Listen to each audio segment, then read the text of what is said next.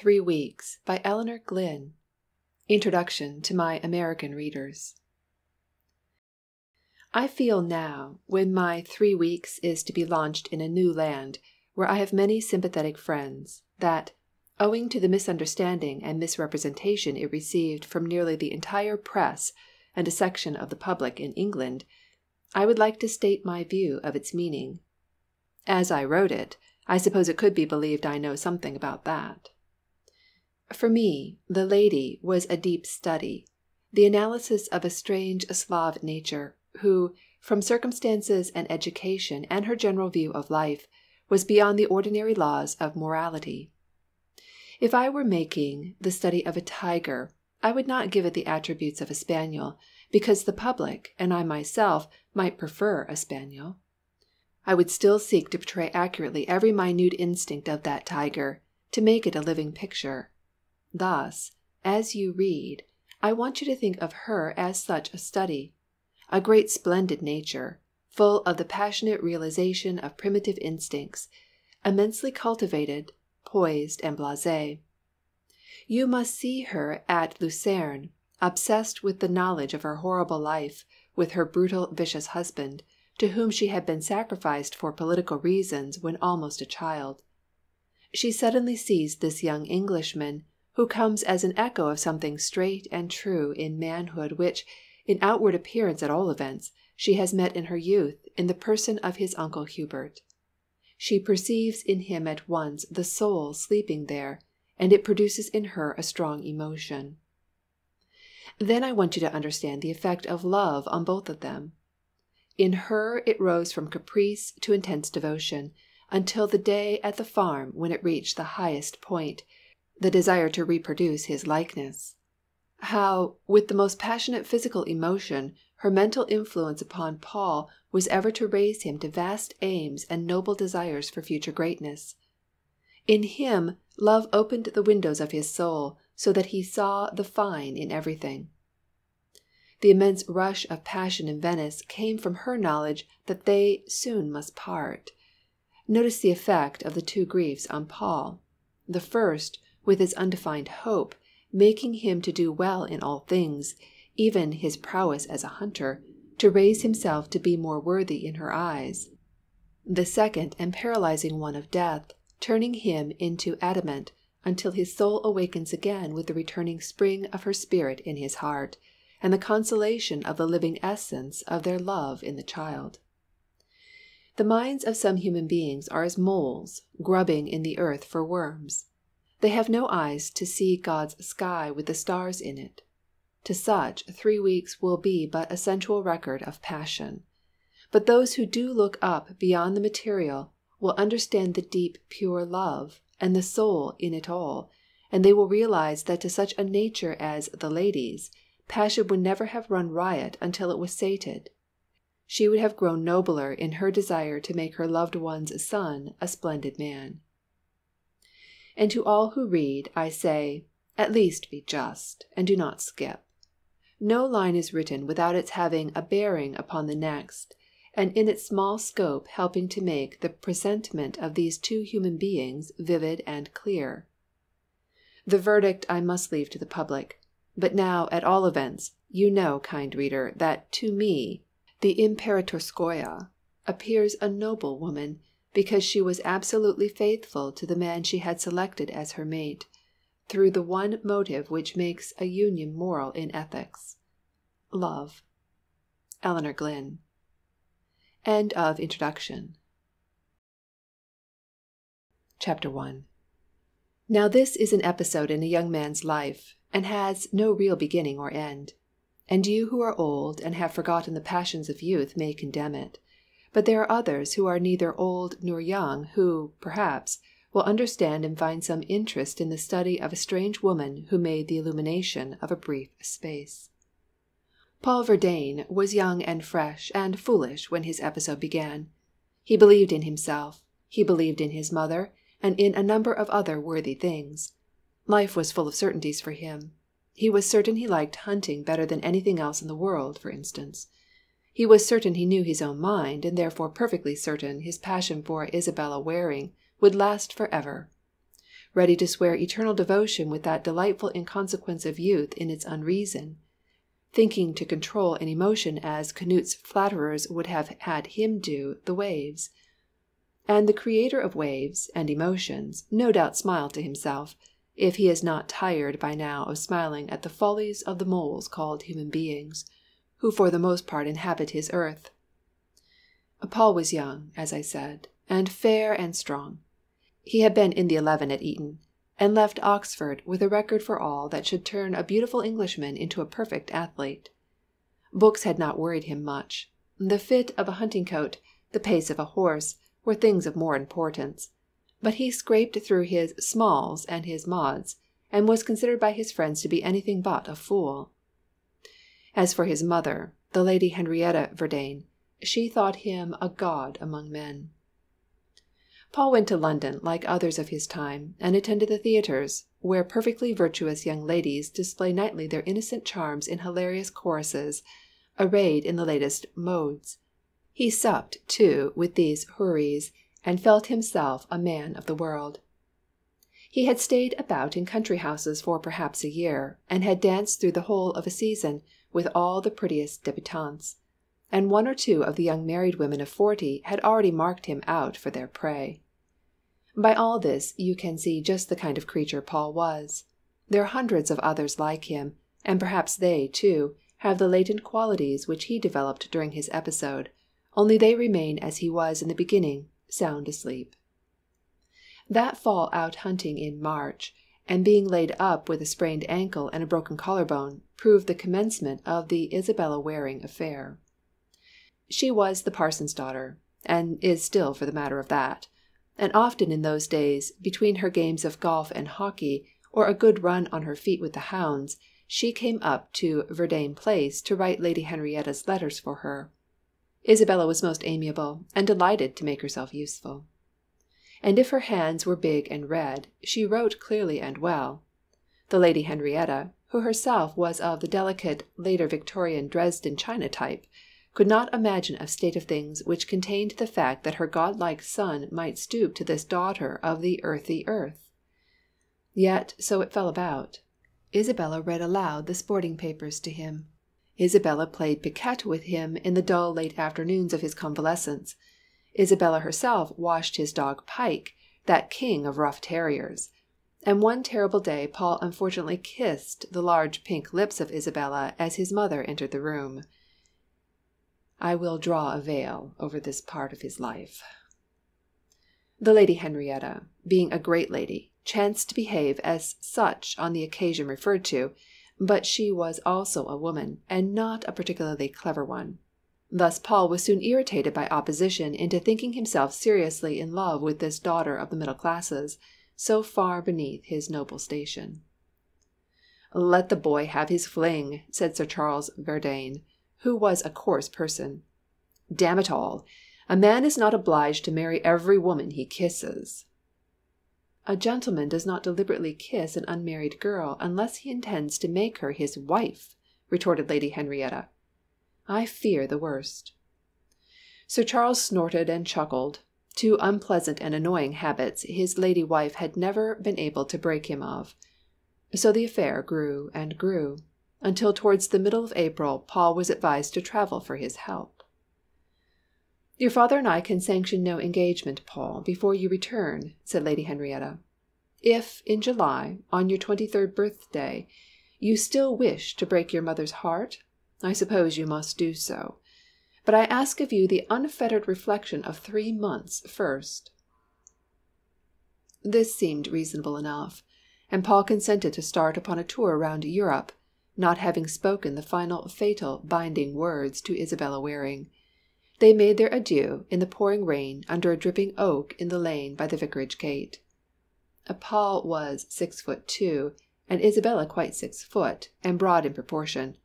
They were dressed almost alike, at a little distance, but for the lady's scanty petticoat it would have been difficult to distinguish her sex. Good bye, old chap, she said. We've been real pals, and I'll not forget you. But Paul, who was feeling sentimentally, put it differently. Good bye, darling, he whispered, with a suspicion of tremble in his charming voice. I shall never love any woman but you. Never. Never in all my life. Cuckoo! screamed the bird in the tree. And now we are getting near the episode. Paris bored Paul. He did not know its joys and was in no mood to learn them. He mooned about and went to the races. His French was too indifferent to make theatres a pleasure, and the attractive ladies who smiled at his blue eyes were for him défendues. A man so recently parted from the only woman he could ever love had no right to look at such things, he thought. How young and chivalrous and honest he was. Poor Paul. So he took to visiting Versailles and Fontainebleau and Compiègne with a guide book, and came to the conclusion it was all beastly rot. So he turned his back upon France and fled to Switzerland. Do you know Switzerland? You who read. Do you know it at the beginning of May? A feast of blue lakes and snow peaks, and the divinest green of young beeches, and the sombre shadow of dark firs, and the exhilaration of the air. If you do, I need not tell you about it. Only, in any case now, you must see it through the eyes of Paul. That is, if you intend to read another page of this bad book. It was pouring with rain when he drove from the station to the hotel. His temper was at its worst. Pilatus hid his head in the mist, and the Bürgenstock was invisible. It was chilly, too, and the fire smoked in the sitting room when Paul had it lighted. His heart yearned for his own snug room at Verdayne Place, and the jolly voice of Isabella Waring counting point, quint, and quatorze. What nonsense to send him abroad! As if such treatment could be effectual as a cure for a love like his! He almost laughed at his mother's folly. How he longed to sit down and write his darling write and tell how he hated it all and was only getting through the time until he saw her six feet of buxom charms again. Only Paul did not put it like that. Indeed, he never thought about her charms at all, or want of them. He analyzed nothing. He was sound asleep, you see, to nuances as yet. He was just a splendid English young animal of the best class. He had promised not to write to Isabella, or, if he must, at least not to write her a love letter. Dear boy, the Lady Henrietta had said, when giving him her fond parting kiss, if you are very unhappy, and feel you greatly wish to write to Miss Waring, I suppose you must do so. But let your letter be about the scenery and the impressions of travel, and in no way to be interpreted as a declaration of affection or a promise of future union. I have your word, Paul, for that. And Paul had given his word. All right, mother, I promise, for three months.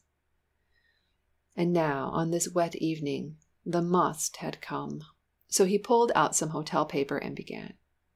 My dear Isabella, I say, you know, I hate beginning like this.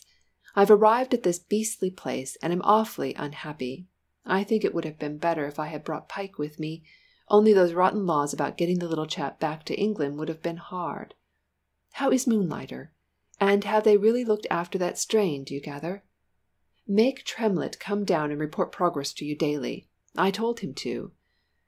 My rooms look out on a beastly lake, and there are mountains, I suppose, but I can't see them. There's hardly anyone in the hotel, because the Easter visitors have all gone back and the summer ones haven't come. So I doubt even if I can have a game of billiards. I am sick of guide books, and I should like to take the next train home again. I must dress for dinner now, and I'll finish this tonight. Paul dressed for dinner. His temper was vile, and his valet trembled. Then he went down to the restaurant scowling, and was ungracious to the polite and conciliating waiters, ordering his food and a bottle of claret as if they had done him an injury. Anglais, they said to one another behind the serving screen, pointing their thumbs at him. He pay but he damn. Then Paul sent for the New York Herald and propped it up in front of him, prodding at some olives with his fork, one occasionally reaching his mouth, while he read and awaited his soup. The table next to him in this quiet corner was laid for one, and had a bunch of roses in the centre, just two or three exquisite blooms that he was familiar with the appearance of in the Paris shops. Nearly all the other tables were empty or emptying. He had dined very late. Who could want roses eating alone?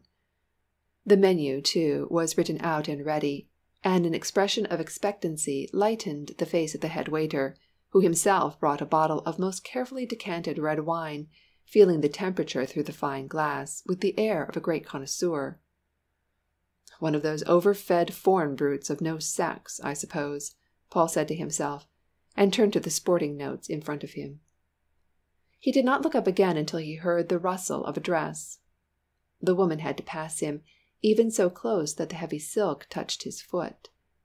He fancied he smelt tuberoses, but it was not until she sat down, and he again looked at her, that he perceived a knot of them tucked into the front of her bodice. A woman to order dinner for herself beforehand, and have special wine and special roses, special attention, too. It was simply disgusting. Paul frowned. He brought his brown eyebrows close together and glared at the creature with his blue young eyes. An elderly, dignified servant in black livery stood behind her chair. She herself was all in black, and her hat, an expensive, distinguished looking hat, cast a shadow over her eyes. He could just see they were cast down on her plate. Her face was white. He saw that plainly enough, startlingly white, like a magnolia bloom, and contained no marked features. No features at all, he said to himself. Yes, he was wrong. She certainly had a mouth worth looking at again. It was so red. Not large and pink and laughingly open like Isabella's, but straight and chiselled, and red, red, red. Paul was young, but he knew paint when he saw it, and this red was real, vivid, and disconcerted him.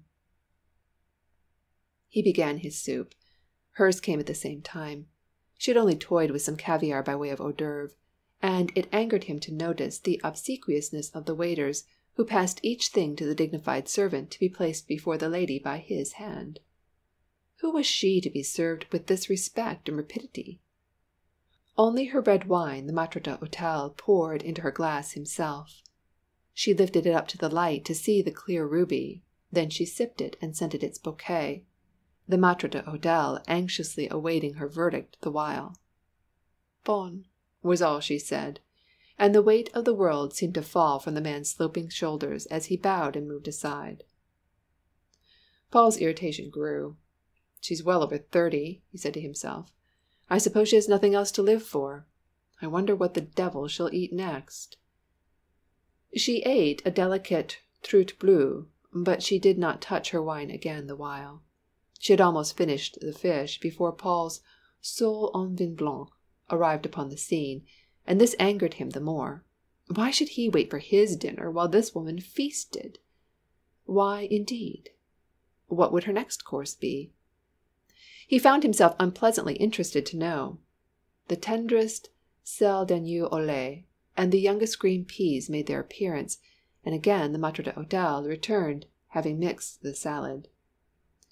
Paul noticed with all these things the lady ate but a small portion of each and it was not until a fat quail arrived later, while he himself was trying to get through two mutton chops l'anglaise, that she again tasted her claret. Yes, it was claret, he felt sure, and probably wonderful claret at that. Confound her! Paul turned to the wine list. What could it be? Chateau Latour at fifteen francs? Chateau Margaux or Chateau Lafite at twenty? Or possibly it was not here at all, and was special, too like the roses and the attention. He called his waiter and ordered some port. He felt he could not drink another drop of his modest Saint Estèphe.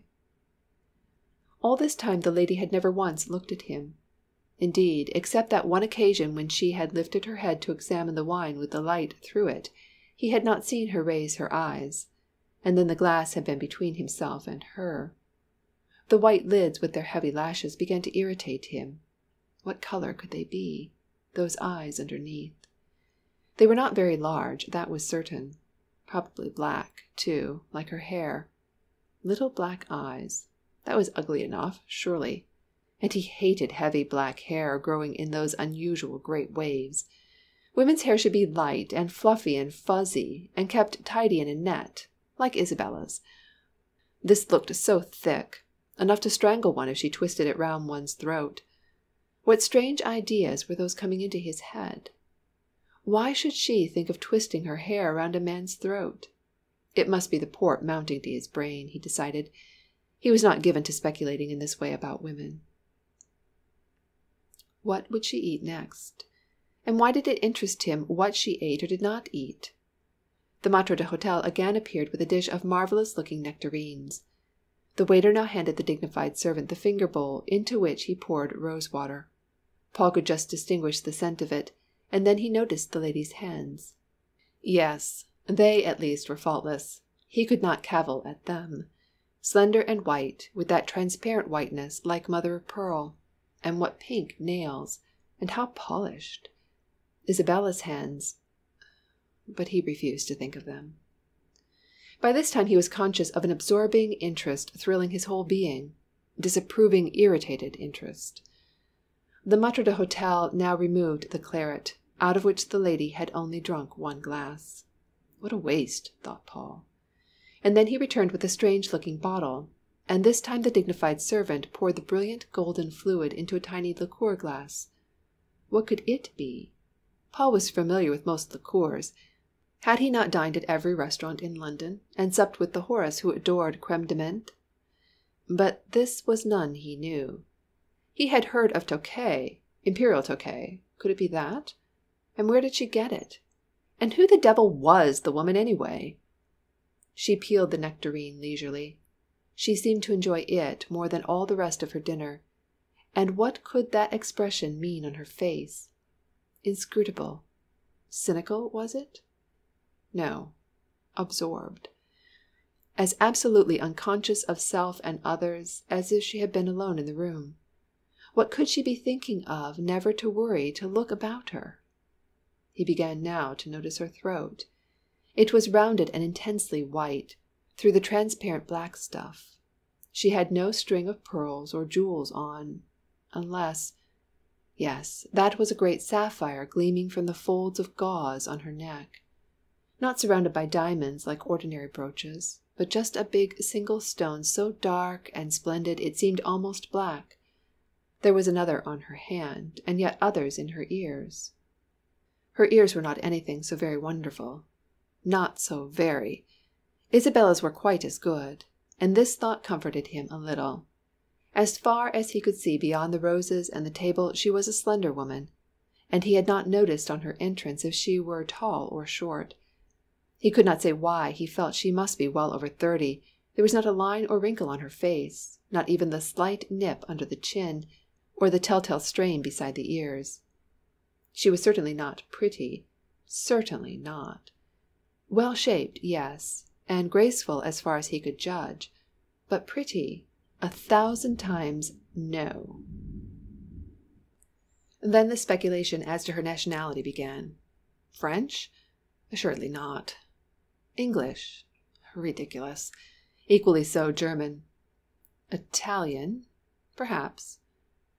Russian? Possibly. Hungarian? Probably. Paul had drunk his third glass of port and was beginning his fourth. This was far more than his usual limit. Paul was, as a rule, an abstemious young man. Why he should have deliberately sat and drank that night he never knew. His dinner had been moderate, distinctly moderate, and he had watched a refined feast of Lucullus partaken of a woman who only tasted each plat. I wonder what she will have to pay for it all, he thought to himself. She will probably sign the bill, though, and I shan't see. But when the lady had finished her nectarine and slipped her slender fingers in the rose water, she got up. She had not smoked. She could not be Russian, then got up and walked towards the door, signing no bill and paying no gold. Paul stared as she passed him rudely stared. He knew it afterwards and felt ashamed. However, the lady never so much as noticed him, nor did she raise her eyes, so that when she had finally disappeared he was still unaware of their colour or expression. But what a figure she had! Sinuous, supple, rounded, and yet very slight. She must have the smallest possible bones, Paul said to himself, because it looks all curvy and soft, and yet she is as slender as a gazelle. She was tall, too, though not six feet, like Isabella. The waiters and the maître d'hôtel all bowed and stood aside as she left, followed by her elderly, stately, silver haired servant. Of course it would have been an easy matter to Paul to find out her name and all about her. He would only have had to summon Monsieur Jacques and ask any questions he pleased. But for some unexplained reason he would not do this. Instead of which he scowled in front of him and finished his fourth glass of port. Then his head swam a little, and he went outside into the night.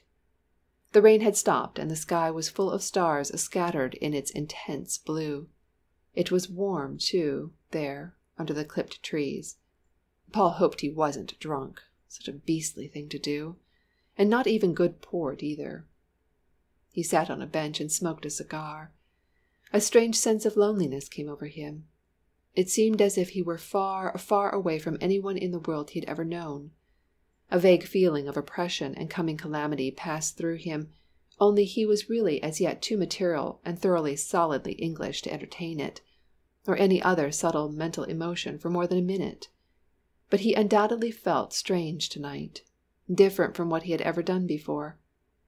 He would have said weird if he could have thought of the word. The woman and her sinuous, sensuous black shape filled the space of his mental vision.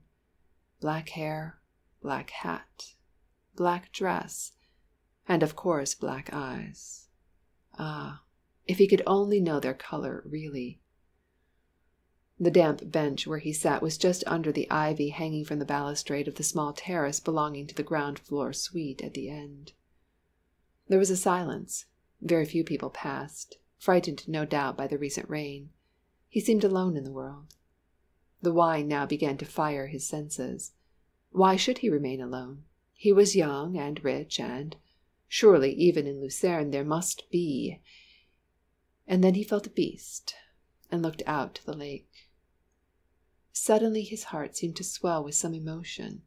A faint scent of tuberoses filled the air, and from exactly above his head there came a gentle, tender sigh. He started violently, and briskly turned and looked up. Almost indistinguishable in the deep shadow he saw the woman's face. It seemed to emerge from a mist of black gauze. And looking down into his were a pair of eyes. A pair of eyes. For a moment Paul's heart felt as if it had stopped beating. So wonderful was their effect upon him. They seemed to draw him, draw something out of him, intoxicate him, paralyze him and as he gazed up motionless the woman moved noiselessly back on the terrace, and he saw nothing but the night sky studded with stars. Had he been dreaming? Had she really bent over the ivy? Was he mad? Yes, or drunk, because now he had seen the eyes, and yet he did not know their color. Were they black, or blue, or gray, or green? He did not know. He could not think. Only they were eyes. Eyes. Eyes. The letter to Isabella Waring remained unfinished that night. End of chapter 1. A chapter 2. Paul's head ached a good deal next morning, and he was disinclined to rise. However, the sun blazed in at his windows, and a bird sang in a tree. His temper was the temper of the next day, sodden and sullen and ashamed.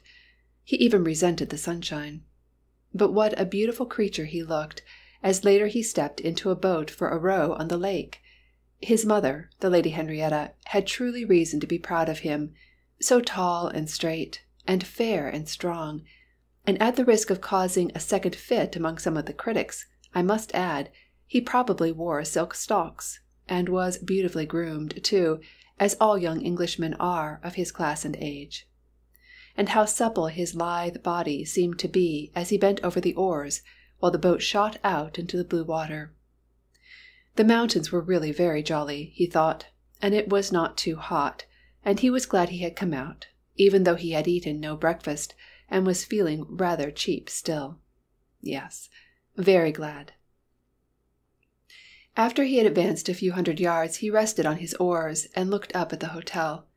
Then wonder came back to him. Where was she today? The lady with the eyes. Or had he dreamed it, and was there no lady at all? It should not worry him anyway, so he rowed ahead and ceased to speculate. The first thing he did when he came in for lunch was to finish his letter to Isabella. P.S. Monday, he added. It is finer today, and I have had some exercise. The view isn't bad now the mist is gone. I shall do some climbing, I think. Take care of yourself, dear girl. Good bye. Love from Paul. It was with a feeling of excitement that he entered the restaurant for déjeuner. Would she be there? How would she seem in daylight? But the little table where she had sat the night before was unoccupied. There were the usual cloth and glass and silver, but no preparations for any specially expected guest upon it. Paul felt annoyed with himself because his heart sank. Had she gone, or did she only dine in public? Perhaps she lunched in the sitting room beyond the terrace where he had seen her eyes the night before. The food was really very good, and the sun shone, and Paul was young and hungry, so presently he forgot about the lady and enjoyed his meal. The appearances of the Bürgenstock across the lake attracted him, as afterwards he smoked another cigar under the trees. He would hire an electric launch and go there and explore the paths.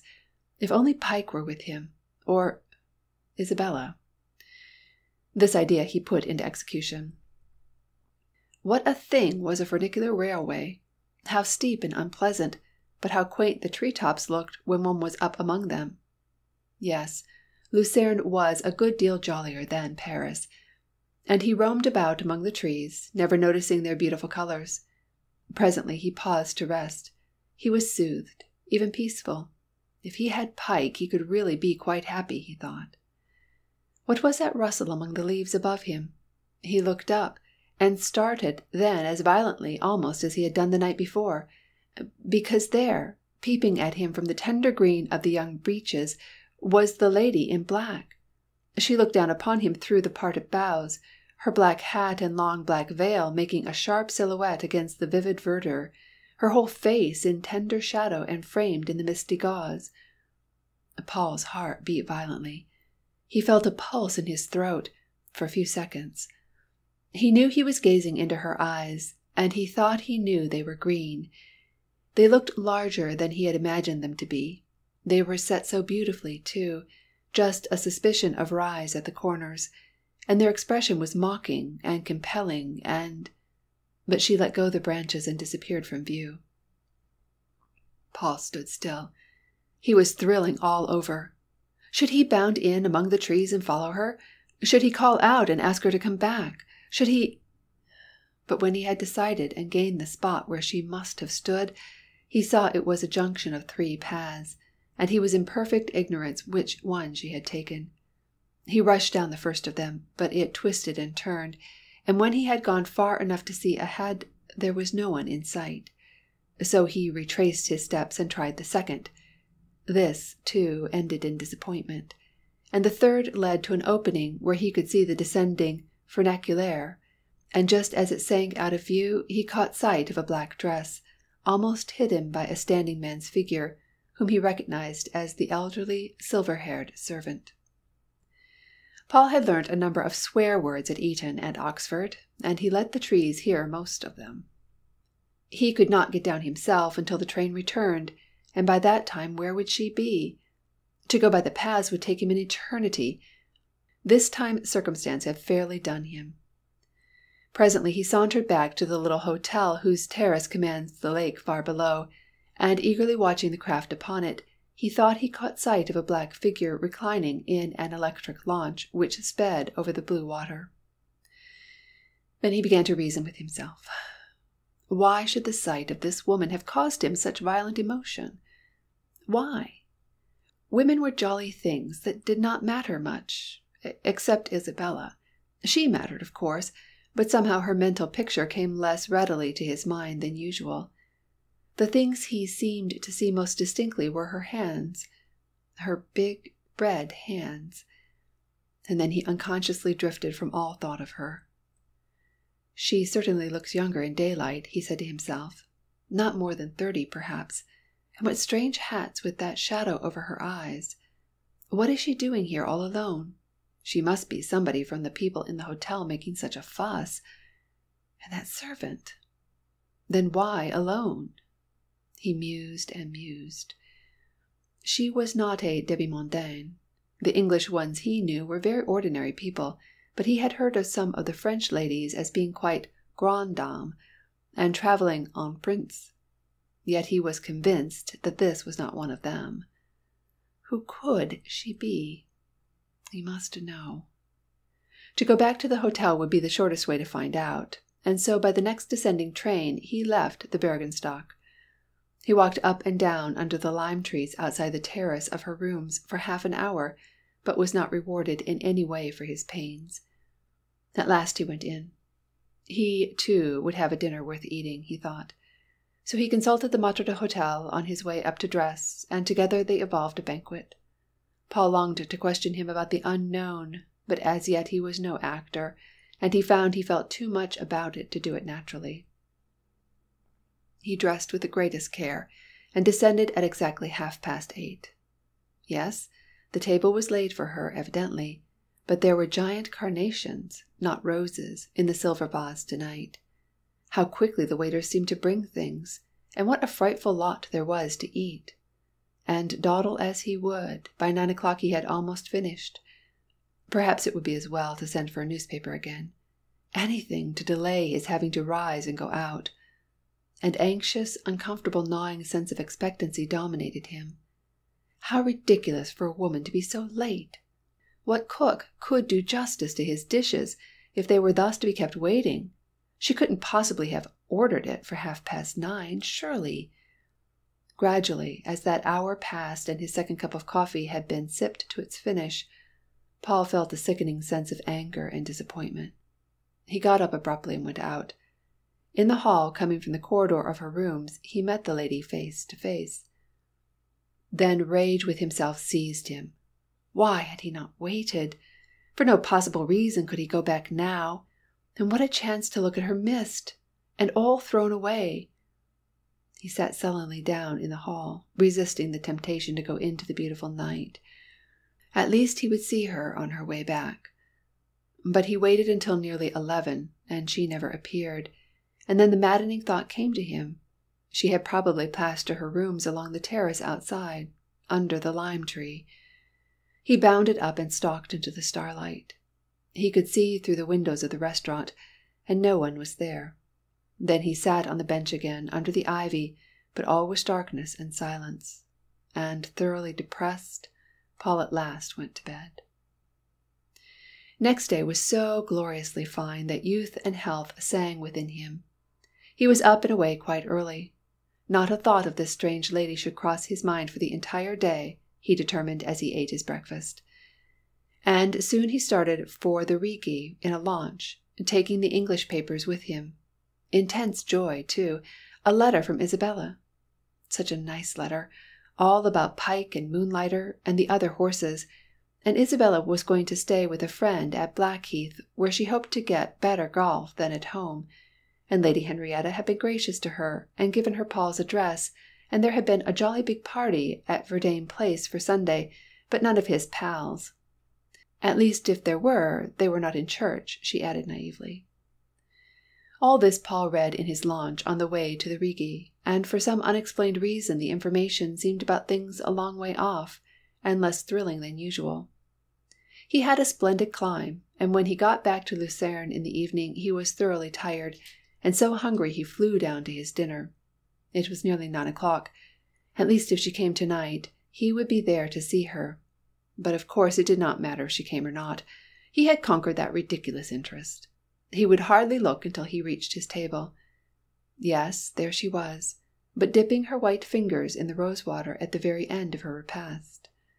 And again, in spite of himself, a strange, wild thrill ran through Paul, and he knew what it was he had been subconsciously hoping for all day. And oh, alas, it mattered exceedingly. The lady never glanced at him. She swept from the room, her stately, graceful movements delighting his eye. He could understand and appreciate movement. Was he not accustomed to thoroughbreds, and able to judge of their action in line? How blank the space seemed when she had gone, dull and unspeakably uninteresting. He became impatient with the slowness of the waiters, who had seemed to hurry unnecessarily the night before. But at last his meal ended, and he went out under the trees. The sky was so full of stars, it hardly seemed dark. The air was soft, and in the distance a band played a plaintive valse tune. There were numbers of people walking about, and the lights from the hotel windows lit up the scene. Only the ivy terrace was in shadow as he sat down again on the bench. How had she got in last night? That he must find out. He rose and peered about him. Yes, there was a little gate, a flight of steps, a private entrance into the suite just around the corner. As he looked at it, the lady, wrapped in a scarf of black gauze, passed him, and standing aside while the silver haired servant opened the little door with a key, she then entered and disappeared from view. It seemed as if the stars danced to Paul. His whole being was quivering with excitement, and now he sat on the bench again almost trembling. He did not move for at least a half an hour. Then the clocks chimed in the town. No, there was no hope. He would see her no more that night. He rose listlessly to go back to bed, tired out with his day's climb. And as he stood up, there, above the ivy again, he saw her face looking down upon him. How had she crossed the terrace without his hearing her? How long had she been there? But what matter? At least she was there, and those eyes looking into his out of the shadow. What did they say? Surely they smiled at him. Paul jumped on to the bench. Now he was almost level with her face, almost, and his was raised eagerly in expectation. Was he dreaming? Or did she whisper something? The sound was so soft he was not quite sure. He stretched out his arms to her in the darkness, pulling himself by the ivy nearer still.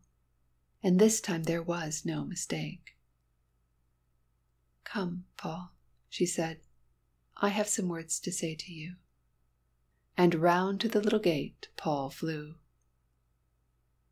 End of chapter 2. Chapter 3 Paul was never quite sure of what happened that evening.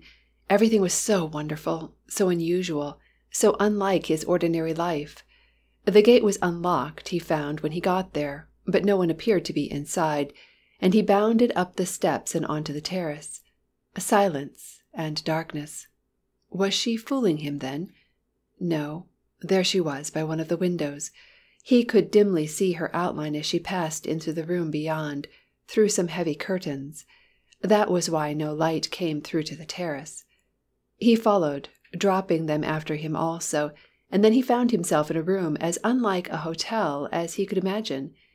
It may have had the usual brocade walls and gilt chairs of the best suite, but its aspect was so transformed by her subtle taste and presence, it seemed to him unique and there were masses of flowers roses, big white ones, tuberoses, lilies of the valley, gardenias, late violets. The light were low and shaded, and a great couch filled one side of the room beyond the fireplace. Such a couch, covered with a tiger skin and piled with pillows, all shades of rich purple velvet and silk, embroidered with silver and gold, unlike any pillows he had ever seen before, even in their shapes. The whole thing was different and strange and intoxicating. The lady had reached the couch and sank into it. She was in black still, but gauzy, clinging black, which seemed to give some gleam of purple underneath. And if he had not been sure that in daylight he had thought they were green, he would have sworn the eyes which now looked into his were deepest violet, too. Come, she said, you may sit here beside me and tell me what you think. And her voice was like rich music, but she had hardly any accent. She might have been an Englishwoman almost, for that matter, and yet he somehow knew that she was not. Perhaps it was she pronounced each word, nothing was slurred over. Without her hat she looked even more attractive, and certainly younger. But what was age or youth? And what was beauty itself? when a woman whose face was neither young nor beautiful could make him feel he was looking at a divine goddess, and thrilling as he had never dreamt of doing in his short life. If anyone had told Paul this was going to happen to him, this experience, he would have laughed them to scorn. To begin with, he was rather shy with ladies as a rule, and had not learned a trick of entreprenance.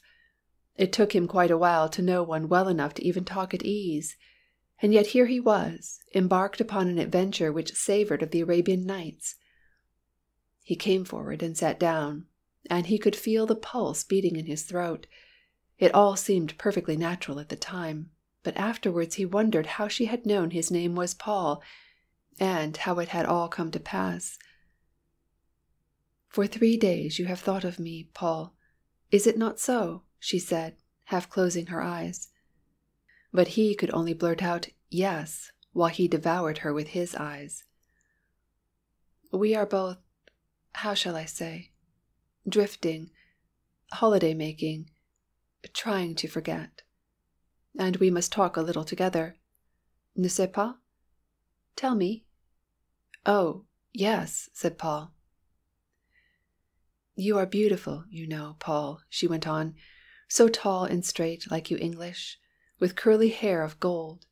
Your mother must have loved you as a baby. I suppose she did, said Paul. She is well? Your mother? The stately lady? Very well. Do you know her? he asked, surprised. Long ago I have seen her, and I knew you at once. So like you are and to your uncles, especially the Lord Hubert. Uncle Hubert is a rotter. A rotter? inquired the lady. And what is that? And she smiled a divine smile. Paul felt ashamed. Oh, well, it is a rotter, you know. That is. Like Uncle Hubert, I mean. She laughed again. You don't explain well, but I understand you. And so you only resemble the Uncle Hubert on the outside. That is good. Paul felt jealous. Lord Hubert Aldringham's reputation, for some things, was European. I hope so, he said with emphasis. And you knew him well, then, too? I never said so, replied the lady. I saw him once, twice perhaps, years ago, at the marriage of a princess. There, it has made you frown. We will speak no more of the Uncle Hubert. And she leant back and laughed. Paul felt very young. He wanted to show her he was grown up, and he wanted a number of things which had never even formed themselves in his imagination before. But she went on talking. And your cotelettes were tough, Paul, and you were so cross that first evening, and hated me. And oh, Paul, you had far too much wine for a boy like you. He reddened to the roots of his fair wavy hair, and then he hung his head. I know I did. It was beastly of me, but I was so upset. I Look at me, she said, and she bent forward over him, a gliding feline movement, infinitely sinuous and attractive. Then he looked, his big blue eyes still cloudy with the mist of shame. You must tell me why you were upset, baby, Paul. How often she said his name, lingering over it as if it were music. It thrilled him every time. Then he gained courage. But how do you know anything about it, or what I had, or what I drank? You never once raised your eyelids all the time. Perhaps I can see through them when I want to. Who knows? And she laughed. And you wanted to? Wanted to see through them? He was gazing at her now, and she suddenly looked down, while the most beautiful transparent pink flushed her soft white cheeks, turning her into a tender girl almost. The change was so sudden it startled Paul and emboldened him. You wanted to, he repeated in a glad voice. You wanted to see me? Yes, she whispered, and she looked up at him again, but this time there was mischief in her eyes. Is that why you sighed then among the ivy? What made you sigh? She paused a moment, and then she said slowly, A number of things. You seemed so young, and so beautiful, and so asleep. Indeed, I wasn't asleep, Paul exclaimed. It would take a great deal more port than that to make me go to sleep, and I was thinking of And then he saw she had not meant that kind of sleep, and felt a fool, and wondered. She helped him out. All this time you have not told me why you were upset, upset enough to drink bad port. That was naughty of you, Paul. I was upset over you. I was angry because I was so interested. And he reddened again. She leant back among the purple cushions, her figure so supple in its lines it made him think of a snake. She half closed her eyes again, and she spoke low in a dreamy voice. It was fate, Paul. I knew it when I entered the room. I felt it again among the green trees, and so I ran from you. But tonight it is plus fort que moi. So I called you to come in. I am so glad, so glad, said Paul. She remained silent. Her eyes in their narrowed lids gleamed at him, seeming to penetrate into his very soul and now he noticed her mouth again. It neither drooped nor smiled. It was straight, and chiselled and strong, and small rather, and the lower lip was rounded and slightly cleft in the centre. A most appetizing red flower of a mouth. By this time Paul was more or less intoxicated with excitement. He had lost all sense of time and place. It seemed as if he had known her always, that there never had been a moment when she had not filled the whole of his horizon. They were both silent for a couple of minutes. As far as he could gather from her inscrutable face, she was weighing things. What things? Suddenly she sprang up, one of those fine movements of hers full of cat-like grace. Paul, she said, listen, and she spoke rather fast. You are so young, so young, and I shall hurt you, probably. Won't you go now, while there is yet time, away from Lucerne, back to Paris, even back to England, anywhere away from me? She put her hand on his arm and looked into his eyes, and there were tears in hers, and now he saw that they were gray. He was moved as never yet in all his life. I will not, he said. I may be young, but tonight I know. I want to live and I will chance the hurt, because I know that only you can teach me just how. Then his voice broke, and he bent down and covered her hand with kisses. She quivered a little and drew away. She picked up a great bunch of tuberoses and broke off all their tops. There, take them, she said, pressing them into his hands and those against his heart. Take them and go, and dream of me. You have chosen. Dream of me tonight and remember, there is tomorrow. Then she glided back from him, and before he realized it, she had gone noiselessly away through another door. Paul stood still. The room swam. His head swam. Then he stumbled out on to the terrace, under the night sky, the white blossoms still pressed against his heart. He must have walked about for hours. The gray dawn was creeping over the silent world when at last he went back to the hotel and to his bed. There he slept and dreamt. Never a dream, for youth and health are glorious things, and he was tired out.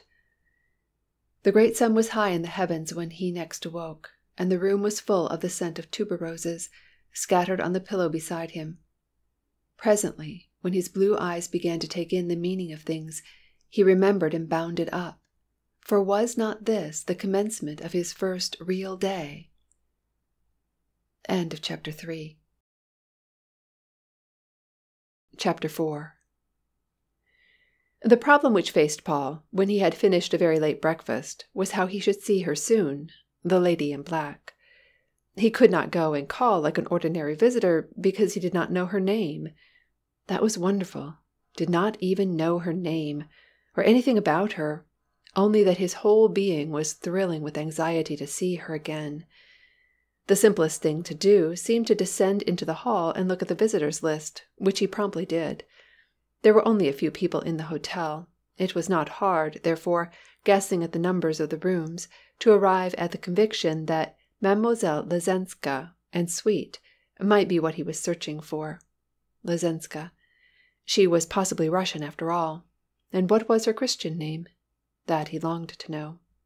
As he stood staring, his fair forehead puckered into a frown of thought, the silver haired servant came up behind him and said, with his respectful, dignified bearing, De la part de Madame, handing Paul a letter the while. What could it contain? But this was not the moment for speculation. He would read and see. He turned his back on the servant and walked towards the light, while he tore open the envelope. It had the most minute sphinx in the corner, and the paper was un English and rather thin. This is what he read: Morning. Paul, I am young to day, and we must see the blue lake and the green trees. Come to the landing towards the station, and I will call for you in my launch. And you shall be young too, Paul, and teach me. Give Dmitri the answer. The answer is yes immediately. Tell Madame, Paul said. And then he trod on air until he arrived at the landing she had indicated. Soon the launch glided up. He saw her there reclining under an awning of striped green. It was a well arranged launch. The comfortable deck chairs were in the bows, and the steering took place from a raised perch behind the cabin, so the two were practically alone. The lady was in grey today, and it suited her strangely. Her eyes gleamed at him, full of mischief, under her large grey hat. Paul drew his chair a little forward, turning it so that he could look at her without restraint. How good of you to send for me, he said delightedly. She smiled a radiant smile. Was it? I am capricious. I did not think of the good for you. Only I wanted you to please myself. I wish to be foolish today, Paul, and see your eyes dance and watch the light on your curls. Paul frowned. It was as if she thought him a baby. Then the lady leant back and laughed. The sound was of golden bells. Yes, you are a baby, she said, answering his thoughts. A great, big, beautiful baby, Paul. If Paul had been a girl he would have pouted. She turned from him and gazed over the lake. It was looking indescribably beautiful, with the colors of the springtime. Do you see the green of those beeches by the water, Paul? Look at their tenderness, next to the dark firs, and then the blue beyond. And see, there is a copper beech. He is king of them all. I would like to build a chalet up in some part like that, and come there each year in May to read fairy tales. For the first time in his life Paul saw with different eyes just the beauty of things, and forgot to gauge their sporting possibilities. An infinite joy was flooding his being, some sensation he had not dreamed about even, of happiness and fulfillment. She appeared to him more alluring than ever, and young and gay, as young as Isabella. And then his thoughts caused him to take in his breath with a hiss. Isabella! How far away she seemed! Of course he could never love any one else. But Don't think of it, then, the lady whispered. Be young, like me, and live under the blue sky. How was it she knew his thoughts always? He blushed while he stammered, No, I won't think of it, or anything but you, Princess. Daring one, said she. Who told you to call me that? The hotel people have been talking, I suppose. No, said Paul, surprised. I called you Princess just because you seemed like one to me. But now I guess from what you say you are not playing Madame Zalenska. Her eyes clouded for a second. Madame Zalenska does to travel with, but you shall call me what you like. He grew emboldened. I suddenly feel I want so much. I want to know why your eyes were so mocking through the trees on the Bürgenstock. They drove me nearly mad, you know, and I raced about after you like a dog after a hare. I thought you would. You did not control the expression when you gazed up at me, and so I was the true hare, and ran away. She looked down suddenly and was silent for some moments. Then she turned the conversation from these personal things.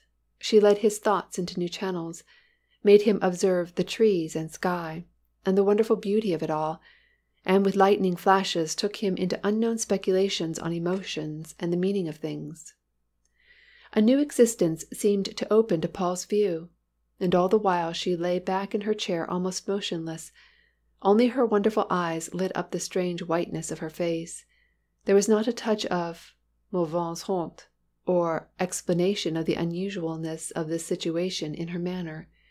It had a perfect, quiet dignity, as if to look into the eyes of an unknown young man at night over an ivy terrace and then spend a day with him alone were the most natural things in the world to do. Paul felt she was a queen whose actions must be left unquestioned. Presently they came to a small village, and here she would land and lunch, and from somewhere behind the cabin Dmitri appeared and was sent on ahead, so that when they walked into the little hotel a simple repast was waiting for them. By this time Paul was absolutely enthralled. Never in his whole life had he spent such a morning. His imagination was expanded. He saw new vistas. His brain almost whirled. Was it he, Paul Verdayne, who was seated opposite this divine woman, drinking in her voice and listening to her subtle, curious thoughts?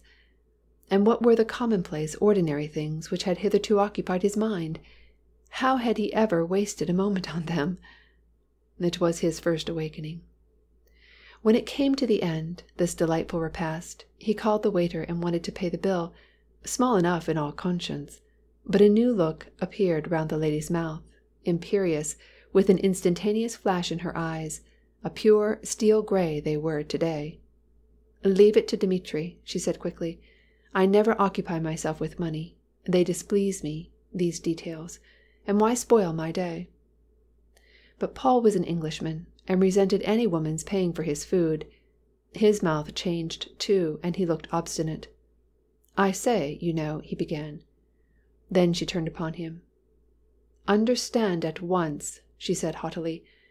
Either you leave me unjarred by your English conventionalities, or you pay these miserable francs and go back to Lucerne alone.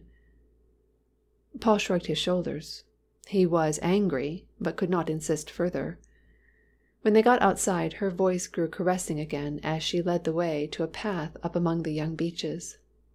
Paul, foolish one, she said, do you not think I understand and know you, and your quaint English ways? But imagine how silly it is. I am quite aware that you have ample money to provide me with a feast of Midas, all of gold, if necessary, and you shall some day, if you really wish. But to stop over paltry sums of francs, to destroy the thread of our conversation and thoughts, to make it all banal and everyday. That is what I won't have. Dmitri is there for nothing else but to eviter for me these details. It is my holiday, my pleasure day, my time of joy. I felt young, Paul. You would not make one little shadow for me, would you, Ami? No voice that he had ever dreamt of possessed so many tones in it as hers even one of pathos, as she lingered over the word shadow, and his annoyance melted. He only felt he would change the very mainspring of his life if necessary to give her pleasure and joy. Of course I would not make a shadow, surely you know that, he said, moved. Only you see a man generally pays for a woman's food. When she belongs to him, but I don't belong to you, baby Paul. You, for the day, belong to me and are my guest. Very well, then, we won't talk about it, he said, resigned by the caress in her words. To belong to her, that was something, if but for one day. Only it must never come up again, this question, she insisted. Should we spend more hours on this lake, or other lakes, or mountains, or rivers, or towns, let us speak never of money, or paying, if you only knew how I hate it, the cruel yellow gold. I have heaps of it, heaps of it, and for it human beings have always paid so great a price. Just this once in life let it bring happiness and peace. He wondered at the concentrated feeling she expressed. What could the price be? And what was her history? So it is over, our little breeze, she said gently, after a pause. And you will tease me no more, Paul? I would never tease you, he exclaimed tenderly, and, if he had dared, he would have taken her hand. You English are so wonderful, full of your prejudices, she said in a contemplative way. Bulldog tenacity of purpose, whether you are right or wrong. Things are a custom, and they must be done, or it is not playing the game. And she imitated a set English voice, her beautiful mouth pursed up, until Paul had to use violent restraint with himself to keep from kissing it. A wonderful people, mostly gentlemen and generally honest, but of a common sense that is disastrous to sentiment or romance. If you were not so polished, and lazy, and strong, and beautiful to look at, one would not consider you much beyond the German. Not consider us beyond a beastly German! exclaimed Paul indignantly. And the lady laughed like a child. Oh, you darling Paul, she said. You dear, insular, arrogant Englishman. You have no equal in the world. Paul was offended. If you had said an Austrian, now, but a German, he growled sulkily. The Austrians are charming, allowed the lady, but they err the other way. They have not enough common sense. They are only great gentlemen. Also, they are naturally awake, whereas you English are naturally asleep, and you yourself are the sleeping beauty, Paul. They had climbed up the path now some two hundred feet, and all around them were stripling beeches of an unnaturally exquisite green, as fresh and pure and light almost as leaves of the forest lily of the valley. The whole world throbbed with youth and freshness, and here and there wide of the path, by a mossy stone, a gentian raised its azure head. Small essence of sky, the lady called them. Let us sit down on this piece of rock, Paul said. I want to hear why I am the sleeping beauty. It is so long since I read the story. Wasn't it about a girl, not a man? And didn't she get waked up by a kiss? She did, said the lady, leaning back against the tree behind her. But then it was just her faculties which were asleep, not her soul. Could a kiss awake a soul? I think so, Paul whispered. He was seated on a part of the rock which jutted out a little lower than her resting place, and he was so close as to be almost touching her. He could look up under the brim of that tantalizing hat, which so often hid her from his view as they walked. He was quivering with excitement at this moment, the result of the thought of a kiss, and his blue eyes blazed with desire as they devoured her face. Yes, it is so, said the lady, a low note in her voice. Because Huldbrand gave Undine a soul with a kiss. Tell me about it, implored Paul. I am so ignorant. Who was Huldbrand, and what did he do? She began in a dreamy voice, and you who have read de la Motte Fouque's dry version of this exquisite legend would hardly have recognized the poetry and pathos and tender sentiment she wove round these two, and the varied moods of Undine and the passion of her knight. And when she came to the evening of their wedding, when the young priest had placed their hands together and listened to their vows, when Undine found her soul at last in Huldbrand's arms, her voice faltered and she stopped and looked down. And then, said Paul, and his breath came rather fast. And then. He was a man, you see, Paul. So when he had won her love, he did not value it. He threw it away. Oh, no. I don't believe it, Paul exclaimed vehemently. It was just this brute Huldbrand. But you don't know men to think they do not value what they win you don't know them, indeed. She looked down straight into his face as he gazed up at her, and to his intense surprise he could have sworn her eyes were green now, as green as emeralds, and they held him and fascinated him and paralyzed him like those of a snake. I do not know men, she said softly. You think not, Paul. But Paul could hardly speak. He buried his face in her lap like a child and kept it there kissing her gloved hands. His straw hat, with its Zingari ribbon, lay on the grass beside him, and a tiny shaft of sunlight glanced through the trees, gilding the crisp waves of his brush back hair into dark burnished gold. The lady moved one hand from his imprisoned caress and touched the curl with her finger tips. She smiled with the tenderness a mother might have done. There, there, she said, not yet. Then she drew her hand away from him and leant back, half closing her eyes. Paul sat up and stared around. Each moment of the day was providing new emotions for him. Surely this was what Columbus must have felt, nearing the New World. He pulled himself together. She was not angry then at his outburst and his caress, though something in her face warned him not to err again. "Tell me the rest," he said pleadingly.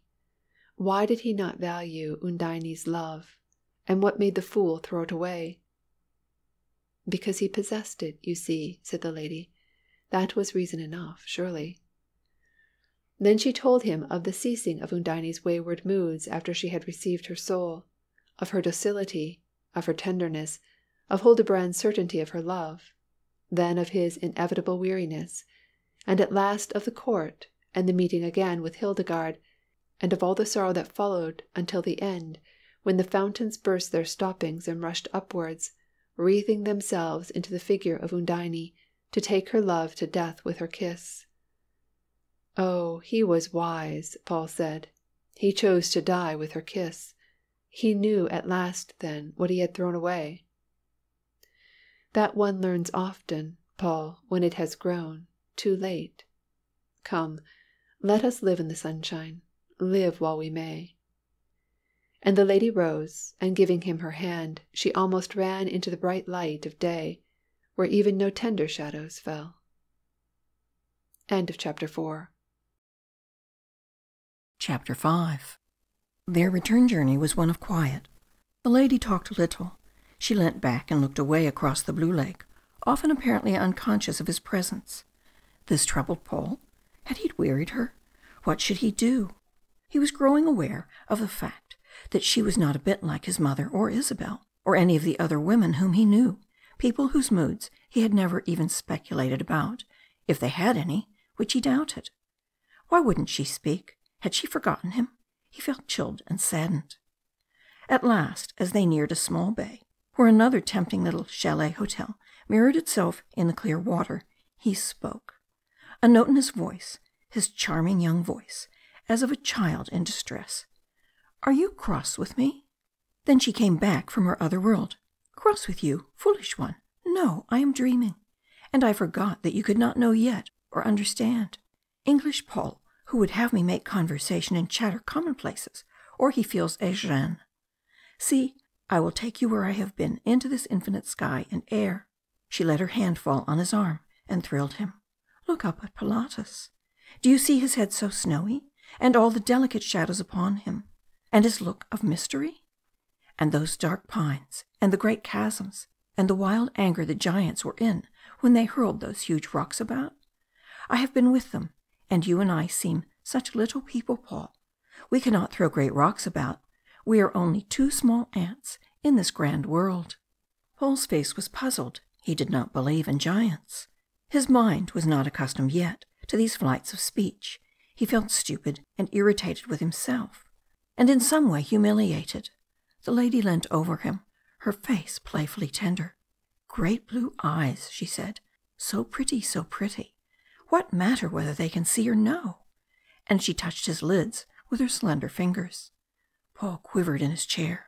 You know, he gasped. You make me mad. I. But won't you teach me to see? No one wants to be blind. Teach me to see with your eyes, lady, my lady. Yes, I will teach you, she said. Teach you a number of things. Together we will put on the hat of darkness and go down into Hades. We shall taste the apples of the Hesperides we will rob Mercure of his sandals, and Gyges of his ring, and one day Paul. When together we have fathomed the meaning of it all, what will happen then, enfant? Her last word, enfant, was a caress, and Paul was too bewildered with joy to answer her for a moment. What will happen? he said at last. I shall just love you, that's all. Then he remembered Isabella Waring, and suddenly covered his face with his hands. They stopped for tea at the quaint chalet hotel, and after it they wandered to pick gentians. The lady was sweet and sympathetic and gay. She ceased startling him with wild fancies. Indeed, she spoke of simple, everyday things, and got him to tell her of his home and Oxford and his horses and his dogs. And when they arrived at the subject of Pike, her sympathy drew Paul nearer to her than ever. Of course she would love Pike if only she knew him. Who could help loving a dog like Pike? And his master waxed eloquent. Then, when he looked away, the lady's weird chameleon eyes melted upon him in that strange tenderness which might have been a mother's watching the gambols of her babe. The shadows were quite deep when at last they decided to return to Lucerne, a small bunch of heaven's own blue flower, the only trophy of the day. Paul had never enjoyed himself so much in his twenty three years of life. And what would the evening bring? Surely more joy. This parting at the landing could not be good night. But as the launch glided nearer and nearer his heart fell, and at last he could bear the uncertainty no longer. And for dinner, he said, won't you dine with me, my princess? Let me be your host, as you have been mine all to day. But a stiffness seemed to fall upon her suddenly. She appeared to have become a stranger again almost. Thank you, no, I cannot dine, she said. I must write letters and go to sleep. Paul felt an ice hand clutching his heart. His face became so blank as to almost pale before her eyes. She leant forward and said, Will you be lonely, Paul? Then at ten o'clock you must come under the ivy and wish me good night and this was all he could gain from her. She landed him to walk back to the hotel at the same place from which they had embarked, and the launch struck out again into the lake. He walked fast, just to be near enough to see her step ashore onto the hotel wharf, but he could not arrive in time, and her grey figure disappearing up the terrace steps was all his hungry eyes were vouchsafed. The weariness of dinner. What did it matter what the food was? What did it matter that a new family of quite nice English people had arrived and sat near? A fresh young girl and a youth, and a father and mother. People who would certainly play billiards and probably bridge. What did anything matter in the world?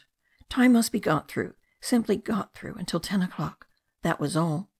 At half past nine he strode out and sat upon the bench. His thoughts went back in a constant review of the day.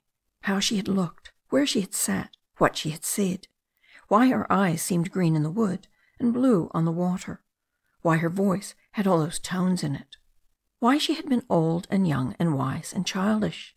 Then he thought of the story of Undine and the lady's strange snake's look when she had said, I do not know men.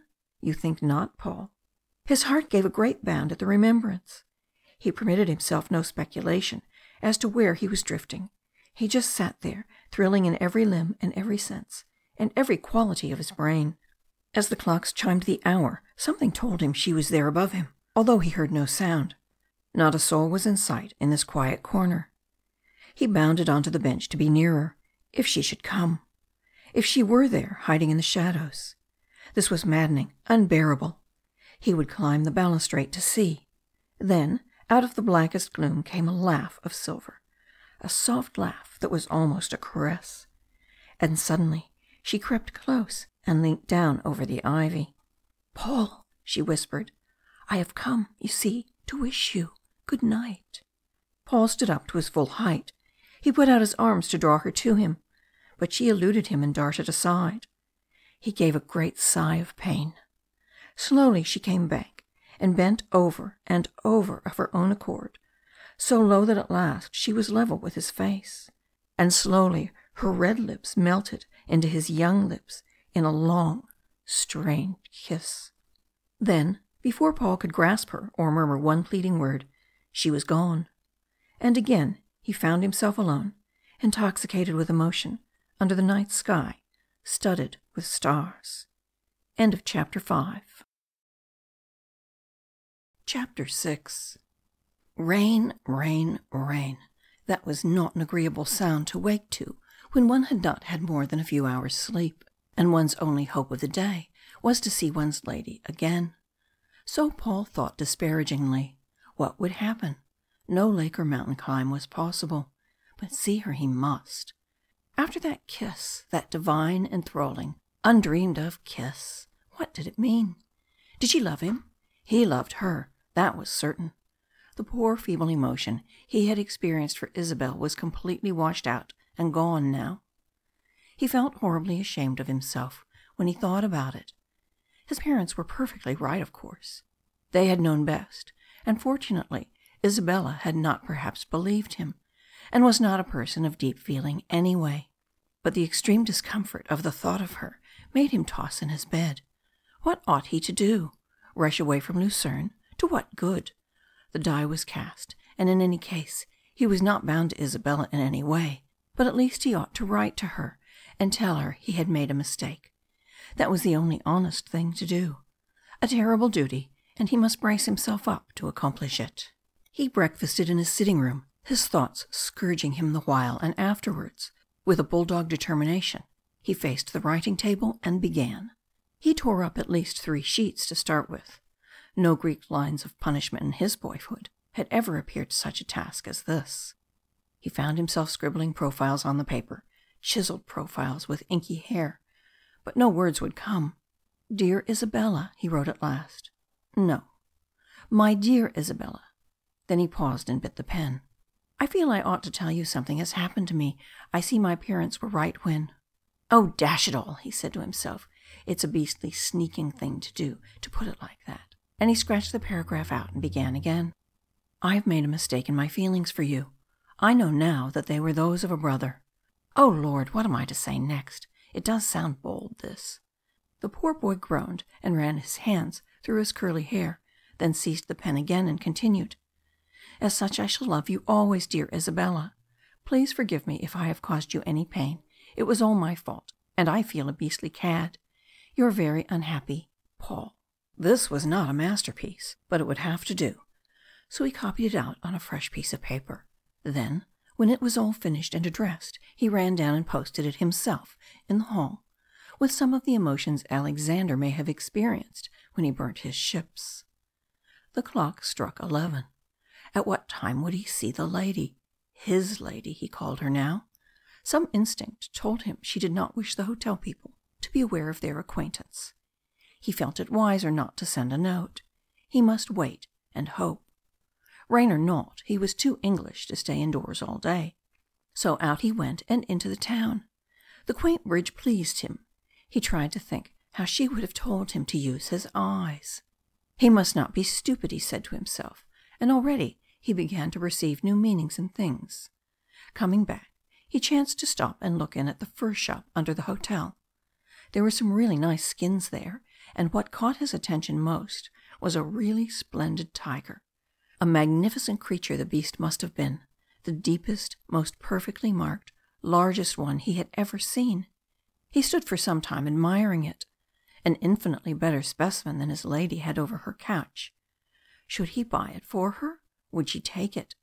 Would it please her to think he had remembered it might be what she would like? He went into the shop. It was not even dear as tigers go, and his parents had given him ample money for any follies. Confound it, Henrietta, the boy must have his head, Sir Charles Verdayne had said. He's my son, you know, and you can't expect to cure him of one wench unless you provide him with shekels to buy another, which crudely expressed wisdom had been followed, and Paul had no worries where his banking account was concerned. He bought the tiger, and ordered it to be sent to his rooms immediately. Then there was lunch to be thought of. She would not be there probably, but still he had a faint hope. She was not there, nor were any preparations made for her. But when one is twenty three and hungry, even if deeply in love, one must eat. The English people had the next table beyond the sacred one of the lady. The girl was pretty and young, and laughing. But what a doll, thought Paul. What a meaningless wax doll. Not worth not worth a moment's glancing at. And the pink and white fluffy girl was saying to herself, There is Paul Verdayne again. I wish he remembered he had met me at the De Courcys, though we weren't introduced. I must get Percy to scrape up a conversation with him. I wish mamma had not made me wear this green alpaca today. But Paul's blue eyes gazed through and beyond her and saw her not. So all this prettiness was wasted. And directly after lunch he returned to his sitting room. The tiger would probably have arrived, and he wanted to further examine it. Yes, it was there. He pulled it out and spread it over the floor. What a splendid creature. It reminded him in some way of her, his lady. Then he went into his bedroom and fetched a pair of scissors, and proceeded to kneel on the floor and pare away the pinked out black cloth which came beyond the skin. It looked banal, and he knew she would not like that. Oh, he was awaking, this beautiful young Paul. He had scarcely finished when there was a tap at the door, and Dmitry appeared with a note. The thin remembered hand thrilled him and he took it from the servant's hand. Paul, I am in the devil's mood to day. About five o'clock come to me by the terrace steps. That was all. There was no date or signature, but Paul's heart beat in his throat with joy. I want the skin to go to Madame, he said. Have you any means of conveying it to her without the whole world seeing it go?" The stately servant bowed. If the Excellency would help him to fold it up, he said, he would take it now to his own room, and from thence to the appartement numero trois. It is not a very easy thing to fold up a huge tiger skin into a brown paper parcel tied with string, but it was accomplished somehow, and Dmitry disappeared noiselessly with it and an answer to the note. "I will be there, sweet lady. Your own Paul." And he was. A bright fire burnt in the grate, and some palest orchid mauve silk curtains were drawn in the lady's room when Paul entered from the terrace. And, loveliest sight of all, in front of the fire, stretched at full length, was his tiger, and on him, also at full length, reclined the lady, garbed in some strange clinging garment of heavy purple crepe, its hem embroidered with gold, one white arm resting on the beast's head, her back supported by a pile of the velvet cushions, and a heap of rarely bound books at her side, while between her red lips was a rose, not redder than they, an almost scarlet rose. Paul had never seen one as red before. The whole picture was barbaric. It might have been some painter's dream of the favourite in a harem. It was not what one would expect to find in a sedate Swiss hotel. She did not stir as he stepped in, dropping the heavy curtains after him. She merely raised her eyes and looked Paul through and through. Her whole expression was changed. It was wicked and dangerous and provocant. It seemed quite true, as she had said. She was evidently in the devil's mood. Paul bounded forward, but she raised one hand to stop him. "No, you must not come near me, Paul. I am not safe to day. Not yet. See, you must sit there, and we will talk." And she pointed to a great chair of Venetian workmanship and wonderful old velvet, which was new to his view. "I bought that chair in the town this morning, at the curiosity shop on the top of Wegestrasse, which long ago was the home of the Venetian envoy here. And you bought me the tiger, Paul. Oh, that was good. My beautiful tiger." And she gave a movement like a snake, of joy to feel its fur under her while she stretched out her hands and caressed the creature where the hair turned white and black at the side and was deep and soft. "Beautiful one, beautiful one," she purred, "and I know all your feelings and your passions, and now I have got your skin for the joy of my skin." And she quivered again with the movements of a snake. It is not difficult to imagine that Paul felt far from calm during this scene. Indeed, he was obliged to hold on to his great chair to prevent himself from seizing her in his arms. "I'm I'm so glad you like it," he said in a croaked voice. "I, I thought probably you would. And your own was not worthy of you. I found this by chance. Oh, and oh, good God! If you knew how you are making me feel, lying there wasting your caresses upon it." She tossed the scarlet rose over to him. It hit his mouth. "I am not wasting them," she said, the innocence of a kitten in her strange eyes their colour impossible to define to day. Indeed not, Paul. He was my lover in another life, perhaps. Who knows? But I, said Paul, who was now quite mad, want to be your lover in this. Then he gasped at his own boldness. With a lightning movement she lay on her face, raised her elbows on the tiger's head, and supported her chin in her hands. Perfectly straight out her body was, the twisted purple drapery outlining her perfect shape and flowing in graceful lines beyond, like a serpent's tail. The velvet pillows fell scattered at one side.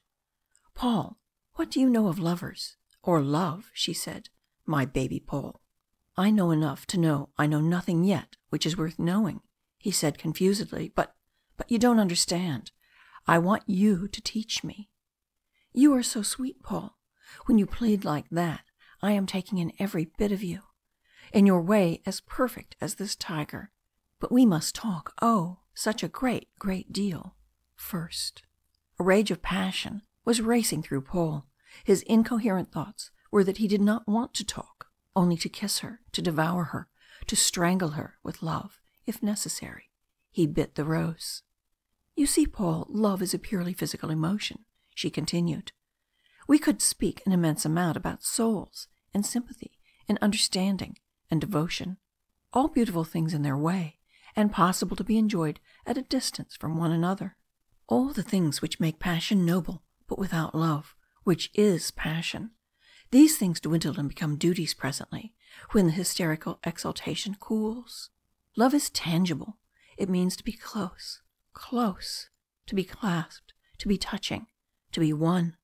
Her voice was low, so concentrated as to be startling in contrast to the drip of the rain outside, and her eyes, half closed and gleaming, burnt into his brain.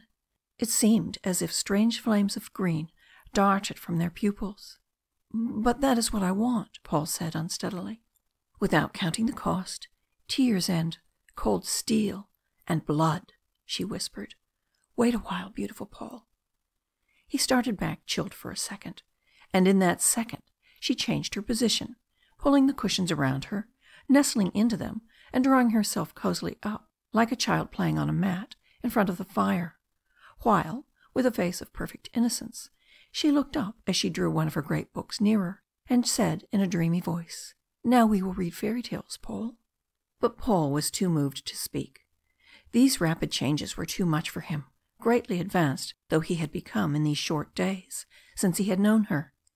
He leant back in his chair, every nerve in his body quivering, his young fresh face almost pale.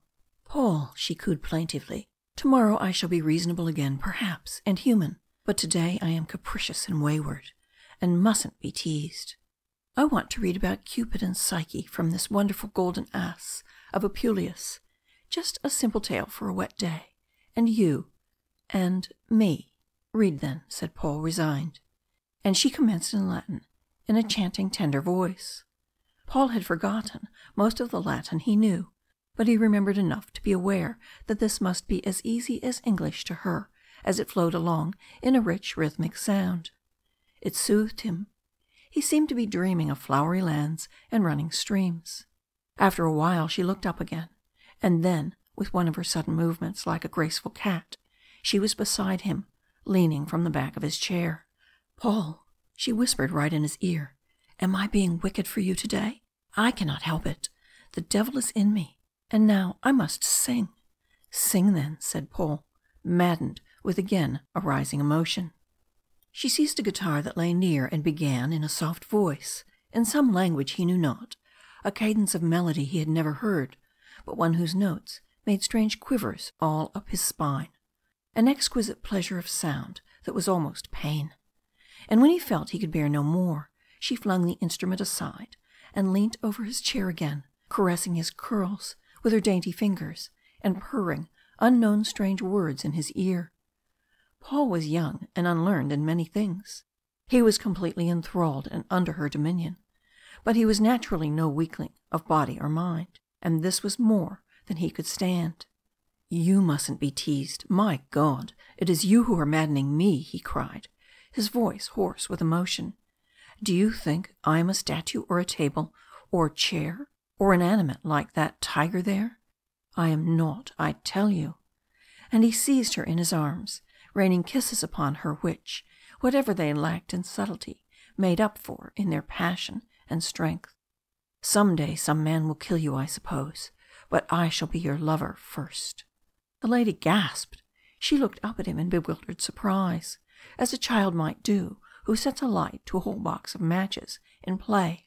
What a naughty, naughty toy to burn so quickly for such a little strike. But Paul's young, strong arms held her close, she could not struggle or move. Then she laughed a laugh of pure, glad joy. Beautiful, savage Paul, she whispered. Do you love me? Tell me that. Love you, he said. Good God, love you. Madly, and you know it, darling queen.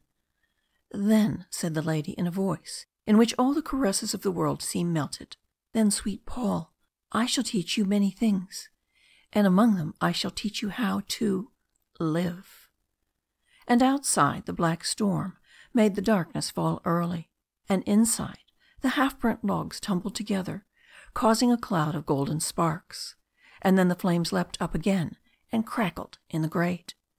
End of chapter six. Chapter seven. At dinner that night, the lady came in after Paul was seated. She was all in black velvet, stately and dignified and fine. She passed his chair and took her seat, not the faintest sign of recognition on her face. And although he was prepared for this, For some reason his heart sank for a moment. Her demeanour was the same as on the first night he had seen her, hardly raising her eyes, eating little of the most exquisite food, and appearing totally unconscious of her neighbours or their ways. She caused a flutter of excitement at the English table, the only other party except two old men in a corner, who had dined so late, and they were halfway through their repast before she began hers. Paul was annoyed to see how they stared, stared at his lady. But what joy it was to sit there and realize that she was his, his very own. And only four nights ago he had been a rude stranger too, criticizing her every movement and drinking too much port with annoyance over it all. And now his whole life was changed. He saw with new eyes and heard with new ears. Even his casual observation was altered and sharpened, so that he noticed the texture of the cloth and the quality of the glass and the shape of the room and its decoration. And how insupportably commonplace the good English family seemed. That bread and butter miss with her pink cheeks and fluffy hair without a hat. Women's hair should be black and grow in heavy waves. He was certain of that now. How like them to come into a foreign restaurant hatless, just because they were English and must impose their customs. He sat and mused on it all as he looked at his velvet clad queen. A sense of complete joy and satisfaction stealing over him, his wild excitement and emotion calmed for the time. The delightful sensation of sharing a secret with her, a love secret, known only to themselves. Think if these Philistines guessed at it even, their faces. And at this thought Paul almost laughed aloud. With passionate interest he absorbed every little detail about his lady. How exactly she knew what suited her. How refined and grande dame and quiet it all was, and what an air of breeding and command she had in the poise of her little Greek head. What did it matter what age she was, or of what nation? What did anything matter since she was his? And at that thought his heart began to beat again, and cause him to speculate as to his evening. Would she let him come back to the terrace room after dinner, or must he get through the time as best he could? When he had left her, half dazed with joy and languor, no arrangements had been made, no definite plans settled. But of course she could not mean him not to wish her good night. Not now. For one second before she left the room their eyes met. She raised a red rose, which she had taken from the silver vase, casually to her lips, and then passed out. But Paul knew she had meant the kiss for him, and his whole being was uplifted. It was still pouring with rain, no possible excuse to smoke on the terrace. It might be wiser to stay in the hall. Surely Dmitry would come along with some message before very long if he was patient and awaited her pleasure. But ten o'clock struck and there was no sign. Only the English youth, Percy Trevelyan, had got into conversation with him and was proposing billiards to pass the time. Paul loved billiards, but not tonight. Heavens, what an idea! Go off to the billiard room? Now? tonight. He said he had a headache, and answered rather shortly, in fact, and then, to escape further importunity, went up to his sitting room, there to await the turn of events, leaving poor little Mabel Trevelyan gazing after him with longing eyes. Did you see at dinner how he stared at that foreign person, mamma? she said. Men are such fools. Clarkson told me, as she fastened my dress tonight, she'd heard she was some grand duchess or queen travelling incognito for her health. Very plain and odd looking. Didn't you think so, mamma? And quite old. No, dear, most distinguished. Not a girl, of course, but quite the appearance of a princess, said Mabel's mother, who had seen the world. Paul meanwhile paced his room, and anxious excitement was now his portion. Surely, surely she could not mean him not to see her, not to say one little good night. What should he do? What possible plan invent? As eleven chimed, he could bear it no longer. Rain or no, he must go out on the terrace. Those mad English, the porter said to himself as he watched Paul's tall figure disappear in the dripping night. And there, till after twelve, he paced the path under the trees. But no light showed. The terrace gate was locked. It was chilly and wet and miserable, and at last he crept back utterly depressed to bed. But not to sleep. Even his youth and health were not proof against the mad emotions of the day. He tossed and turned, a thousand questions singing in his brain. Was it really he who had been chosen by this divine woman for her lover? And if so, why was he alone now instead of holding her in his arms? What did it all mean? Who was she? Where would it end? But here he refused to think further. He was living, at all events, living as he had never dreamed was possible. And yet, poor Paul, he was only on the rim of all that he was soon to know of life. At last he fell asleep, one sentence ringing in his ears tears, and cold steel, and blood. But if he was young, he was a gallant gentleman, and fear had no place in his dreams. End of chapter 7. Chapter 8 The next day they went to the Bürgenstock to stay. It was all arranged with consummate simplicity. Paul was to start for a climb, he told his valet, and for a week they would leave Lucerne. Madame Zalenska was not very well, it appeared, and consented to try, at the suggestion of the amiable manager, inspired by Dmitry, a few days in higher air. There would not be a soul in their hotel on top of the Bürgenstock probably, and she could have complete rest. They did not appear together. Paul was the first. He had not seen her. Dmitry had given him his final instructions, and he awaited her coming with passionate impatience. He had written to her on awakening a coherent torrent of love, marvellously unlike the letter which had gone to poor Isabella only a few days before. In this to his lady he had said he could not bear it, now, the uncertainty of seeing her, and had suggested the Bürgenstock crudely, without any of the clever details which afterwards made it possible. He, Paul Verdayne, not quite twenty three years old and English, to suggest without a backward thought or a qualm that a lady whom he had known five days should come and live with him and be his love. None of his friends accustomed to his bashful habits would have believed it. Only his father perhaps might have smiled. As for the Lady Henrietta, she would have fainted on the spot. But fortune favoured him. They did not know. No excitement of the wildest day's hunting had ever made his pulses bound like this. Dmitry had arranged everything. Paul was a young English secretary to Madame, who had much writing to do. And in any case, it is not the affair of respectable foreign hotels to pry into their clients' relationship when a large suite has been engaged. Paul's valet, the son of an old retainer of the family, was an honest fellow and devoted to his master. But Sir Charles Verdayne had decided to make things doubly sure. Thompson, he had said the morning before they left, however Mr. Verdayne may amuse himself while you are abroad, your eyes and mouth are shut. Remember, no damned gossip back to the servants here or in hotels or houses, and above all, no details must ever reach her ladyship. If he gets into any thundering mess, let me know, but mum's the word. Do you understand, Thompson? I do, Sir Charles, said Thompson stolidly, and he did, as events proved. The rooms on the Bürgenstock looked so simple, so unlike the sitting room at Lucerne, just fresh and clean and primitive. Paul wandered through them, and in the one allotted to himself he came upon Anna, Madame's maid, whom Dmitry had pointed out to him, putting sheets as fine as gossamer on his bed, with the softest down pillows. How dear of his lady to think thus of him, her secretary!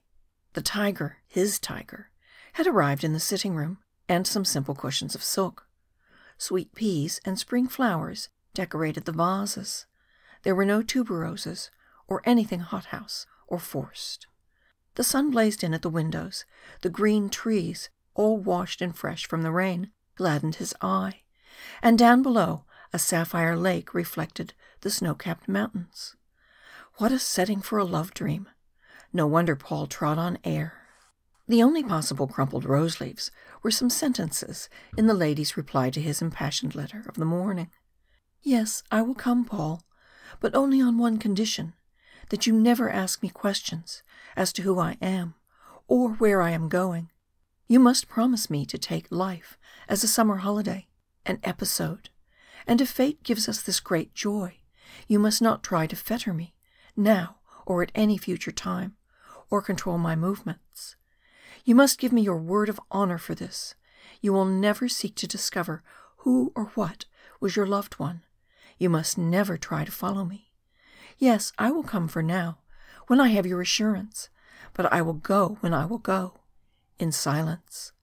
And Paul had given his word. He felt he could not look ahead. He must just live in this gorgeous joy and trust to chance. So he awaited her, thrilling in all his being. About tea time she drove up in a carriage, she and Dmitri having come the long way round. And was it not right that her secretary should meet and assist her out, and conduct her to her apartments? How beautiful she looked, all in palest grey, and somehow the things had a younger shape. Her skirt was short, and he could see her small and slender feet, while a straw hat and veil adorned her black hair. Everything was simple and as it should be for a mountain top and unsophisticated surroundings. Tea was laid out on the balcony, fragrant Russian tea, and when Dmitri had lit the silver kettle lamp, he retired and left them alone in peace. Darling, said Paul, as he folded her in his arms. Darling, darling. And when she could speak, the lady cooed back to him. So sweet a word is that, my Paul, sweeter in English than in any other language. And you are glad I have come, and we shall live a little, and be quite happy here, in our pretty nest, all fresh, and not a bit too grand.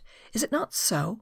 Oh, what joys there are in life, and oh, how foolish just to miss them. Indeed, yes, said Paul. Then they played with the tea, and she showed him how he was to drink it, with lemon. She was sweet as a girl, and said no vague, startling things. It was as if she were a young bride, and Paul were complete master and lord. Wild happiness rushed through him. How had he ever endured the time before he had met her? When they had finished, they went out. She must walk, she said, and Paul, being English, must want exercise. Oh, she knew the English and their exercise. And of course she must think of everything that would be for the pleasure of her lover Paul. And he? You old worn people of the world, who perhaps are reading, think what all this was to Paul. His young, strong life vibrating to passionate joys. His imagination kindled, his very being uplifted and thrilled with happiness. His charming soul expanded. He found himself saying gracious, tender phrases to her. Every moment he was growing more passionately in love, and in each new mood she seemed the more divine. Not one trace of her waywardness of the day before remained. Her eyes, as they glanced at him from under her hat, were bashful and sweet, no look of the devil to provoke a saint. She talked gently. He must take her to the place where she had peeped at him through the trees, and "Oh, Paul," she said, "if you had known that day how you tempted me looking up at me, your whole soul in your eyes. I had to run, run, run." "And now I have caught you, darling mine," said Paul. "But you were wrong. I had no soul. It is you who are giving me one now."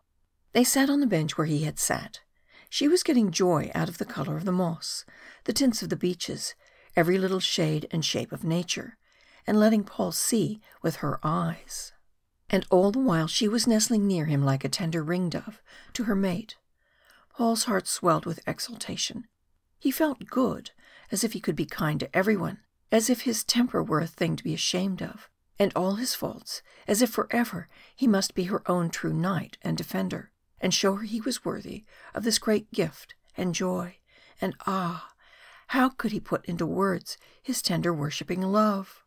So the afternoon faded into evening, and the young crescent moon began to show in the sky, a slender moon of silver, only born the night before. See, this is our moon, said the lady, and as she waxes, so will our love wax. But now she is young and fresh and fair, like it. Come, my Paul, let us go to our house. Soon we shall dine, and I want to be beautiful for you. So they went into their little hotel. She was all in white when Paul found her in their inner salon, where they were to dine alone, waited on only by Dmitri. Her splendid hair was bound with a fillet of gold, and fell in two long strands, twisted with gold, nearly to her knees. Her garment was soft and clinging, and unlike any garment he had ever seen. They sat on a sofa together, the table in front of them, and they ate slowly and whispered much. And before Paul could taste his wine, she kissed his glass and sipped from it, and made him do the same with hers. The food was of the simplest, and the only things exotic were the great red strawberries at the end. Dmitri had left them, placing the coffee on the table as he went, and a bottle of the rare golden wine. Then this strange lady grew more tender still. She must lie in Paul's arms, and he must feed her with strawberries. And the thought came to him that her mouth looked as red as they. To say he was intoxicated with pleasure and love is to put it as it was. It seemed as if he had arrived at a zenith, and yet he knew there would be more to come. At last she raised herself and poured out the yellow wine into one glass. My Paul, she said, this is our wedding night, and this is our wedding wine. Taste from this our glass, and say if it is good. And to the day of his death, if ever Paul should taste that wine again, a mad current of passionate remembrance will come to him, and still more passionate regret. Oh, the divine joy of that night! They sat upon the balcony presently, and Elaine, in her worshipping thoughts of Lancelot, Marguerite, wooed by Faust, the youngest girl bride, could not have been more sweet or tender or submissive than this wayward tiger queen. Paul, she said, out of the whole world tonight there are only you and I who matter, sweetheart. Is it not so? And is not that your English word for lover and loved, sweetheart? And Paul, who had never heard it used except as a kind of joke, now knew it was what he had always admired. Yes, indeed, it was sweetheart, and she was his. Remember, Paul, she whispered when, passion maddening him, he clasped her violently in his arms. Remember, whatever happens, whatever comes, for now, tonight, there is no other reason in all of this but just, I love you. I love you, Paul. My queen, my queen, said Paul, his voice hoarse in his throat. And the wind played in softest zephyrs, and the stars blazed in the sky, mirroring themselves in the blue lake below. Such was their wedding night. Oh, glorious youth, and still more glorious. End of chapter 8. Chapter 9 Who can tell the joy of their awakening? The transcendent pleasure to Paul to be allowed to play with his lady's hair, all unbound for him to do with as he willed. The glory to realize she was his, his own, in his arms. And then to be tenderly masterful, and give himself lordly airs of possession. She was almost silent only the history of the whole world of passion seemed written in her eyes. Slumberous, inscrutable, their heavy lashes making shadows on her soft, smooth cheeks. The ringdove was gone. A thing of mystery lay there instead, unresisting, motionless, white. Now and then Paul looked at her half in fear. Was she real? Was it some dream, and would he wake in his room at Verdayne Place, among the sporting prints and solid Chippendale furniture, to hear Thompson saying, "Eight o'clock, sir, and a fine day"? Oh, no, no, she was real. He raised himself and bent down to touch her tenderly with his forefinger. Yes, all this fascination was indeed his living and breathing and warm, and he was her lover and lord. Oh! The same coloured orchid mauve silk curtains as at Lucerne were drawn over the open windows, so the sun in high heaven seemed only as dawn in the room, filtering through the jalousies outside. But what was time? Time counts as one lives and Paul was living now. It was twelve o'clock before they were ready for their dainty breakfast, laid out under the balcony awning, and the lady talked tenderly and occupied herself with the fancies of her lord, as a new bride should. But all the time the mystery stayed in her eyes, and the thought came to Paul that were he to live with her for a hundred years he would never be sure of their real meaning. "What shall we do with our day, my Paul?" she said presently. "See, you shall choose. Shall we climb to the highest point on this mountain and look at our kingdom of trees and lake below, or shall we rest in the launch and glide over the blue water and dream sweet dreams?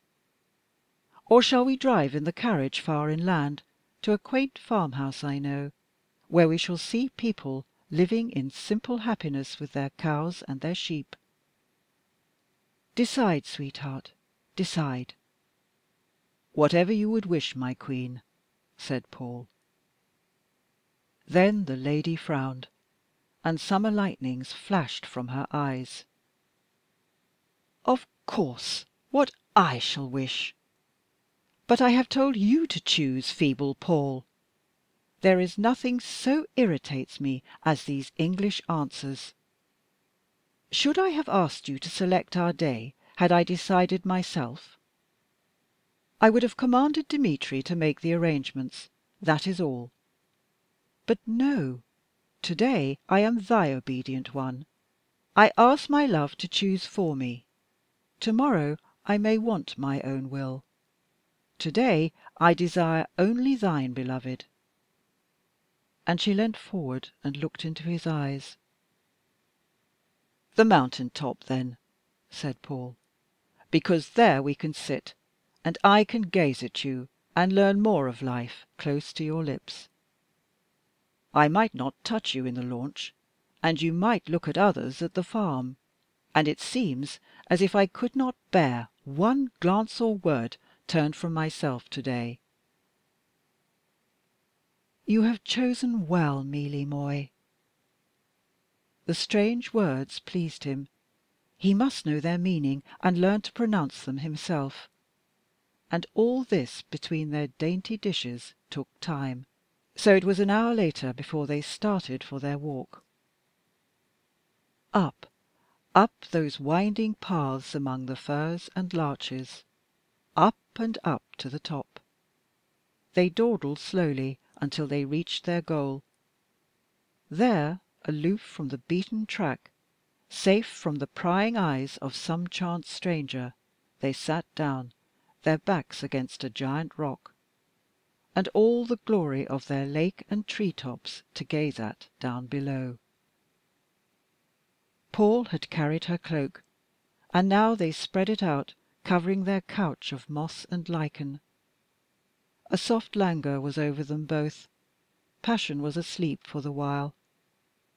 But what exquisite bliss to sit thus, undisturbed in their eyrie, he and she alone in all the world.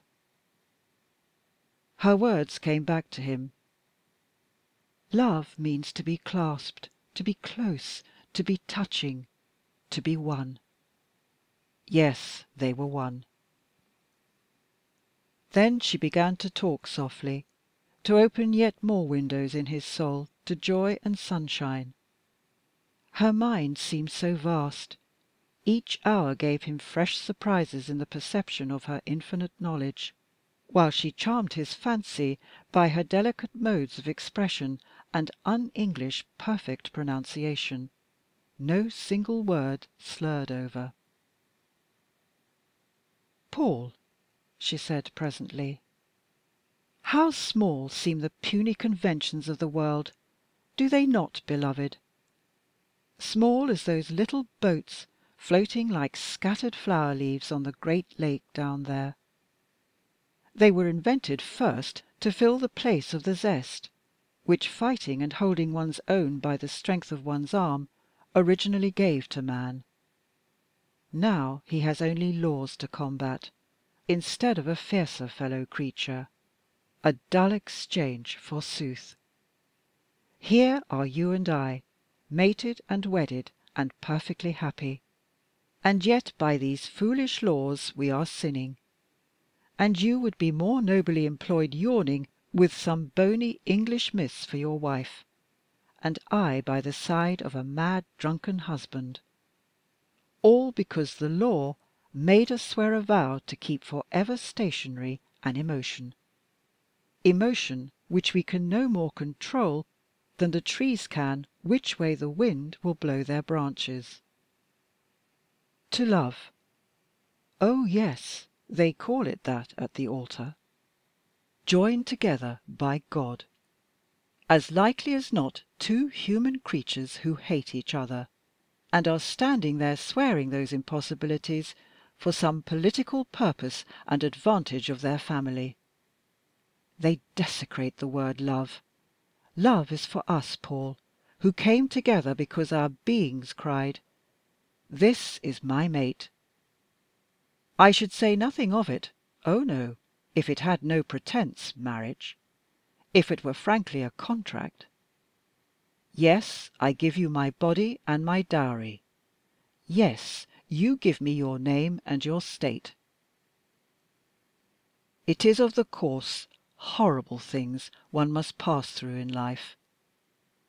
But to call the Great Spirit's blessing upon it as an exaltation, to stand there and talk of love ah, that is what must make God angry, and I feel for him." Paul noticed that she spoke as if she had no realization of the lives of lesser persons, who might possibly wed because they were mated as well, not for political reasons or ambition of family. Her keen senses divined his thought. "Yes, beloved, you would say "Only that supposing you were not married to anyone else, we should be swearing the truth if we swore before God that we loved. I would make any vows to you from my soul, in perfect honesty, for ever and ever, my darling Queen." His blue eyes, brimming with devotion and conviction of the truth of his thought, gazed up at her, and into her strange orbs there came that same look of tenderness that once before had made them as a mother's watching the gambols of her babe. "There, there," she said, "you would swear them and hug your chains of roses. But because they were chains, they would turn heavy as lead. Make no vows, sweetheart. Fate will force you to break them if you do, and then the gods are angry and misfortune follows. Swear none, and that fickle one will keep you passionate, in hopes always to lure you into her pitfalls, to vow and to break, pain and regret. Live, live, Paul, and love, and swear nothing at all." Paul was troubled. "But," he said, "don't you believe I shall love you forever?" The lady leant back against the rock and narrowed her eyes. "That will depend upon me, my Paul," she said. "The duration of love in a being always depends upon the loved one. I create an emotion in you, as you create one in me. You do not create it in yourself. It is because something in my personality causes an answering glow in yours that you love me. Were you to cease to do so, it would be because I was no longer able to call forth that answer in you. It would not be your fault, any more than when you cease to please me it will be mine. That is where people are unjust." "But surely," said Paul, "it is only the fickle who can change." "It is according to one's nature. If one is born a steadfast gentleman, one is more likely to continue than if one is a farceur, prince or no. But it depends upon the object of one's love, whether he or she can hold one or not. One would not blame a needle if it fell from a magnet, the attraction of the magnet being in some way removed, either by a stronger at the needle's side or by some deadening of the drawing quality in the magnet itself. And so it is in love. Do you follow me, Paul?" "Yes," said Paul gloomily. "I must try to please you, or you will throw me away." "You see," she continued, "the ignorant make vows, and being weaklings for the most part, vanity and fate easily remove their inclination from the loved one. It may not be his fault, any more than a broken leg keeping him from walking would be his fault, beyond the fact it was his leg. But we have to suffer for our own things, so there it is. We will say the weakling's inclination wants to make him break his vows, so he does, either in the letter or spirit, or both, and then he feels degraded, and cheap and low, as all must do who break their sacred word given of their own free will when inclination prompted them to. So how much better to make no vow! Then at least when the cord of attraction snaps we can go free, still defying the lightning in our untarnished pride. "Oh, darling, do not speak of it!" cried Paul. "The cord of attraction between us can never snap. I worship, I adore you. You are just my life, my darling one, my queen." "Sweet Paul," she whispered. "Oh, so good, so good is love. Keep me loving you, my beautiful one. Keep my desire long to be your queen." And after this they melted into one another's arms, and cooed and kissed, and were foolish and incoherent, as lovers always are and have been from the beginning of old time, more concentrated, more absorbed, than the sternest Eastern sage, absorbed in each other, the spirit of two natures vibrating as one. End of Chapter 9 Chapter 10 That evening it was so warm and peaceful they dined at the wide open balcony windows. They could see far away over the terrace and down to the lake, with the distant lights towards Lucerne. The moon, still slender and fine, was drawing to her setting, and a few cloudlets floated over the sky, obscuring the stars here and there. The lady was quiet and tender, her eyes melting upon Paul, and something of her ring dove mood was upon her again. Not once since they had been on the Bürgenstock had she shown any of the tigerish waywardness that he had had glimpses of at first. It seemed as if her moods, like her chameleon eyes, took color from her surroundings, and there all was primitive simplicity and nature and peace. Paul himself was in a state of ecstasy. He hardly knew whether he trod on air or no. No siren of old Greek fable had ever lured mortal more under her spell than this strange foreign woman thing. Queen or princess or what you will. Nothing else in the world was of any consequence to him, and it was all the more remarkable because subjection was in no way part of his nature. Paul was a masterful youth and ruled things to his will in his own home. The lady talked of him, of his tastes, of his pleasures. There was not an incident in his life or of his family that she had not fathomed by now all about Isabella even poor Isabella and she told him how she sympathized with the girl and how badly he had behaved. Another proof, my Paul, of what I said to day no one must make vows about love. But Paul, in his heart, believed her not. He would worship her forever, he knew. Yes, she said, answering his thoughts. You think so, beloved, and it may be so because you do not know from moment to moment how I shall be, if I shall stay here in your arms or fly away beyond your reach. You love me because I give you the stimulus of uncertainty, and so keep bright your passion. But once you were sure I should become a duty, as all women become.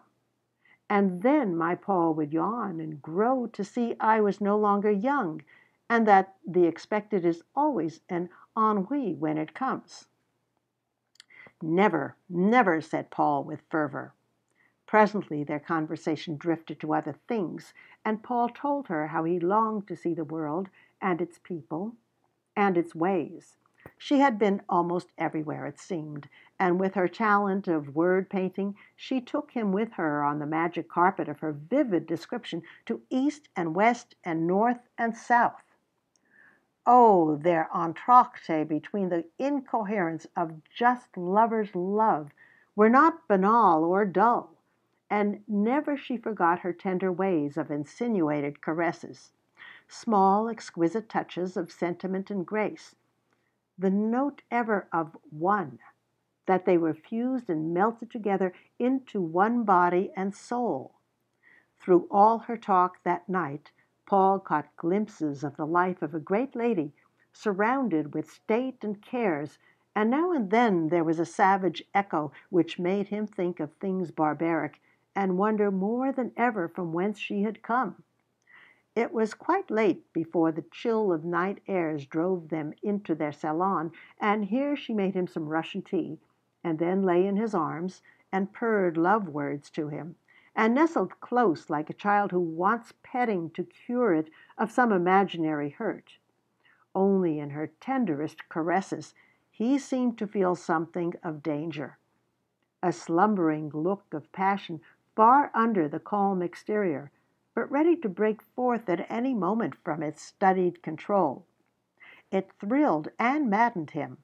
"Beloved, beloved," he cried, "let us waste no more precious moments. I want you, I want you, my sweet." At the first glow of dawn he awoke a strange sensation almost of strangling and suffocation upon him. There, bending over, framed in a mist of blue black waves, he saw his lady's face, its milky whiteness lit by her strange eyes, green as cats they seemed, and blazing with the fiercest passion of love, while twisted round his throat he felt a great strand of her splendid hair. The wildest thrill as yet his life had known then came to Paul.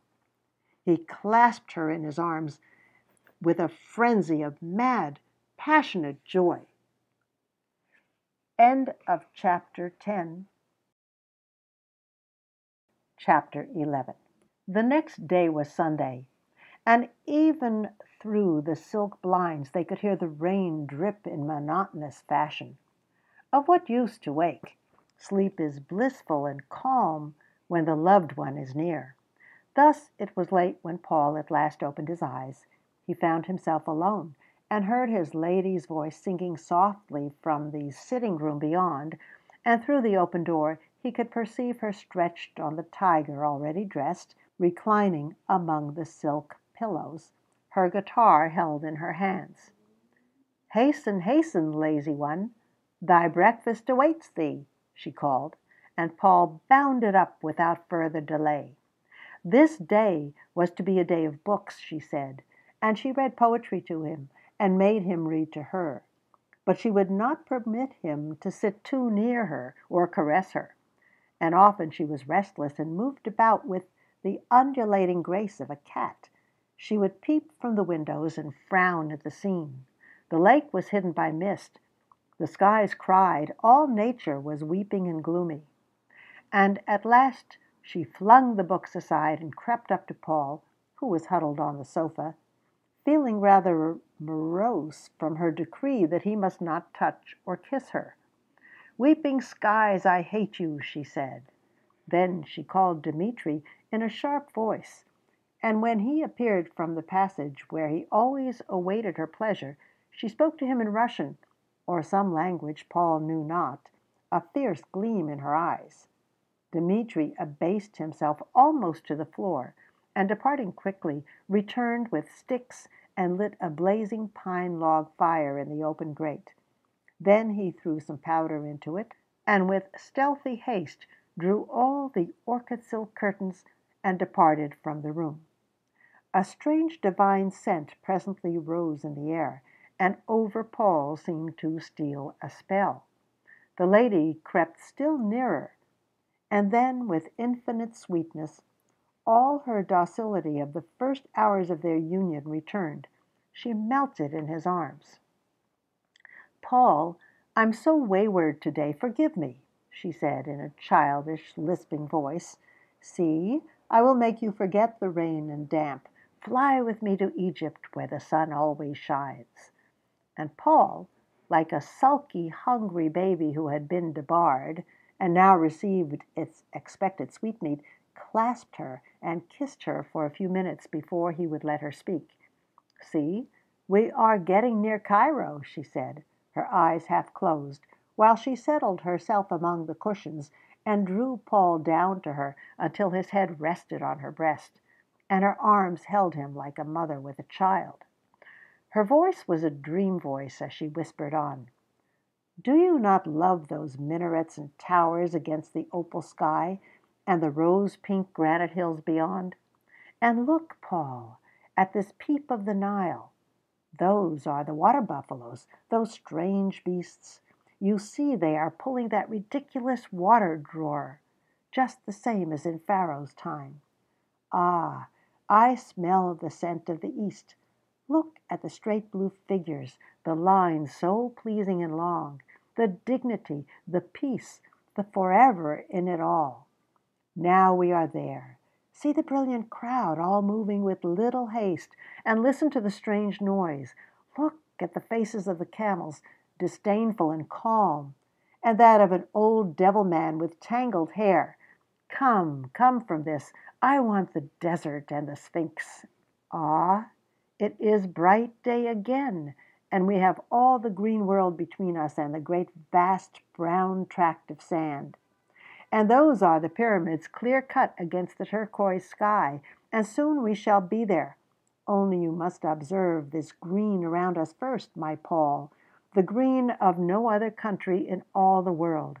Pure emerald, nature's supreme concentrated effort of green for miles and miles. No, I do not want to live in that small village in a brown mud hut, shared with another wife to that gaunt blue linen clad man. I would kill them all and be free. I want to go on, beloved, on to the desert for you and me alone, with its wonderful passion and wonderful peace. Her voice became still more dreamy. There was a cadence in it now, as if some soul within were forcing her to chant it all, with almost the lilt of blank verse. Oh, the strange drug of the glorious East, flooding your senses with beauty and life! 'Tis the spell of the Sphinx. And now we are there, close in her presence. Look, the sun has set. Hush, hush, beloved.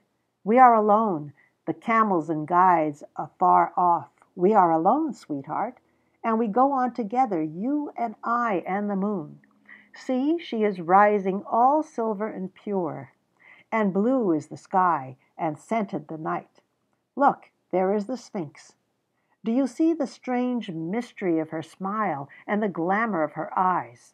She is a goddess, and she knows men's souls, and their foolish, unavailing passion and pain, never content with the is which they have, always regretting the was which has passed, and building false hopes on the phantom may be.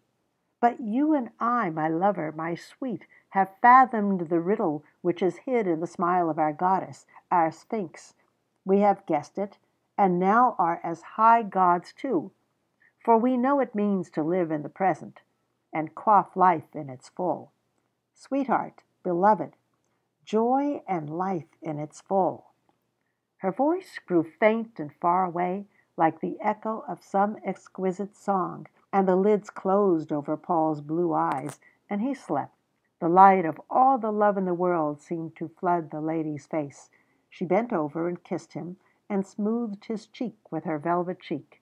She moved so that his curly lashes might touch her bare neck, and at last she slipped from under him and laid his head gently down upon the pillows. Then a madness of tender caressing seized her. She purred as a tiger might have done, while she undulated like a snake she touched him with her finger tips. She kissed his throat, his wrists, the palms of his hands, his eyelids, his hair. Strange, subtle kisses, unlike the kisses of women. And often, between her purrings, she murmured love words in some strange, fierce language of her own, brushing his ears and his eyes with her lips the while. And through it all, Paul slept on the Eastern perfume in the air still drugging his sense. It was quite dark when he awoke again, and beside him, seated on the floor, all propped with pillows, his lady reclined her head against his shoulder, and as he looked down at her, in the firelight's flickering gleam, he saw that her wonderful eyes were wet with great glittering tears. "My soul, my soul," he said tenderly, his heart wrung with emotion, "what is it, sweetheart? Why have you these tears? Oh, what have I done, darling, my own?" "I'm weary," she said, and fell to weeping softly and refused to be comforted. Paul's distress was intense. What could have happened? What terrible thing had he done? What sorrow had fallen upon his beloved while he selfishly slept? But all she would say was that she was weary, while she clung to him in a storm of passion, as if some one threatened to take her out of his arms. Then she left him abruptly and went off to dress. But later, at dinner, it seemed as if a new and more radiant light than ever glowed on her face. She was gay and caressing, telling him merry tales of Paris and its plays. It was as if she meant to efface all suggestion of sorrow or pain, and gradually the impression wore off in Paul's mind, and ere it came to their sipping the golden wine, all was brightness and peace. "See," she said, looking from the window just before they retired to rest, "the sky has stopped crying, and there are our stars, sweetheart, come out to wish us good night. Ah, for us to morrow once more will be a glorious day." "My Queen," said Paul, "rain or fine, all days are glorious to me, so long as I have you to clasp in my arms. You are my sun, moon, and stars always, forever." She laughed a laugh, the silver echo of satisfaction and joy. "Sweet Paul," she lisped mischievously, "so good you have been, so gentle with my moods. You must have some reward. Listen, beloved, while I tell it to you." But what she said is written in his heart. End of chapter XII.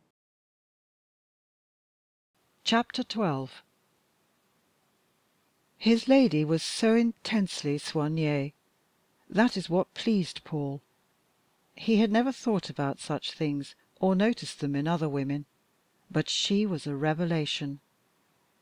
No Roman empress with her bath of asses' milk could have had a more wonderful toilet than she. And ever she was elusive, and he never quite got to the end of her mystery. Always there was a veil when he least expected it, and these hours for the most part were passed at the boiling point of excitement and bliss.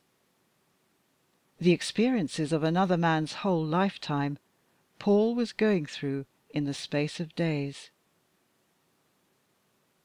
It was the Monday following the wet Sunday when an incident happened which soon came back to him and gave him food for reflection. They would spend the day in the launch, she decided, going whither they wished, stopping here to pick gentians, going there under the shadow of trees landing where and when they desired, even sleeping at Flüelen if the fancy took them to. Anna was sent on with their things in case this contingency occurred, and earth, water, and sky seemed smiling them a welcome. Just before they started, Dmitry, after the gentlest tap, noiselessly entered Paul's room. Paul was selecting some cigars from a box, and looked up in surprise as the stately servant cautiously closed the door. "Yes, Dmitry, what is it?" he said half impatiently. Dmitry advanced, and now Paul saw that he carried something in his hand. He bowed low with his usual courtly respect, then he stammered a little as he began to speak. The substance of his sentence, Paul gathered, was that the Excellency would not be inconveniencing himself too much, he hoped, if he would consent to carry this pistol a good pistol, he assured him, which would take but little room. Paul's surprise deepened. Carry a pistol in peaceful Switzerland! It seemed too absurd. "What on earth for, my friend?" he said. But Dmitry would give no decided answer, only that it was wiser when away from one's home and out with a lady, never to go unarmed. Real anxiety peeped from his cautious grey eyes. Did Paul know how to shoot? And would he be pardoned for asking the Excellency such a question? But in England, he heard, they dealt little with revolvers, and this was a point to be assured of. Yes, Paul knew how to shoot. The idea made him laugh. But now he came to think of it, he had not had great practice with a revolver, and might not do so well as with a gun or rifle. But the whole thing seemed so absurd, he did not think it of much consequence. "Of course I'll take it, to please you, Dmitry," he said, "though I wish you would tell me why." However, Dmitry escaped from the room without further words, his finger upon his lips. The lady was looking more exquisitely white than usual. She wore soft pale mauve, and appeared in Paul's eyes a thing of joy.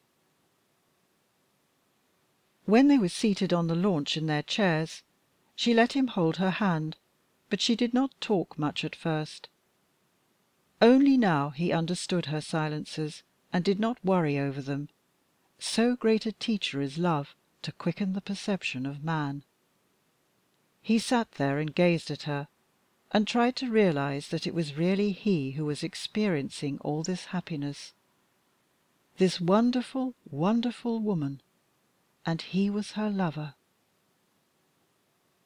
At last something in her expression of sadness caught his watchful eye and an ache came into his mind to know where hers had gone.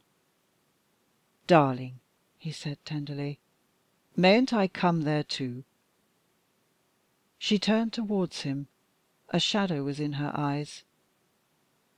"No, Paul," she said, "not there. It is a land of rocks and precipices, not for lovers." "But if you can go, where is the danger for me, my Queen? Or if there is danger, then it is my place to stand by your side." "Paul, my sweet Paul!" she whispered, while her eyes filled with mist. "I was thinking how fair the world would be, perhaps, if fate allowed one to meet one's mate while there was yet time. Surely two souls together like you and I might climb to Paradise doing deeds of greatness by the way.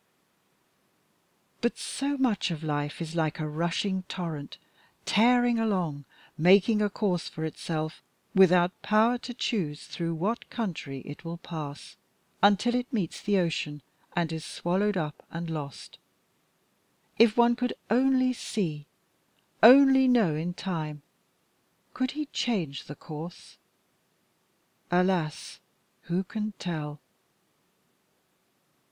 Her voice was sad, and as ever it wrung Paul's heart. "My darling one," he said, "don't think of those odd things. Only remember that I am here beside you, and that I love you love you so "My Paul!" she murmured, and she smiled a strange, sweet smile. "Do you know I find you like a rare violin, which hitherto has been used by ordinary musicians to play their popular airs upon, but which is now highly strung and being touched by the bow of an artist who loves it. And oh, the exquisite sounds which are coming, and will yet come forth, to enchant the ear and satisfy the sense! All the capacity is there, Paul in you, beautiful one, only I must bring it out with my bow of love. And what a progress you have made already a great, great progress! Think, only a few days ago you had never noticed the colours of this lake, or even these great mountains. They said nothing to you at all, except as places to take your exercise upon. Life for you was just eating and sleeping, and strengthening your muscles." And she laughed softly. "I know I was a Goth," said Paul. "I can hardly realise it myself, the change that has happened to me. Everything now seems full of joy." "Your very phrases are altered, Paul, and will alter yet, while our moon waxes and our love grows." "Can it grow? Can I possibly love you more intensely than I do now? Surely no!" he exclaimed passionately. "And yet " "And yet?" "Ah, yes, I know it. Yes, it can grow until it is my life, my very life." "Yes, Paul," she said, "your life." And her strange eyes narrowed again, the Sphinx's inscrutable look of mystery in their chameleon depths. Then her mood altered. She became gay and laughing, and her wit sparkled like dry champagne while the white launch glided through the blue waters with never a swirl of foam. "Paul," she said presently, "to morrow we will go up the Rigi to the Kaltbad, and look from the little kiosk over the world, and over the Bernese Oberland. It gives me an emotion to stand so high and see so vast a view. But to day we will play on the water and among the trees." He had no desires except to do what she would do, so they landed for lunch at one of the many little inviting hotels which border the lake in sheltered bays. All through the meal she entertained him with subtle flattery, drawing him out and making him shine until he made flint for her steel. And when they came to the end, she said with sudden sweet tenderness "Paul, it is my caprice.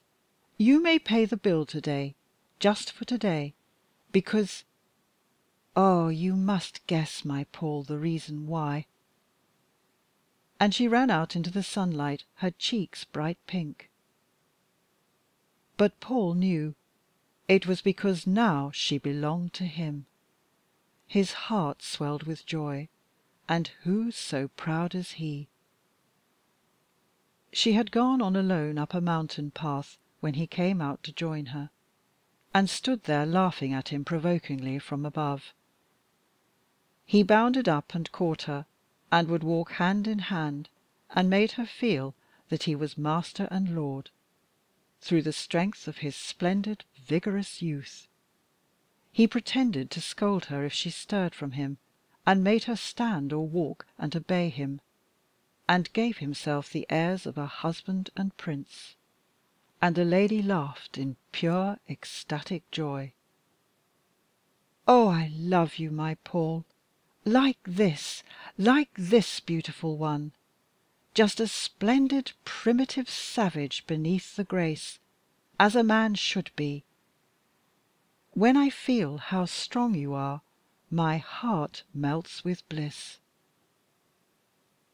And Paul, to show her it was true, seized her in his arms, and ran with her, placing her on a high rock, where he made her pay him with kisses and tell him she loved him before he would lift her down. And it was his lady's caprice, as she said, that this state of things should last all day. But by night time, when they got to Flüelen, the infinite mastery of her mind, and the uncertainty of his hold over her, made her his queen again, and Paul once more her worshipping slave. Now, although his master was quite oblivious of posts, Thompson was not, and that Monday he took occasion to go into Lucerne, whence he returned with a pile of letters which Paul found on again reaching the Bürgenstock, after staying the night at Flüelen in a little hotel. That had been an experience! His lady quite childish in her glee at the smallness and simplicity of everything. "Our picnic," she called it to Paul. only it was a wonderfully recherché picnic, as Anna, of course, had brought everything which was required by heart of a Sybarite for the passing of a night. Oh, they had been happy! The Queen had been exquisitely gracious to her slave, and entranced him more deeply than ever. And here at the Bürgenstock, when he got into his room, his letters stared him in the face. "Damned officiousness!" he said to himself, thinking of Thompson. He did not want to be reminded of any existence other than the dream of heaven he was now enjoying. Oh, they were all very real and material, these epistles, quite of earth. One was from his mother. He was enjoying Lucerne, she hoped, and she was longing for his return. She expected he also was craving for his home and horses and dogs. All were well. They, she and his father, were moving up to the town house in Berkeley Square the following week, until the end of June, and great preparations were already in contemplation for his twenty third birthday in July at Verdayne Place. There was no mention of Isabella, except a paragraph at the end. Miss Waring was visiting friends at Blackheath, he was informed. Oh, so far away it all seemed! But it brought him back from heaven. The next was his father's writing, laconic but to the point. This parent hoped he was not wasting his time in life, and that he was cured of his folly for the parson's girl, and found other eyes shone bright. If he wanted more money, he was to say so. Several were from his friends, banal and everyday, and one was from Tremlett, his own groom, and this was full of Moonlighter and Pike. That gave him just a moment's feeling. Pike! Tremlett had made so bold as to have some snapshots done by a friend and he ventured to send one to his master. The very picture of the dog, he said, and it was true. Ah, this touched him, this little photograph of Pike. "Dear little chap," he said to himself as he looked. "My dear little chap." And then an instantaneous desire to show it to his lady came over him and he went back to the sitting room in haste. There she was. The post had come for her too, it seemed, and she looked up with an expression of concentrated fierceness from a missive she was reading, as he entered the room. Her marvellous self control banished all but love from her eyes after they had rested on him for an instant, but his senses, so fine now, had remarked the first glance, just as his eye had seen the heavy royal crown on the paper as she hastily folded it and threw it carelessly aside. "Darling," he said, "oh, look! Here is a picture of Pike." And if it had been the most important document concerning the fate of nations, the lady could not have examined it with more enthralled interest and attention than she did this snapshot photograph of a rough terrier dog. "What a sweet fellow!" she said. "Look at his eye, so intelligent. Look at that pat. See, even he is asking one to love him, and I do, I do." "Darling!" said Paul in ecstasy. "Oh, if we only had him here! Wouldn't that be good?" And he never knew why his lady suddenly threw her arms round his neck and kissed him with passionate tenderness and love, her eyes soft as a dove's. "Oh, my Paul!" she said, a break in her wonderful voice, whose tones said many things my young, darling English Paul. presently they would drive to see that quaint farm she wanted to show him. The day was very warm, and to rest in the comfortable carriage would be nice. Paul thought so too. So after a late lunch they started, and once or twice on the drive through the most peaceful and beautiful scenery a flash of the same fierceness came into the lady's eyes gazing away over distance, as when she had read her letter. And it made Paul wonder and long to ask her why. He never allowed himself to speculate in coherent thought words, even as to who she was, or her abode in life. He had given his word, and was an Englishman and would keep it that was all.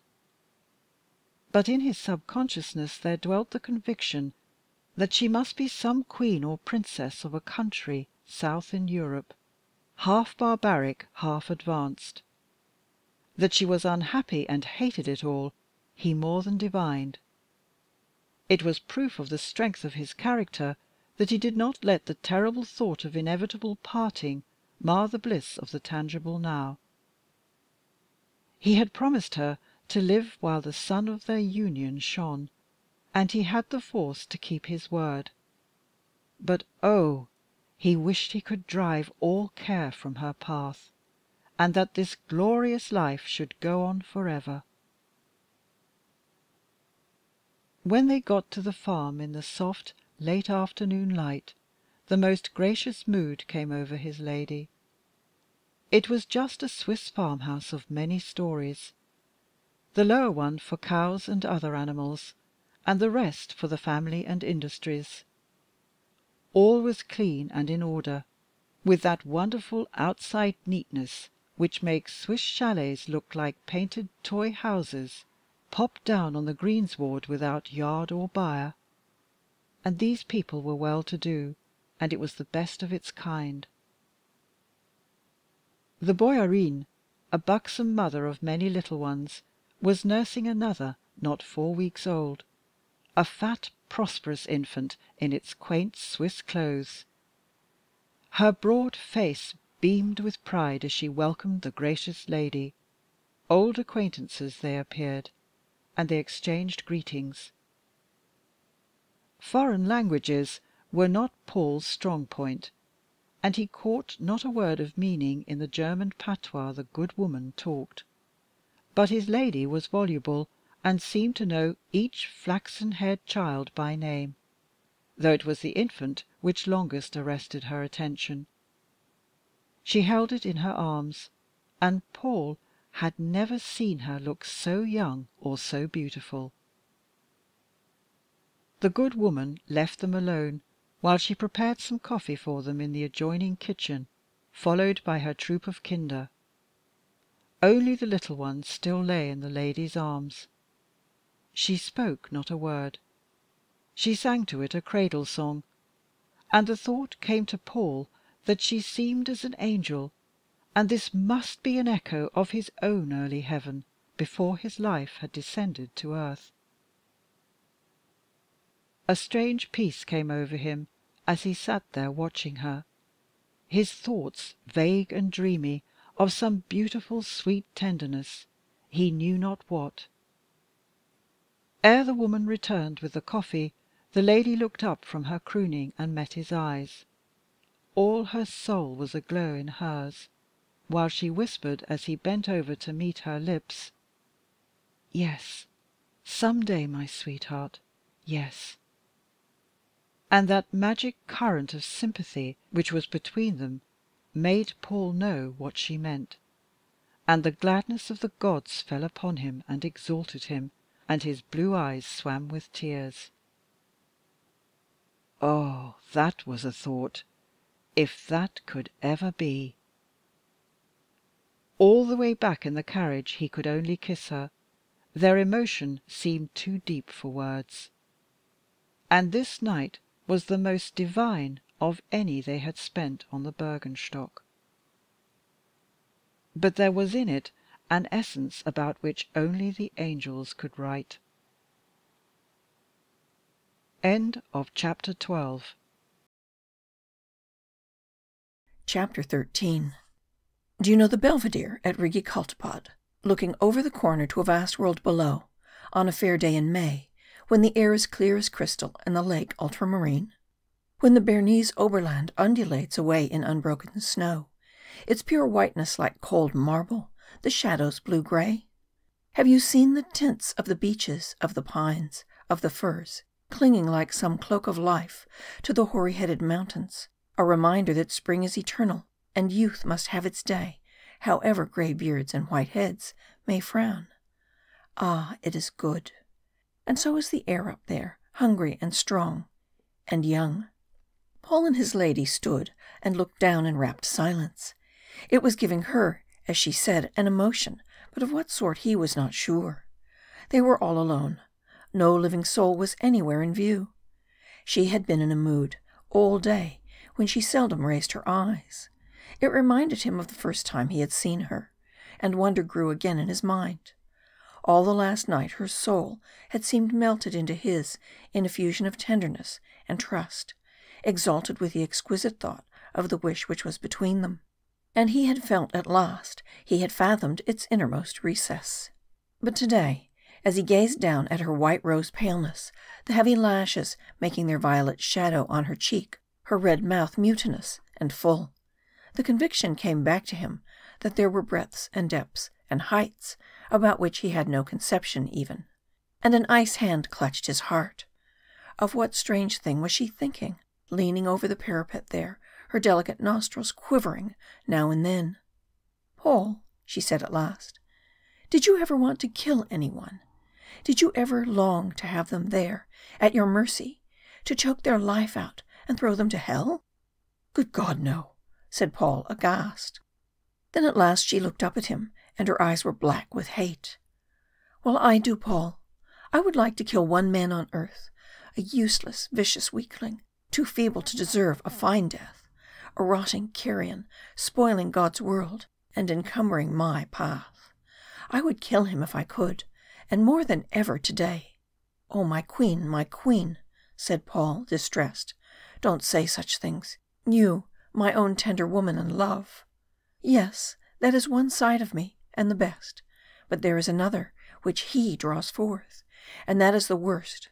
You of calm England do not know what it means, the true passion of hate. Can I do nothing for you, beloved? Paul asked. Here was a phase which he had not yet seen. Ah, she said bitterly, and threw up her head. No, his high place protects him, but for his life I would conquer all fate. Darling, darling, said Paul, who knew not what to say. But, Paul, if a hair of your head should be hurt, I would kill him myself with these my own hands. Once Paul had seen two tigers fight in a travelling circus van which came to Oxford, and now the memory of the scene returned to him when he looked at his lady's face. He had not known a human countenance could express such fierce, terrible rage. A quiver ran through him. Yes, this was no idle boast of an angry woman. He felt those slender hands would indeed be capable of dealing death to anyone who robbed her of her mate. But what passion was here! What force! He had somehow never even dreamt such feelings dwelt in women, or indeed in any human creatures out of sensational books. Yet gazing there at her, he dimly understood that in himself too they could rise, were another to take her from him. Yes, he could kill in such like case. They were silent for some moments, each vibrating with passionate thoughts, and then the lady leant over and laid her cheek against the sleeve of his coat. Heart of my heart, she said, I frighten and ruffle you. The women of your country are sweet and soft, but they know not the passion I know, my Paul, the fierceness and madness of love. Paul clasped her in his arms.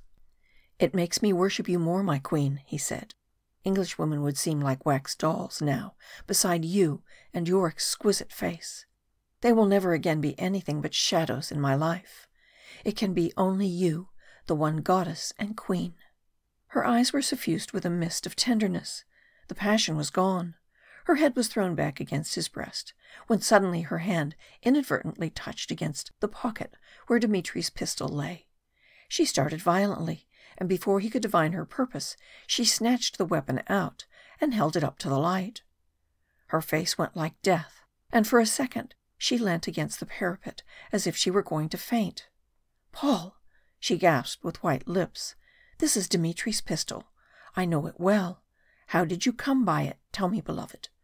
If he gave it to you, then it means danger, Paul. Danger. My darling, said Paul, in his young, strong pride, fear nothing. I shall never leave you. I will protect you from any danger in the world. Only depend upon me, sweetheart. Nothing can hurt you while I am here. Do you think I care a sou for my life? she said, while she stood straight up again with the mystery of a queen. Do you think I fear for me, for myself? Oh, no, my own lover, never that. They can kill me when they choose, but they won't. It is you for whom I fear. Only your danger could make me cower, no other in the whole world. Paul laughed with joy at her speech. There is nothing to fear at all, then, darling, he said. I can take care of myself, you know. I am an Englishman. And even in the tumult of her thoughts, the lady found time to smile with tender amusement at the young insular arrogance of his last words.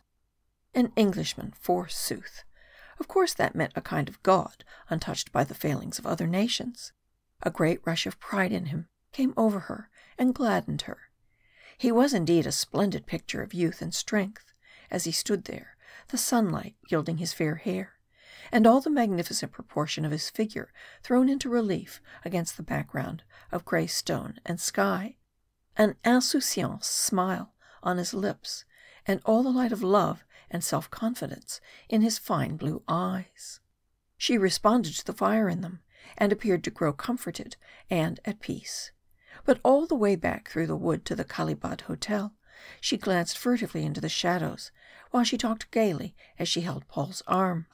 And he never asked her a question as to where she expected the danger to come from. No anxiety for his own safety troubled him one jot. Indeed, an unwonted extra excitement flooded his veins, making him enjoy himself with an added zest. Dmitry, as usual, awaited them at the hotel. His face was serene, but when Paul's back was turned for a moment, while he lit a cigarette, the lady questioned her servant with whispered fierceness in the Russian tongue. Apparently his answer was satisfactory, for she looked relieved, and presently, seated on the terrace, they had a merry tea, the last they would have on mountain tops, for she broke it gently to Paul that on the morrow she must return to Lucerne. Paul felt as if his heart had stopped beating. Return to Lucerne! Oh God! Not to part, surely not to part, so soon. No, no, she said, the thought making her whiten too. Oh no, my Paul, not that yet. And he could bear anything if it did not mean parting, and he used no arguments to dissuade her. She was his queen and must surely know best. Only he listened eagerly for details of how matters could be arranged there. Alas! they could never be the same as this glorious time they had had. You must wait two days, sweetheart, she said, before you follow me. Stay still in our nest, if you will, but do not come on to Lucerne. I could not stand it, said Paul. Oh, darling, don't kill me with aching for your presence two whole days. It is a lifetime, not to be endured. Impatient one, she laughed softly. No, neither could I bear not to see you, sweetheart. But we must not be foolish.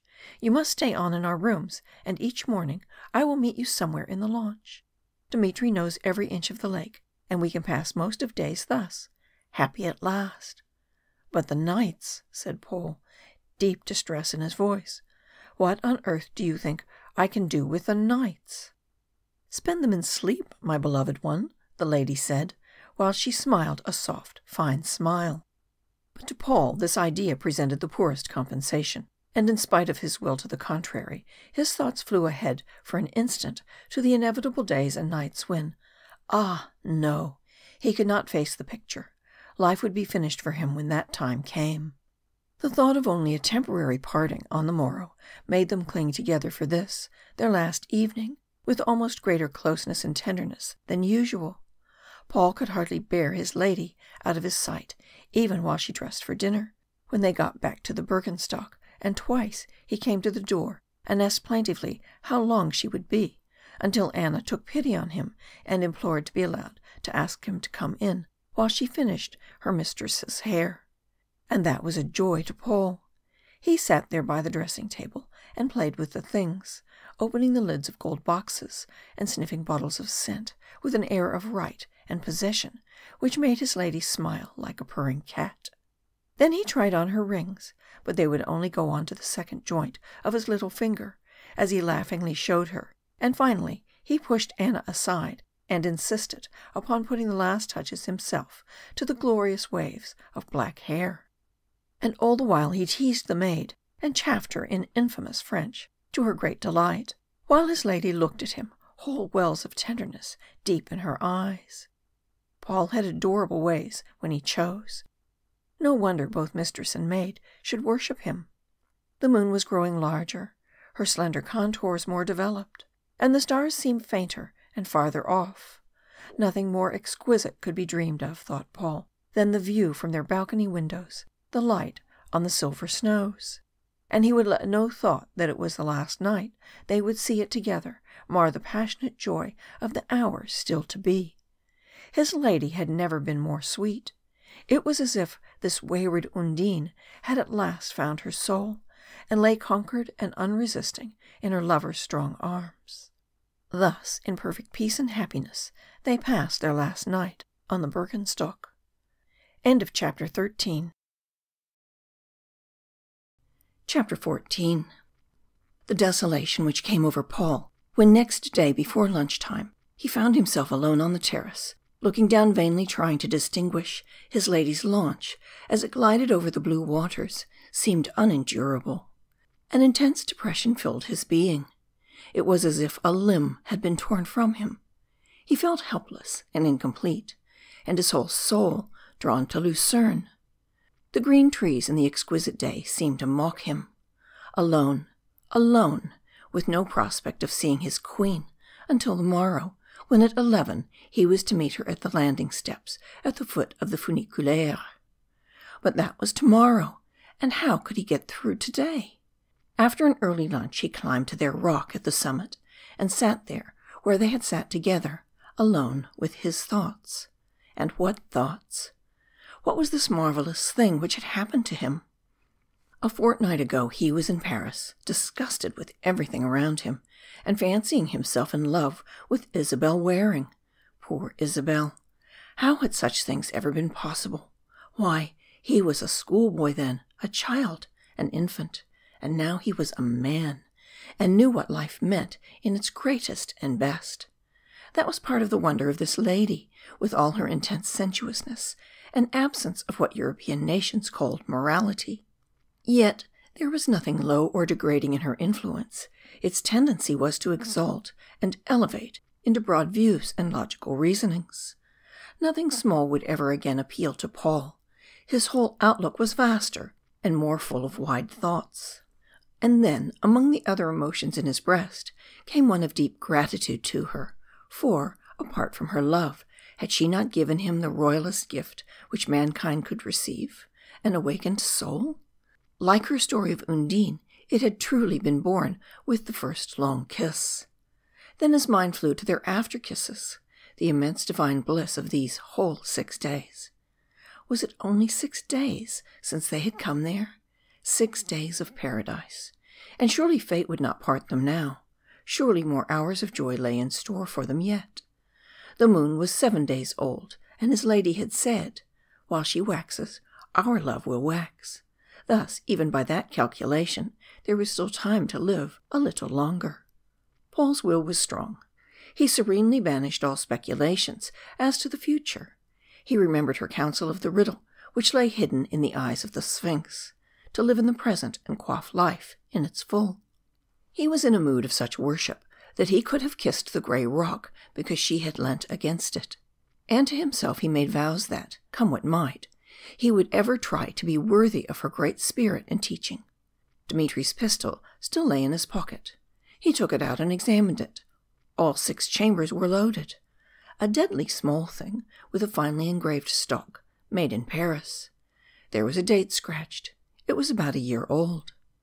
What danger could they possibly have dreaded for him? He almost laughed. He stayed up on the highest point until after the sun had set. Somehow he dreaded going back to the rooms where they had been so happy. Going back alone. But this was weakness, and he must get over the feeling. After dinner, he would spend the evening writing his letters home, and when this solitary meal was over, the moon tempted him out onto the terrace, and there he stayed, obsessed with passionate thoughts, until he crept into his lonely couch. He could not sleep. It had no memories there to comfort him. He got up and went across the sitting room to the room his lady had left so lately. Alas! It was all dismantled of her beautiful things. The bed unmade and piled with uncovered hotel pillows, and a large German eiderdown on top of folded blankets. It all looked ghastly and sad and cold. And more depressed than ever, he crept back to his own bed. Next morning was grey, not raining, but dull grey clouds all over the sky. Not a tempting prospect to spend it in a launch on the lake. A wind, too, swept the water into small rough wavelets. Would she come? The uncertainty was almost agony. He was waiting long before the time appointed, and walked up and down, anxiously scanning the direction toward Lucerne. Yes, that was the launch making its way along, not a moment late. Oh, what joy thrilled his being! He glowed all over. In ten minutes or less he could clasp her hands. But when the launch came in full view, he perceived no lady was there. Only Dmitry's black form stood alone by the chairs. Paul's heart sank like lead. He could hardly contain his anxiety until the servant stepped ashore and handed him a letter, and this was its contents. My beloved one, I am not well today. A foolish chill. Nothing of consequence, only the cold wind of the lake I could not face. At one o'clock, when Lucerne is at lunch, come to me by the terrace gate. Come to me. I cannot live without you, Paul. What is it, Dmitry? he said anxiously. Madame is not ill, is she? Tell me. Not ill, no the servant said. Only Paul must know Madame was of a delicacy at times in the cold weather, and had to be careful of herself. He added, too, that it would be wiser if Paul could lunch early before they started because, as he explained, it was not for the people of the hotel to know he was there. And how else could he eat? All of which advice was followed, and at one o'clock they landed at Lucerne, and Paul walked quickly toward his goal, Dmitry in front to see that the way was clear. Yes, there was no one about for the moment, and like ghosts they glided through the little terrace door, and Paul went into the room by the window, while Dmitry held the heavy curtains, and then disappeared. It was empty. The fact struck a chill note, in spite of the great bowls of flowers and the exquisite scent. His tiger was there, and the velvet pillows of old. All was warm and luxurious, as befitting the shrine of his goddess and queen. Only he was alone alone with his thoughts. An incredible excitement swept through him. His heart beat to suffocation in the longing for her to come. Was it possible, was it true, that soon she would be in his arms?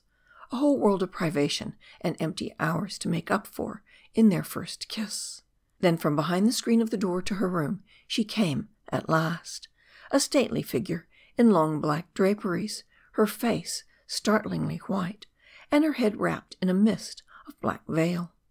But who can tell of the note of gladness and welcome she put into the two words, My Paul? And who can tell of the passionate joy of their long, tender embrace, or of their talk of each one's impossible night? His lady, too, had not slept, it appeared. She had cried, she said, and fought with her pillow, and been so wicked to Anna that the good creature had wept. She had torn her fine night raiment and bitten a handkerchief through. But now he had come, and her soul was at rest. What wonder when all this was said in his ear with soft, broken sighs and divine kisses, that Paul should feel like a god in his pride. Then he held her at arm's length and looked at her face. Yes, it was very pale indeed, and the violet shadows lay under her black lashes. Had she suffered, his darling? Was she ill? But no, the fire in her strange eyes gave no look of ill health. I was frightened, my own, he said, in case you really were ill. I must pet you and take care of you all the day. See, you must lie on the sofa among the cushions, and I will sit beside you and soothe you to rest. And he lifted her in his strong arms and carried her to the couch as if she had been a baby, and settled her there, every touch a caress. His lady delighted in these exhibitions of his strength. He had grown to understand that he could always affect her when he pretended to dominate her by sheer brute force. She had explained it to him thus one day. You see, Paul, a man can always keep a woman loving him if he kiss her enough, and make her feel that there is no use struggling because he is too strong to resist. A woman will stand almost anything from a passionate lover. He may beat her and pain her soft flesh. He may shut her up and deprive her of all other friends. While the motive is raging love and interest in herself on his part, it only makes her love him the more. The reason why women become unfaithful is because the man grows casual, and having awakened a taste for passionate joys, he no longer gratifies them. So she yawns and turns elsewhere. Well, there was no fear of her doing so if he could help it. He was more than willing to follow this receipt. Indeed, there was something about her so agitating and alluring that he knew in his heart all men would feel the same towards her in a more or less degree, and wild jealousy coursed through his veins at the thought. My Paul, she said, do you know I have a plan in my head that we shall go to Venice? To Venice, said Paul, in delight. To Venice. Yes, I cannot endure any more of Lucerne, parted from you, with only the prospect of snatched meetings. It is not to be borne. We shall go to that home of strange joy, my lover, and there, for a space at least, we can live in peace. Paul asked no better gift of fate. Venice he had always longed to see, and now to see it with her. Ah, the very thought was ecstasy to him, and made the blood bound in his veins. When, when, my darling? he asked. Tomorrow? When? Today is Friday, she said. One must give Dmitri time to make the arrangements, and take a palace for us. Shall we say Sunday, Paul? I shall go on Sunday, and you can follow the next day. So by Tuesday evening we shall be together again, not to part until the end. The end? said Paul, with sinking heart. Sweetheart, she whispered, while she drew his face down to hers, think nothing evil. I said the end, but fate alone knows when that must be. Do not let us force her hand by speculating about it. Remember always to live while we may. And Paul was more or less comforted, but in moments of silence, all through the day, he seemed to hear the echo of the words, the end. End of chapter 14. Chapter 15. It was a beautiful apartment that Dmitri had found for them on the Grand Canal in Venice, in an old palace looking southwest. A convenient door in a side canal cloaked the exit and entry of its inhabitants from curious eyes, had there been any to indulge in curiosity. But in Venice there is a good deal of the feeling of live and let live, and the dolce far niente of the life is not conducive to an over anxious interest in the doings of one's neighbors. Money and intelligence can achieve a number of things in a short space of time, and Dmitri had had both at his command. So everything including a chef from Paris and a retinue of Italian servants, was ready when on the Tuesday evening Paul arrived at the station. What a wonderland it seemed to him Venice! A wonderland where awaiting him his heart's delight, more passionately desired than ever after three days of total abstinence. As after the Friday afternoon he had spent more or less in hiding in the terrace room, his lady had judged it wiser for him not to come at all to Lucerne, and on the Saturday had met him at a quiet part of the shore of the lake, beyond the landing steps of the funiculaire, and for a few short hours they had cruised about on the blue waters, but her sweetest tenderness and ready wit had not been able entirely to eliminate the feeling of unrest which troubled them. And then there were the nights, the miserable evenings and nights of separation. On the Sunday she had departed to Venice, and after she had gone, Paul had returned for one day to Lucerne leaving again on the Monday, apparently as unacquainted with Madame Zalenska as he had been the first night of his arrival. He had not seen her since Saturday, three whole days of anguishing longing. And now, in half an hour at least, she would be in his arms. The journey through the beautiful scenery from Lucerne had been got through at night. All day from Milan, a feverish excitement had dominated him and prevented his taking any interest in outward surroundings. A magnetic attraction seemed drawing him on, on, to the centre of light and joy, his lady's presence. Dmitri and an Italian servant awaited his arrival. Not an instant's delay for luggage called a halt. Thompson and the Italian were left for that, and Paul departed with his trusty guide. It was about seven o'clock. The opalescent lights were beginning to show in the sky, and their reflection in the water as he stooped his tall head to enter the covered gondola. It was all too beautiful and wonderful to take in at once, and then he only wanted wings the sooner to arrive, not eyes, to see the passing objects.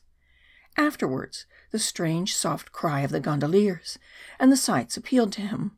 But on this first evening every throb of his being was centred upon the one moment when he should hold his beloved one to his heart. He could hardly contain his impatience and walk sedately beside Dmitri when they ascended the great stone staircase. He felt like bounding up three steps at a time. Dmitri had been respectfully silent. Madame was well, that was all he would say. He opened the great double door with a latch key, and Paul found himself in a vast hall, almost unfurnished, but for some tapestry on the walls, a huge gilt marriage chest, and a couple of chairs.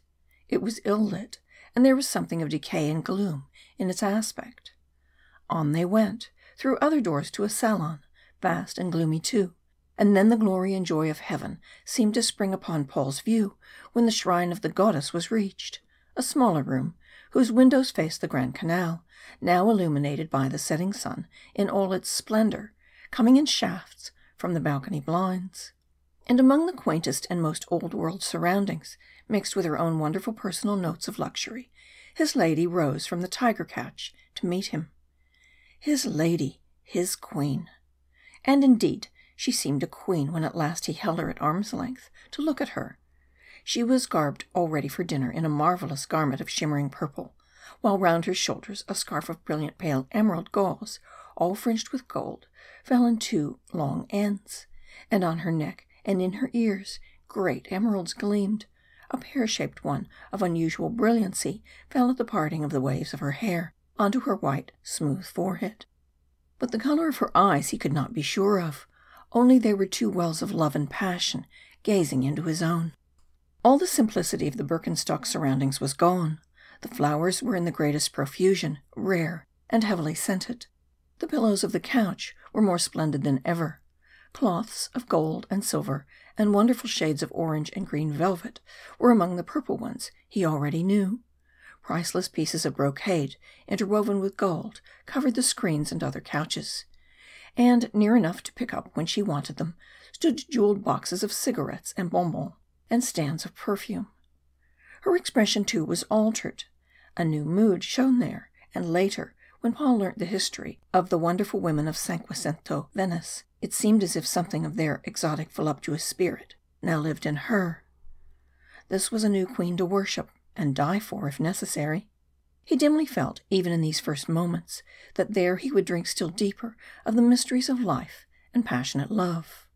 Betsonnez moi, she said, my priceless one. At last I have you again to make me live. Ah, I must know it is really you, my Paul. They were sitting on the tiger by now, and she undulated round and all over him, feeling his coat and his face and his hair, as a blind person might, till at last it seemed as if she were twined about him like a serpent and every now and then a narrow shaft of the glorious dying sunlight would strike the great emerald on her forehead and give forth sparks of vivid green which appeared reflected again in her eyes.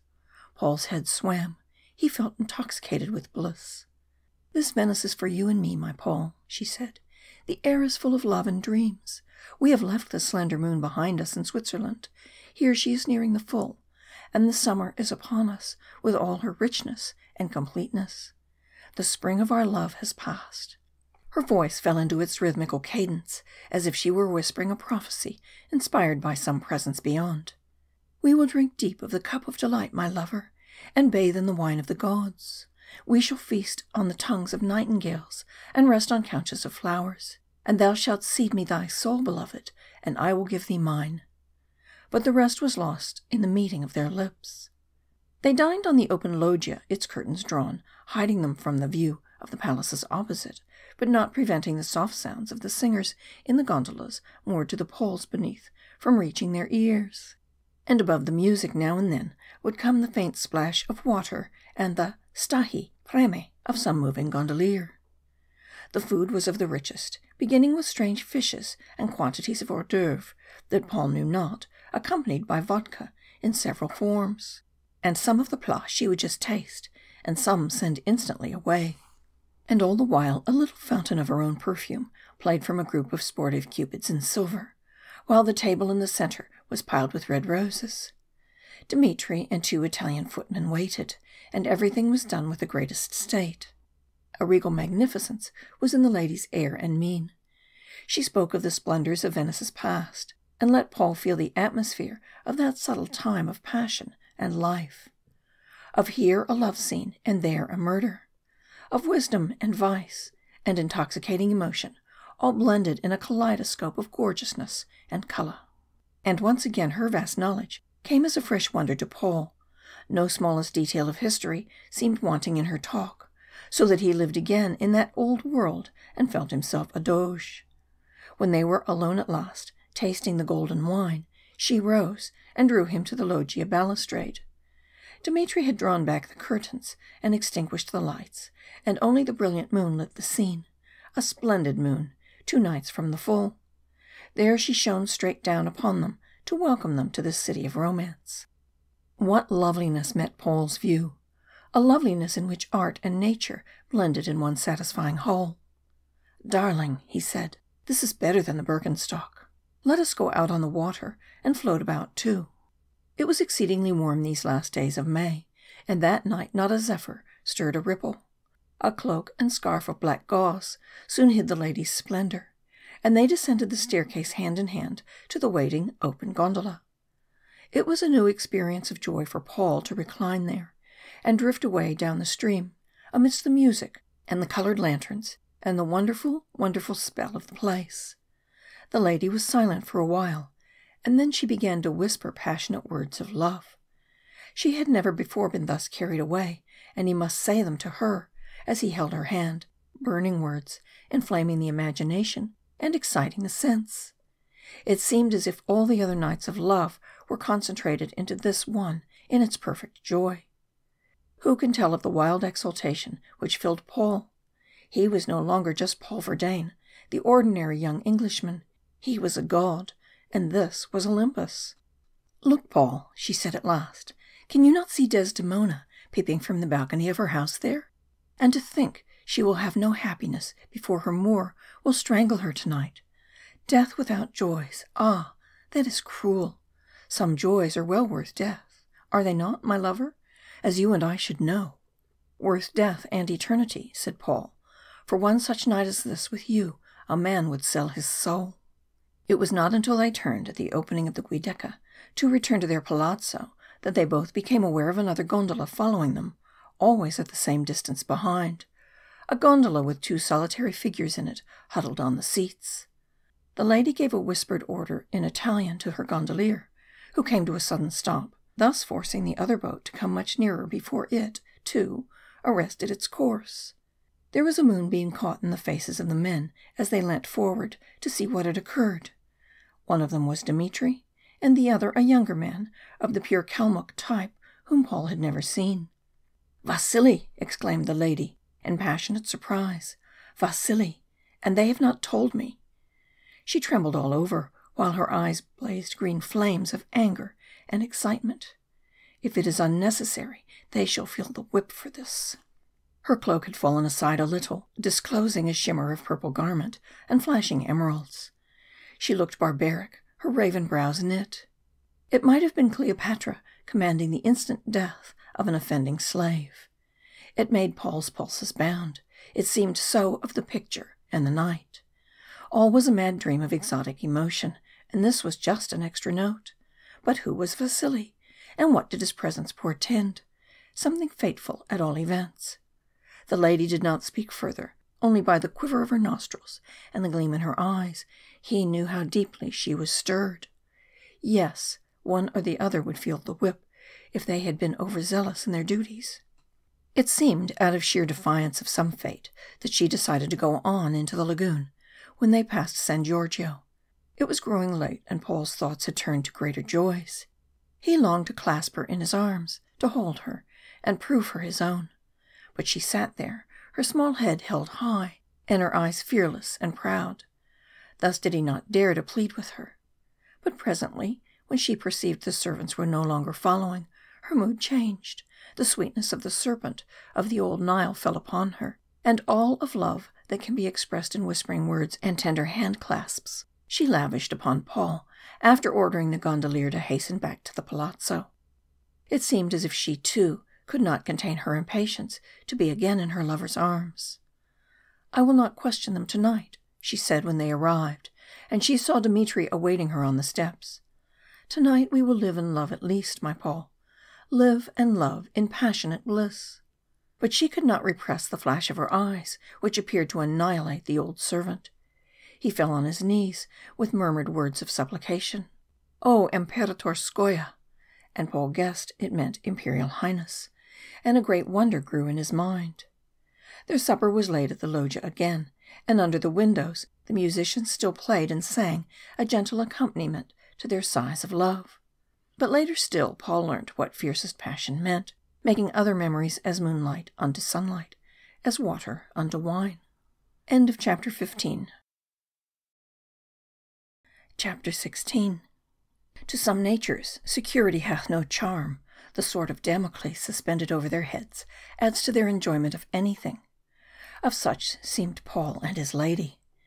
It was as if they were snatching astonishing pleasures from the very brink of some danger, none the less in magnitude because unknown. They did not breakfast until after one o'clock the next day, and then she bade him sleep, sleep on his other loggia where they sat, which gave upon the side canal obliquely, while looking into the small garden of roses and oleanders below. Here were shade and a cool small breeze. We are so weary, my beloved one, the lady said. Let us sleep on these couches of smooth silk, sleep the heavy hours of the afternoon away, and go to the piazza when the heat of the sun has lessened in measure. An immense languor was over Paul. He asked nothing better than to rest there in the perfumed shade, near enough to his loved one to be able to stretch out his arm and touch her hair. And soon a sweet sleep claimed him and all was oblivion and peace.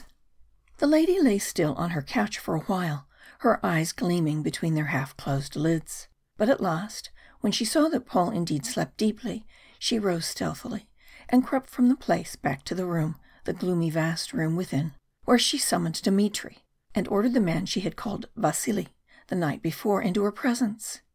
He came with cringing diffidence, prostrating himself to the ground before her and kissing the hem of her dress, mute adoration in his dark eyes, like those of a faithful dog, a great scar showing blue on his bronzed cheek and forehead. She questioned him imperiously, while he answered humbly, in fear. Dmitry stood by, an anxious, strained look on his face, and now and then he put in a word. Of what danger did they warn her, these two faithful servants? One came from afar for no other purpose, it seemed, Whatever it was, she received the news in haughty defiance. She spoke fiercely at first, and they humbled themselves the more. Then Anna appeared and joined her supplications to theirs, till at last the lady, like a pettish child, chasing a brood of tiresome chickens, shooed them all from the room, twixt laughter and tears.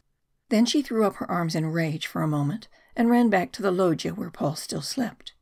Here she sat and looked at him with burning eyes of love. He was certainly changed in the eighteen days since she had first seen him. His face was thinner, the beautiful lines of youth were drawn with a finer hand. He was paler, too, and a shadow lay under his curly lashes. But even in his sleep it seemed as if his wakened soul had set its seal upon his expression. He had tasted of the knowledge of good and evil now. The lady crept near him and kissed his hair. Then she flung herself on her own couch, and soon she also slept. It was six o'clock before they awoke, Paul first, and what was his joy to be able to kneel beside her and watch her for a few seconds before her white lids lifted themselves. An attitude of utter weariness and abandon was hers. She was as a child tired out with passionate weeping, who had fallen to sleep as she had flung herself down. There was something even pathetic about that proud head laid low upon her clasped arms. Paul gazed and gazed. How he worshipped her! Wayward, tigerish, beautiful queen, but never selfish or small. And what great thing had she not done for him? She who must have been able to choose from all the world for a lover. And she had chosen him. How poor and narrow were all the thoughts of his former life, everything hedged in with foolish prejudice and ignorant certainty. Now all the world should be his lesson book, and some day he would show her he was worthy of her splendid teaching and belief in him, and her gift of an awakened soul. He bent still lower on his knees and kissed her feet with deepest reverence. She stirred not. She was so very pale, fear came to him for an instant. And then he kissed her mouth. Her wonderful eyes unclosed themselves with none of the bewildered stare people often wake with when aroused suddenly. It seemed that even in her sleep she had been conscious of her loved one's presence. Her lips parted in a smile, while her heavy lashes again swept her cheeks. Sweetheart, she said, you could awake me from the dead, I think. But we are living still. My Paul, waste no more time in dreams. They made haste, and were soon in the gondola on their way to the piazza. Paul, she said, with a wave of her hand, which included all the beauty around, I am so glad that you only see Venice now, when your eyes can take it in, sweetheart. At first it would have said almost nothing to you, and she smiled playfully.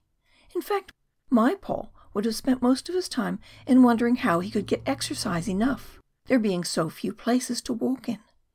He would have bought a nigger boy with a dish for his father, and some Venetian mirrors for his aunts, and perhaps, yes, a piece of Mr. Jesurum's lace for his mother, and some blown glass for his friends. He would have walked through St. Mark's and thought it was a tumble down place with uneven pavements, and he would have noticed there was a jolly lot of pigeons in the square. Then he would have been captious with the food at his hotel, grumbled at the waiters, and scolded poor Thompson and left for Rome.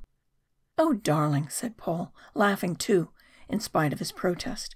Surely, surely I was never so bad as that. And yet I expect it is probably true. How can I ever thank you for giving me eyes and an understanding?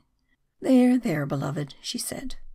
They walked through the piazza. The pigeons amused Paul, and they stopped and bought corn for them, and fed the greedy creatures, ever ready for the unending largesse of strangers. One or two, bolder than the rest, alighted on the lady's hat and shoulder, taking the corn from between her red lips, and Paul felt jealous even of the birds, and drew her on to see the campanile, still standing then. They looked at it all. They looked at the lion, and finally they entered St. Mark's. And here Paul held her arm and gazed with bated breath. It was all so beautiful and wonderful, and new to his eyes. He had scarcely ever been in a Roman Catholic church before, and had not guessed at the gorgeous beauty of this half Byzantine shrine. They hardly spoke. She did not weary him with details like a guidebook.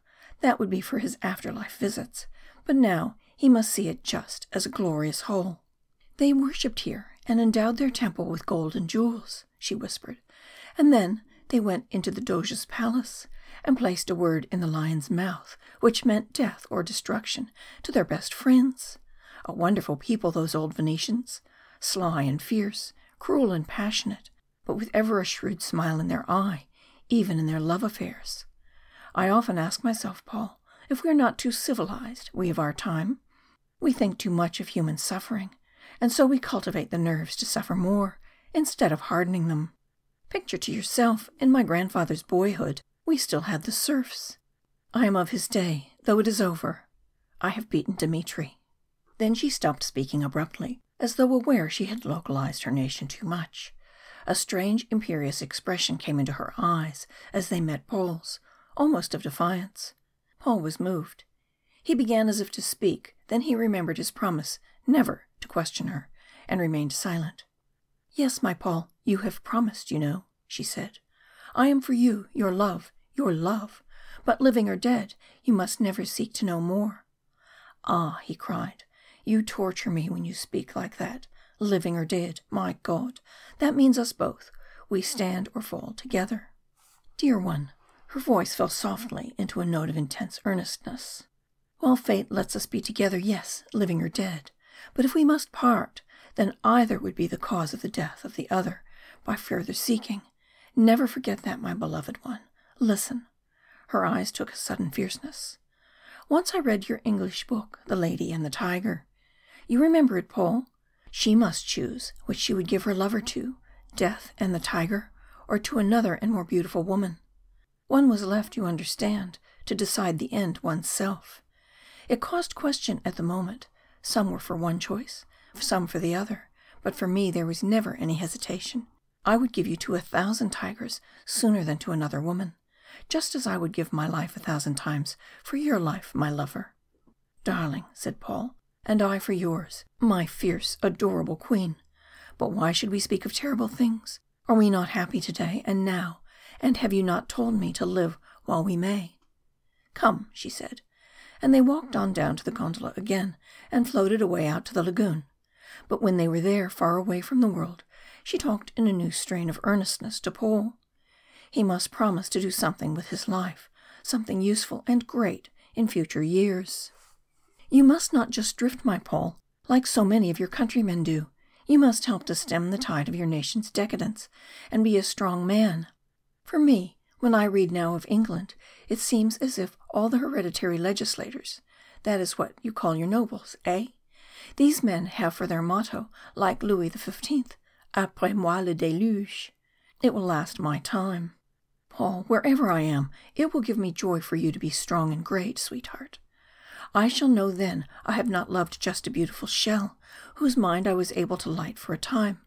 That is a sadness, Paul, perhaps the greatest of all, to see a soul one has illuminated and awakened to the highest point, gradually slipping back to a browsing sheep, to live for la chasse alone, and horses and dogs, with each day no higher aim than its own mean pleasure. Ah, Paul, she continued with sudden passion, I would rather you were dead, dead and cold with me, than I should have to feel you were growing a rien du tout, a thing who will go down into nothingness and be forgotten by men. Her face was aflame with the feu sacré. The noble brow and line of her throat will ever remain in Paul's memory as a thing apart in womankind. Who could have smaller unworthy thoughts who had known her, this splendid lady? And his worship grew and grew. End of chapter 16. Chapter 17 That night, as they looked from the loggia on the Grand Canal after dinner, the moonlight making things almost light as day, Dmitry begged admittance from the doorway of the great salon. The lady turned imperiously and flashed upon him. How dared he interrupt their happy hour with things of earth? Then she saw he was loath to speak before Paul, and that his face was grey with fear. Paul realized the situation and moved aside, pretending to lean from the wide windows and watch the passing gondolas, his wandering attention, however, fixing it itself upon one which was moored not far from the palazzo, and occupied by a solitary figure reclining motionless in the seats. It had no coloured lights, this gondola, or merry musicians. It was just a black object of silence, tenanted by one man. Dmitry whispered, and the lady listened, a quiver of rage going through her lithe body. Then she turned and surveyed the moored gondola, the same storm of passion and hate in her eyes as once before had come there, at the Rigi Kaltbad Belvedere. Shall I kill the miserable spy? Vasily would do it this night, she hissed between her clenched teeth. But to what end? A day's respite, perhaps, and then another and another to face.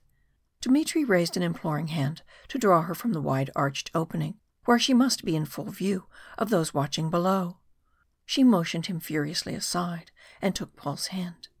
Come, my lover, she said, we will look no more on this treacherous stream. It is full of the ghosts of past murders and fears. Let us return to our shrine and shut out all jars. We will sit on our tiger and forget even the moon. Beloved one, come. And she led him to the open doorway, but the hand which held his was cold as ice. A tumult of emotion was dominating Paul. He understood now that danger was near. He guessed they were being watched, but by whom? By the orders of her husband? Ah! That thought drove him mad with rage. Her husband! She, his own, the mate of his soul, of his body and soul, was the legal belonging of someone else. Some vile man whom she hated and loathed, a rotting carrion, spoiling God's earth. And he, Paul, was powerless to change this fact, was powerless altogether, except to love her and die for her if that would be for her good. Queen, he said, his voice hoarse with passion and pain, let us leave Venice. Leave Europe altogether. Let me take you away to some far land of peace, and live there in safety and joy for the rest of our lives. You would always be the empress of my being and my soul. She flung herself on the tiger couch and writhed there for some moments, burying her clenched fists in the creature's deep fur. Then she opened her wide arms and drew Paul to her in a close, passionate embrace. "Moi my beloved, my darling one," she whispered in anguish. "If we were lesser persons, yes, we could hide and live for a time in a tent under the stars. But we are not. They would track me and trap us, and sooner or later there would be the end the ignominious, ordinary end of disgrace." Then she clasped him closer and whispered right in his ear in her wonderful voice, now trembling with love. Sweetheart, listen. Beyond all of this, there is that thought, that hope, ever in my heart, that one day a son of ours shall worthily fill a throne. So we must not think of ourselves, my Paul, of the thou and the I and the now, beloved. A throne which is filled most ignobly at present, and only filled at all through my birth and my family's influence. Think not I want to plant a cheat. No, I have a right to find an heir, as I will, a splendid heir, who shall redeem the land, the spirit of our two selves, given being by love and endowed by the gods. Ah, think of it, Paul. Dream of this joy and pride. It will help to still the unrest we are both suffering now. It must quiet this wild, useless rage against fate. Is it not so, my lover? Her voice touched his very heartstrings but he was too deeply moved to answer her for a moment. The renewal of this thought exalted his very soul. All that was noble and great in his nature seemed rising up in one glad triumph song. A son of his and hers to fill a throne. Oh, God, if that were so! I love the English, she whispered. I have known the men of all nations, but I love the English best. They are straight and just, the fine ones at least. They are brave and fair and fearless and our baby Paul shall be the most splendid of any. Beloved one, you must not think me a visionary, a woman dreaming of what might never be. I see it, I know it. This will come to pass as I say, and then we shall both find consolation and rest. Thus she whispered on until Paul was intoxicated with joy and glory, and forgot time and place and danger and possible parting. A host of triumphant angels seemed singing in his ears. Then she read him poetry, and let him caress her, and smiled in his arms. But towards morning, if he had awakened, he would have found his lady prostrate with silent weeping, the intense concentrated grief of a strong nature taking its farewell. End of chapter 17. Chapter 18 Now, this Thursday was the night of the full moon. A cloudless morning sky promised a glorious evening. The lovers woke early and had their breakfast on the loggia overlooking the oleander garden. The lady was an enchanting move of sunshine, and no one could have guessed of the sorrow of her dawn vigil thoughts. She was wayward and playful, one moment petting Paul with exquisite sweetness, the next teasing his curls and biting the lobes of his ears. She never left him for one second. It seemed she must teach him still more subtle caresses, and call forth even new shades of emotion and bliss. All fear was banished, only a brilliant glory remained. She laughed and half closed her eyes with provoking smiles. She undulated about, creeping as a serpent over her lover and kissing his eyelids and hair. They were so infinitely happy it was growing to afternoon before they thought of leaving their loggia, and then they started in the open gondola and glided away through quaint narrow canals until they came to the lagoon. We shall not stay in the gondola long, my Paul, she said. I cannot bear to be out of your arms, and our palace is fair. And oh, my beloved, tonight I shall feast you as never before. The night of our full moon. Paul, I have ordered a bower of roses, and music, and song. I want you to remember it the whole of your life. As though I could forget a moment of our time, my sweet, said Paul. It needs no feasts or roses, only whatever delights you to do delights me too. Paul, she cooed after a while, during which her hand had lain in his, and there had been a soft silence. Is not this a life of joy, so smooth and gliding, this way of Venice? It seems far from ruffles and storms. I shall love it always, shall not you? And you must come back in other years and study its buildings and its history, Paul, with your new fine eyes. We shall come together, my darling, he answered. I should never want anything alone. Sweetheart, she cooed again in his ears, and then presently, Paul, she said, some day you must read Salammbô, that masterpiece of Flaubert's. There is a spirit of love in that which now you would understand. The love which looked out of Matho's eyes when his body was beaten to jelly. It is the love I have for you, my own, a love beyond all words or sense, as one of your English poets says. Do you know, with a strange irony of things, when a woman's love for a man rises to the highest point, there is in it always an element of the wife? However wayward and tigerish and undomestic she may be, she then desires to be the acknowledged possession and belonging of the man, even to her own dishonor. She desires to reproduce his likeness. She wants to compass his material good. She will think of his food and his raiment and his well being, and never her own. Only, if she is wise, she will hide all these things in her heart, for the average man cannot stand this great light of her sweetness, and when her love becomes selfless, his love will wane.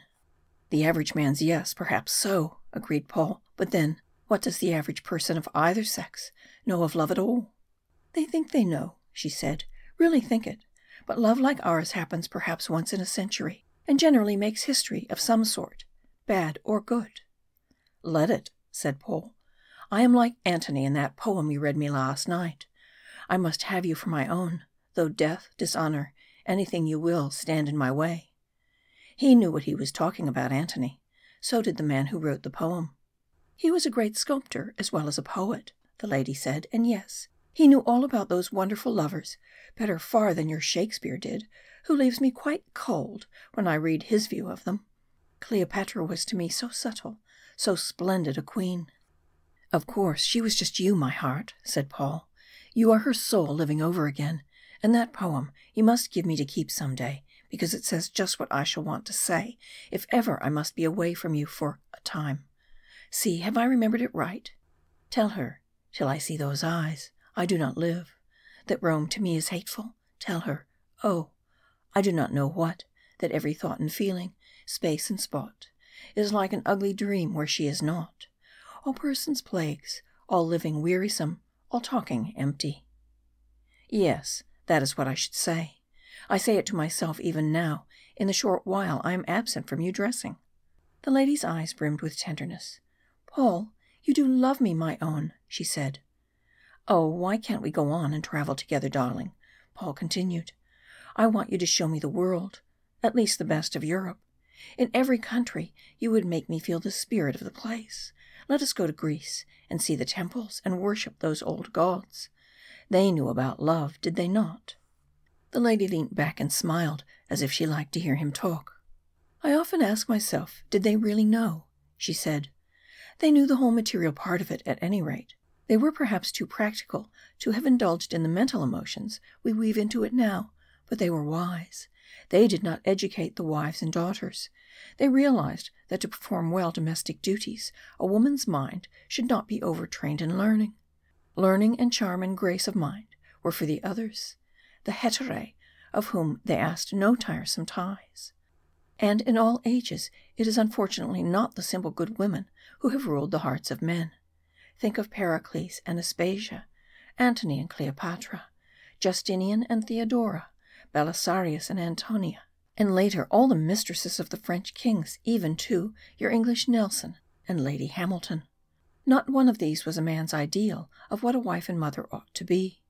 So no doubt the Greeks were right in that principle, as they were right in all basic principles of art and balance. And now we mix the whole thing up, my Paul domesticity and learning, nerves and art, the feverish cravings for the impossible new. So we get a conglomeration of false proportions and a ceaseless unrest. Yes, said Paul, and thought of his mother. She was a perfectly domestic and beautiful woman, but somehow he felt sure she had never made his father's heart beat. Then his mind went back to the argument in what the lady had said. He wanted to hear more. If that is so, that would prove that all the very clever women of history were immoral. Do you mean that? he asked. The lady laughed. Immoral! It is so quaint a word, my Paul. Each one sees it how they will. For me, it is immoral to be false, to be mean, to steal, to cheat, to stoop to low actions and small ends. Yet no one can be and do all those things, and if one remains as well the faithful beast of burden to one man, one is counted in the world a moral woman.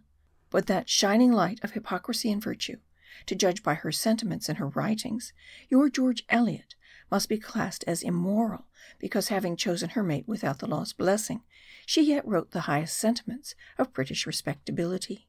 To me she was being immoral only because she was deliberately doing what, again I say, judging by her writings, she felt must be a grievous wrong.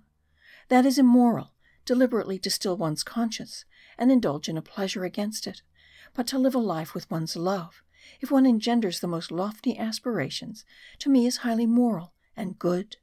I feel myself ennobled, exalted, because you are my lover, and our child, when it comes to us, will have a noble mind. The thought of this, as ever, made Paul thrill. He forgot all other arguments, and a quiver ran through him of intense emotion. His eyes swam, and he clasped more tightly her hand. The lady, too, leaned back and closed her eyes. Oh, the beautiful dream, she said. The beautiful, beautiful, certainly. Sweetheart, let us have done with all this philosophizing and go back to our palace, where we are happy in the temple of the greatest of all gods, the god of love. Then she gave the order for home. But on the way they stopped at Jesurum's, and she supervised Paul's purchases for his mother, and allowed him to buy herself some small gifts. And between them they spent a good deal of money, and laughed over it like happy children. So when they got back to the palazzo, there was joy in their hearts, like the sunlight of the late afternoon. She would not let Paul go on to the loggia overlooking the Grand Canal. He had noticed as they passed that some high screens of lilac bushes had been placed in front of the wide, arched openings. No fear of prying eyes from opposite houses now, and yet they were not too high to prevent those in the loggia from seeing the moon in the sky. Their feast was preparing evidently, and he knew it would be a night of the gods. But from then until it was time to dress for dinner, his lady decreed that they should rest in their rooms. Thou must sleep, my Paul, she said, so that thy spirit may be fresh for new joys. And it was only after hard pleading that she would allow him to have it that they rested on the other loggia couches, so that his closing eyes might know her near. End of chapter 18. Chapter 19 No Englishwoman would have thought of the details which made the feast of the full moon so wonderful in Paul's eyes. It savoured rather of other centuries and the days of imperial Rome, and indeed, had his lady been one of Britain's daughters, he too might have found it a little bizarre. As it was, it was all in the note, the exotic note of Venice and her spells. The lady had gone to her room when he woke on the loggia and he had only time to dress before the appointed moment when he was to meet her in the little salon. She was seated on the old Venetian chair she had bought in Lucerne when Paul entered, the most radiant vision he had yet seen. Her garment was pale green gauze. It seemed to cling in misty folds round her exquisite shape. It was clasped with pearls, the most magnificent ones hung in a row round her throat and fell from her ears. A diadem confined her glorious hair, which descended in the two long strands twisted with chains of emeralds and diamonds. Her whole personality seemed breathing magnificence and panther like grace, and her eyes glowed with passion and mystery and force. Paul knelt like a courtier and kissed her hand. Then he led her to their feast. Dmitry raised the curtain of the loggia door as they approached, and what a sight met Paul's view! The whole place had been converted into a bower of roses. The walls were entirely covered with them. A great couch of deepest red ones was at one side, fixed in such masses as to be quite resisting and firm. From the roof, chains of roses hung, concealing small lights, while from above the screen of lilac bushes in full bloom, the moon in all her glory mingled with the rose shaded lamps and cast a glamour and unreality over the whole. The dinner was laid on a table in the centre, and the table was covered with tuberoses and stephanotis, surrounding the cupid fountain of perfume. The scent of all these flowers, and the warm summer night. No wonder Paul's senses quivered with exultation. No wonder his head swam. They had scarcely been seated when from the great salon, whose open doors were hidden by falling trellises of roses, there came the exquisite sounds of violins and a boy's plaintive voice. A concert of all sweet airs played softly to further excite the sense. Paul had not thought that such musicians could be obtained in Venice, and guessed, and rightly, that, like the cook and the artist who had designed it, they hailed from Paris to beautify this night. Throughout the repast, his lady bewildered him with her wild fascination. Never before had she seemed to collect all her moods into one subtle whole, cemented together by passionate love. It truly was a night of the gods, and the exaltation of Paul's spirit had reached its zenith. My Paul, she said, when at last only the rare fruits and the golden wine remained, and they were quite alone, even the musicians had retired, and their airs floated up from a gondola below. My Paul, I want you never to forget this night, never to think of me, but as gloriously happy, clasped in your arms amid the roses. And see, we must drink once more together of our wedding wine, and complete our soul's delight. An eloquence seemed to come to Paul and loosen his tongue, so that he whispered back paeans of worship in language as fine as her own. And the moon flooded the loggia with her light, and the roses gave forth their scent, it was the supreme effort of art and nature to cover them with this glorious joy. My darling one, the lady whispered in his ear as she lay in his arms on the couch of roses, crushed deep and half buried in their velvet leaves. This is our soul's wedding. In life and in death, they can never part more. Dawn was creeping through the orchid blinds of their sleeping chamber when this strange queen disengaged herself from her lover's embrace and bent over him, kissing his young curved lips. He stirred not. The languor of utter prostration was upon him, and held him in its grasp. In the uncertain light, his sleep looked pale as death. The lady gazed at him, an anguish too deep for tears in her eyes. For was not this the end, the very end? Fierce, dry sobs shook her. There was something terrible and tigerish in her grief, and yet her will made her not linger. There was still one thing to do. She rose and turned to the writing table by the window, then drawing the blind aside a little, she began rapidly to write. When she had finished without reading the missive over, she went and placed it with a flat leather jewel case on her pillow beside Paul. And soon she commenced a madness of farewells, all restrained and gentle for fear he should awake. My love, my love, she wailed between her kisses, God keep you safe, though he may never bring you back to me. Then, with a wild, strangled sob, she fled from the room. End of chapter 19.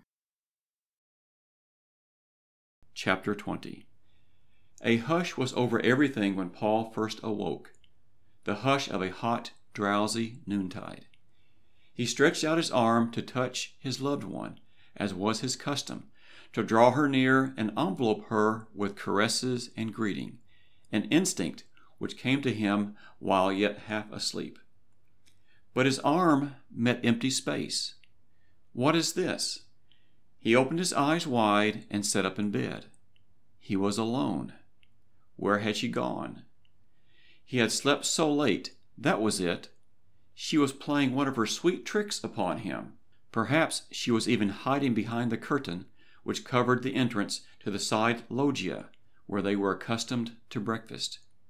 He would look and see. He rose quickly and lifted the heavy drapery. No, the loggia was untenanted, and breakfast was laid for one. That was the first chill, for one. Was she angry at his drowsiness? Good God, what could it mean?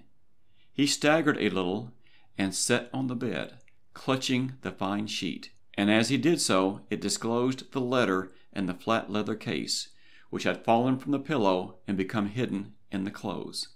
A deadly faintness came over Paul. For a few seconds he trembled so his shaking fingers refused to hold the paper. Then, with a mighty effort, he mastered himself and, tearing the envelope open, began to read.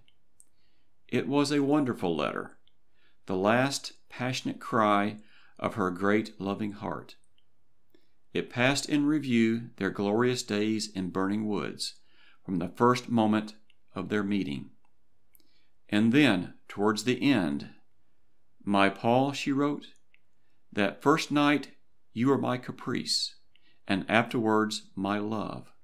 But now you are my life, and for this I must leave you, to save that life, sweet lover. Seek me not, heart of my heart. Believe me, I would not go if there were any other way. Fate is too strong for us, and I must bow my head. Were I to remain even another hour, all Dmitry's watching could not keep you safe. Darling, while I thought they menaced only me alone, it only angered me, but now I know that you would pay the penalty. I can but go. If you follow me, it will mean the death for us both. Oh, Paul, I implore you, by our great love, go into safety as soon as you can. You must leave Venice and return straight to England and your home. Darling, beloved, lover, if we never meet again in this sad world, let this thought stay with you always that I love you, heart and mind, body and soul. I am utterly and forever yours. As he read the last words, the room became dark for Paul. He fell back like a log on the bed, the paper fluttering to the floor from his nerveless fingers. She was gone, and life, it seemed, over for him. Here, perhaps an hour later, Thompson found him still unconscious, and in terrified haste sent off for a doctor, and telegraphed Sir Charles Verdayne. Come at once, Thompson. But ere his father could arrive on Sunday, Paul was lying twixt life and death, madly raving with brain fever. And thus ended the three weeks of his episode. The end of chapter 20. Chapter 21 Have any of you who read crept back to life from nearly beyond the grave? Crept back to find it shorn of all that made it fair? After hours of delirium to awaken in great weakness to a sense of hideous anguish and loss? To the prospect of days of aching void and hopeless longing? To the hourly momentary sting of remembrance of things vaster than death, more dear than life itself. If you have come through this valley of the shadow, then you can know what the first days of returning consciousness meant to Paul. He never really questioned the finality of her decree. He sensed it meant parting for ever. And yet, with that spring of eternal hope which animates all living souls, unbidden arguings and possibilities rose in his enfeebled brain, and deepened his unrest. Thus his progress towards convalescence was long and slow. And all this time his father and Thompson had nursed him in the old Venetian palazzo with tenderest devotion. The Italian servants had been left, paid up for a month, but the lady and her Russian retinue had vanished, leaving no trace. Both Thompson and Sir Charles knew almost the whole story now from Paul's ravings, and neither spoke of it, except that Thompson supplied some links to complete Sir Charles's picture. She was the most splendid lady you could wish to see, Sir Charles, the stolid creature finished with. Her servants worshipped her, and if Mr. Verdayne is now ill, he is ill for no less than a queen. This fact comforted Thompson greatly, but Paul's father found in it no consolation. The difficulty had been to prevent his mother from descending upon them. She must ever be kept in ignorance of this episode in her son's life. She belonged to the class of intellect which could never have understood. It would have been an undying shock and horrified grief to the end of her life. Excellent, loving, conventional lady. So after the first terrible danger was over, Sir Charles made light of their son's illness. Paul and he were enjoying Venice, he said, and would soon be home. D d, hard luck the boy getting fever like this, he wrote in his laconic style, but one never could trust foreign countries' drains. And the Lady Henrietta waited in unsuspecting, well bred patience. Those were weary days for every one concerned. It wrung his father's heart to see Paul prostrate there, as weak as an infant, all his splendid youth and strength conquered by this raging blast. It was sad to have to listen to his ever constant moan, "Darling, come back to me, darling, my queen." And even after he regained consciousness, it was equally pitiful to watch him lying nerveless and white, blue shadows on his once fresh skin. And most pitiful of all were his hands, now veined and transparent, falling idly upon the sheet. But at least the father realized it could have been no ordinary woman whose going caused the shock which, even after a life of three weeks' continual emotion, could prostrate his young Hercules. She must have been worth something, this tiger queen. And one day, contrary to his usual custom, he addressed Thompson. "What sort of a looking woman, Thompson?" And Thompson, although an English valet, did not reply. "Who, Sir Charles?" He just rounded his eyes stolidly, and said in his monotonous voice, "She was that forcible looking a man couldn't say when he got close. She kind of dazzled him. She had black hair and a white face, and and witch's eyes, but she was very kind and overpowering, haughty and generous. Any one would have known she was a queen." "Young?" asked Sir Charles. Thompson smoothed his chin. "I could not say, Sir Charles. Some days about twenty five, and other days past thirty. About thirty three to thirty five.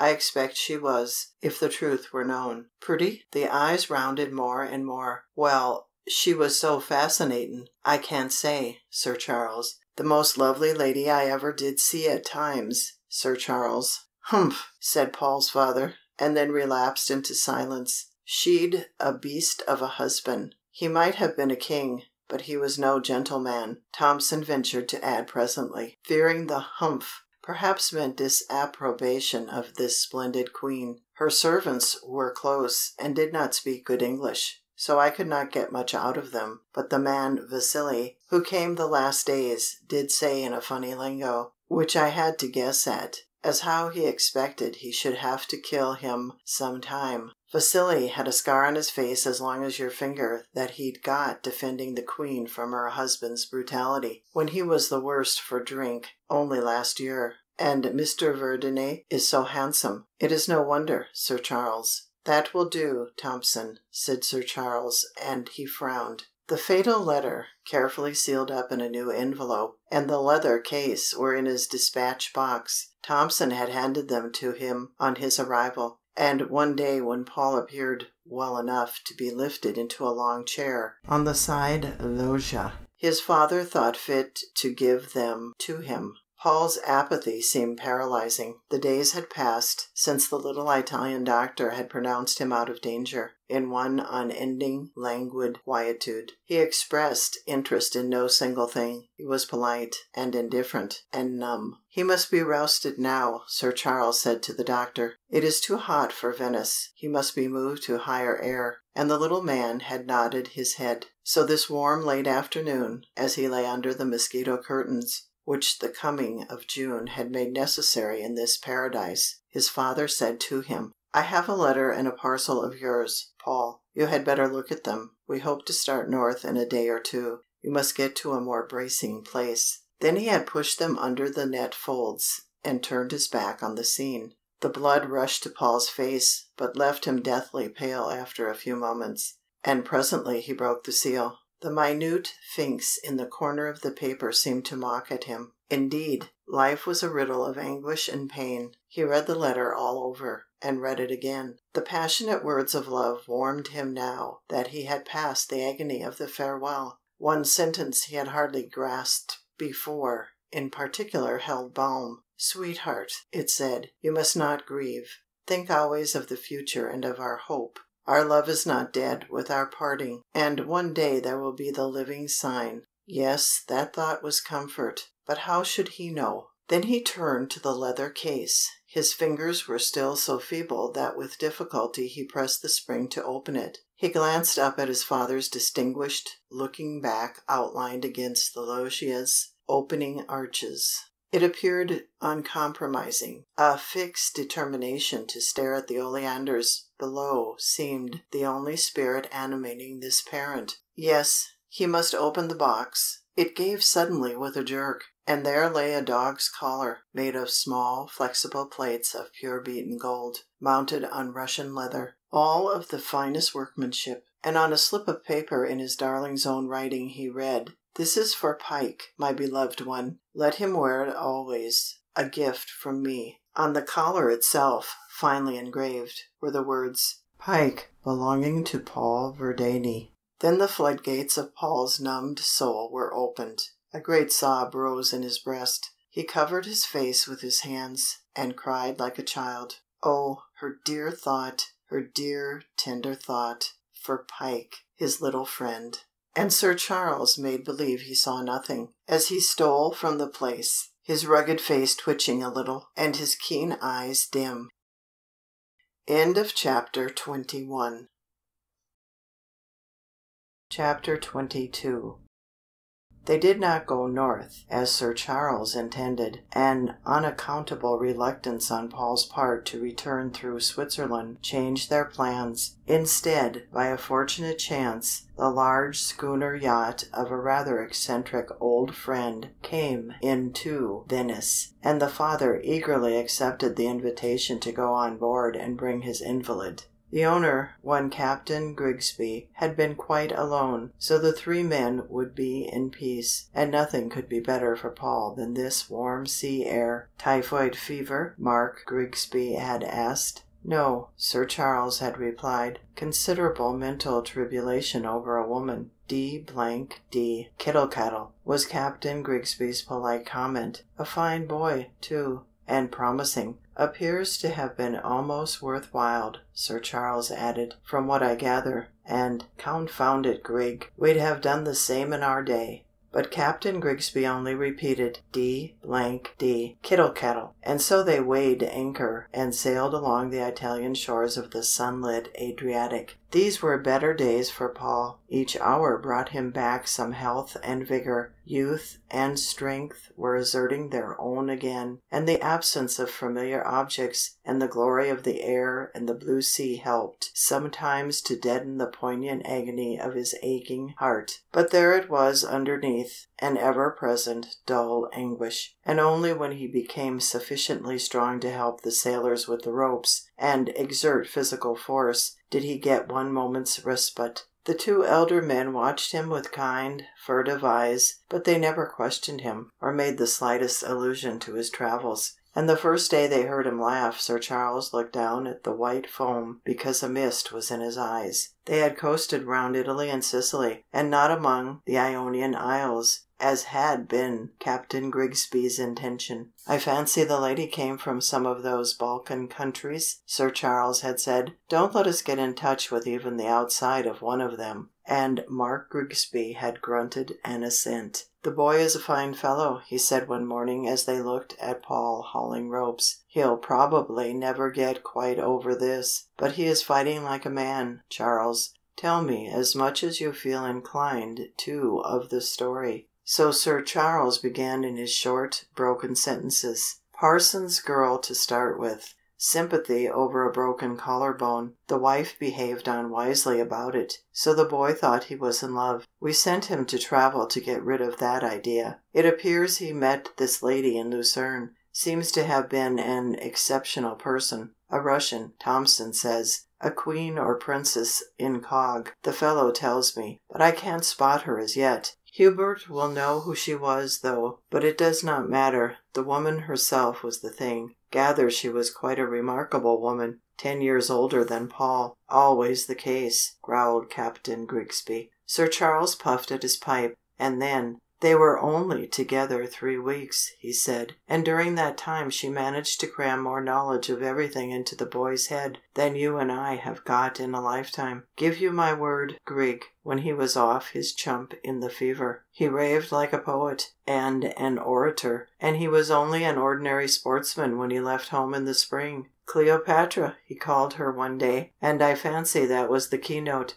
She must have been one of those exceptional women we read of in the sixth form. "And fortunately never met," said Captain Grigsby. "I don't know," mused Sir Charles. "It might have been good to live as wildly, even at the price. We've both been about the world, Grig, since the days we fastened on our cuirasses together for the first time, and each thought himself the devil of a fine fellow. But I rather doubt if we now know as much of what is really worth having as my boy there, just twenty three years old." "Nonsense!" snapped Captain Grigsby. But there was a tone of regret in his protest. "Lucky to have got off without a knife or a bullet through him. Dangerous nations to grapple with," he said. "Yes, I gather some pretty heavy menace was over their heads, and that is what made the lady decamp, so we've got much to be thankful for," agreed Sir Charles. "Had she any children?" the other asked. "Thompson says no. Rotten fellow the husband, it appears, and no heir to the throne, or principality, or whatever it is. So when I have had a talk with Hubert Henrietta's brother, you know, the one in the diplomatic service it will be easy to locate her gathered Paul doesn't know himself. Pretty romance, anyway. And what will you do with the boy now, Charles?" Paul's father puffed quite a long while at his meerschaum before he answered, and then his voice was gruffer than ever with tenderness suppressed. "Give him his head, Grig," he said. "He's true blue underneath, and he'll come up to the collar in time, old friend. Only I have to keep his mother's love from harrying him. Best and greatest lady in the world, my wife, but she's rather apt to jog the bridle now and then." At this moment Paul joined them. His paleness showed less than usual beneath the sunburn, and his eyes seemed almost bright. A wave of thankful gladness filled his father's heart. "Thank God!" he said, below his breath. "Thank God!" The weather had been perfection, hardly a drop of rain, and just the gentlest breezes to waft them slowly along a suitable soothing idle life for one who had but lately been near death. And each day Paul's strength returned, until his father began to hope they might still be home for his birthday, the last day of July. They had crept up the coast of Italy now, when an absolute calm fell upon them, and just opposite the temple of Paestum they decided to anchor for the night. For the last evenings, as the moon had grown larger, Paul had been strangely restless. It seemed as if he preferred to tire himself out with unnecessary rope pulling, and then retire to his berth the moment that dinner was over, rather than go on deck. His face, too, which had been controlled as a mask until now, wore a look of haunting anguish which was grievous to see. He ate his dinner, or rather pretended to play with the food, in absolute silence. Uneasiness overcame Sir Charles, and he glanced at his old friend; but Paul, after lighting a cigar, and letting it out once or twice, rose, and murmuring something about the heat, went up on deck. It was the night of the full moon eight weeks exactly since the joy of life had finished for him. He felt he could not bear even the two kindly gentlemen whose unspoken sympathy he knew was his. He could not bear anything human. To night, at least, he must be alone with his grief. All nature was in a mood divine. They were close enough inshore to see the splendid temples clearly with the naked eye. The sky and the sea were of the color only the Mediterranean knows. It was hot and still, and the moon in her pure magnificence cast her never ending spell. Not a sound of the faintest ripple met his ear. The sailors supped below. All was silent. On one side the vast sea, on the other the shore, with this masterpiece of man's genius, the temple of the great god Poseidon, in this vanished settlement of the old Greeks. How marvellously beautiful it all was, and how his queen would have loved it. How she would have told him its history and woven round it the spirit of the past until his living eyes could almost have seen the priests and the people, and heard their worshipping prayers. His darling had spoken of it once, he remembered, and had told him it was a place they must see. He recollected her very words. We must look at it first in the winter from the shore, my Paul, and see those splendid proportions outlined against the sky, so noble and so perfectly balanced. And then we must see it from the sea, with the background of the olive hills. It is ever silent and deserted and calm, and death lurks there after the month of March. A cruel malaria which we must not face, dear love. But if we could, we ought to see it from a yacht in safety in the summer time, and then the spell would fall upon us, and we would know it was true that rose trees really grew there, which gave the world their blossoms twice a year. That was the legend of the Greeks. Well, he was seeing it from a yacht. But ah, God, seeing it alone, alone, and where was she? So intense and vivid was his remembrance of her that he could feel her presence near. If he turned his head, he felt he should see her standing beside him, her strange eyes full of love. The very perfume of her seemed to fill the air, her golden voice to whisper in his ear, her soul to mingle with his soul. Ah, yes, in spirit, as she had said, they would never be parted more. A suppressed moan of anguish escaped his lips, and his father, who had come silently behind him, put his hand on his arm. "My poor boy," he said, his gruff voice hoarse in his throat, "if only to God I could do something for you." "Oh, father," said Paul, and the two men looked in each other's eyes, and knew each other as never before. End of chapter XXIII CHAPTER XXIII Next day there was a fresh breeze, and they scudded before it on to Naples. Here Paul seemed well enough to take train, and so arrive in England in time for his birthday. He owed this to his mother, he and his father both felt. She had been looking forward to it for so long, as at the time of his coming of age the festivities had been interrupted by the sudden death of his maternal grandfather, and the people had all been promised a continuance of them on this, his twenty third birthday, so, taking the journey by sufficiently easy stages, sleeping three nights on the way, they calculated to arrive on the eve of the event. The Lady Henrietta would have everything in readiness for them, and her darling Paul was not to be over hurried. Only guests of the most congenial kind had been invited, and such a number of nice girls. The prospect was perfectly delightful, and ought to cause any young man pure joy. It was with a heart as heavy as lead Paul mounted the broad steps of his ancestral home that summer evening, and was folded in his mother's arms. The guests were all fortunately dressing for dinner. Captain Grigsby had been persuaded to abandon his yacht and accompany them too. "Yes, I'll come, Charles," he said, "getting too confoundedly hot in these seas. Besides, the boy will want more than one to see him through among those cackling women." So the three had travelled together through Italy and France. Switzerland had been strictly avoided. "Paul, darling!" His mother exclaimed, in a voice of pained surprise, as she stood back and looked at him. "But surely you have been very ill, my darling, darling son." "I told you he had had a sharp attack of fever, Henrietta," interrupted Sir Charles quickly, "and no one looks their best after travelling in this grilling weather. Let the boy get to his bath, and you will see a different person." But his mother's loving eyes were not to be deceived.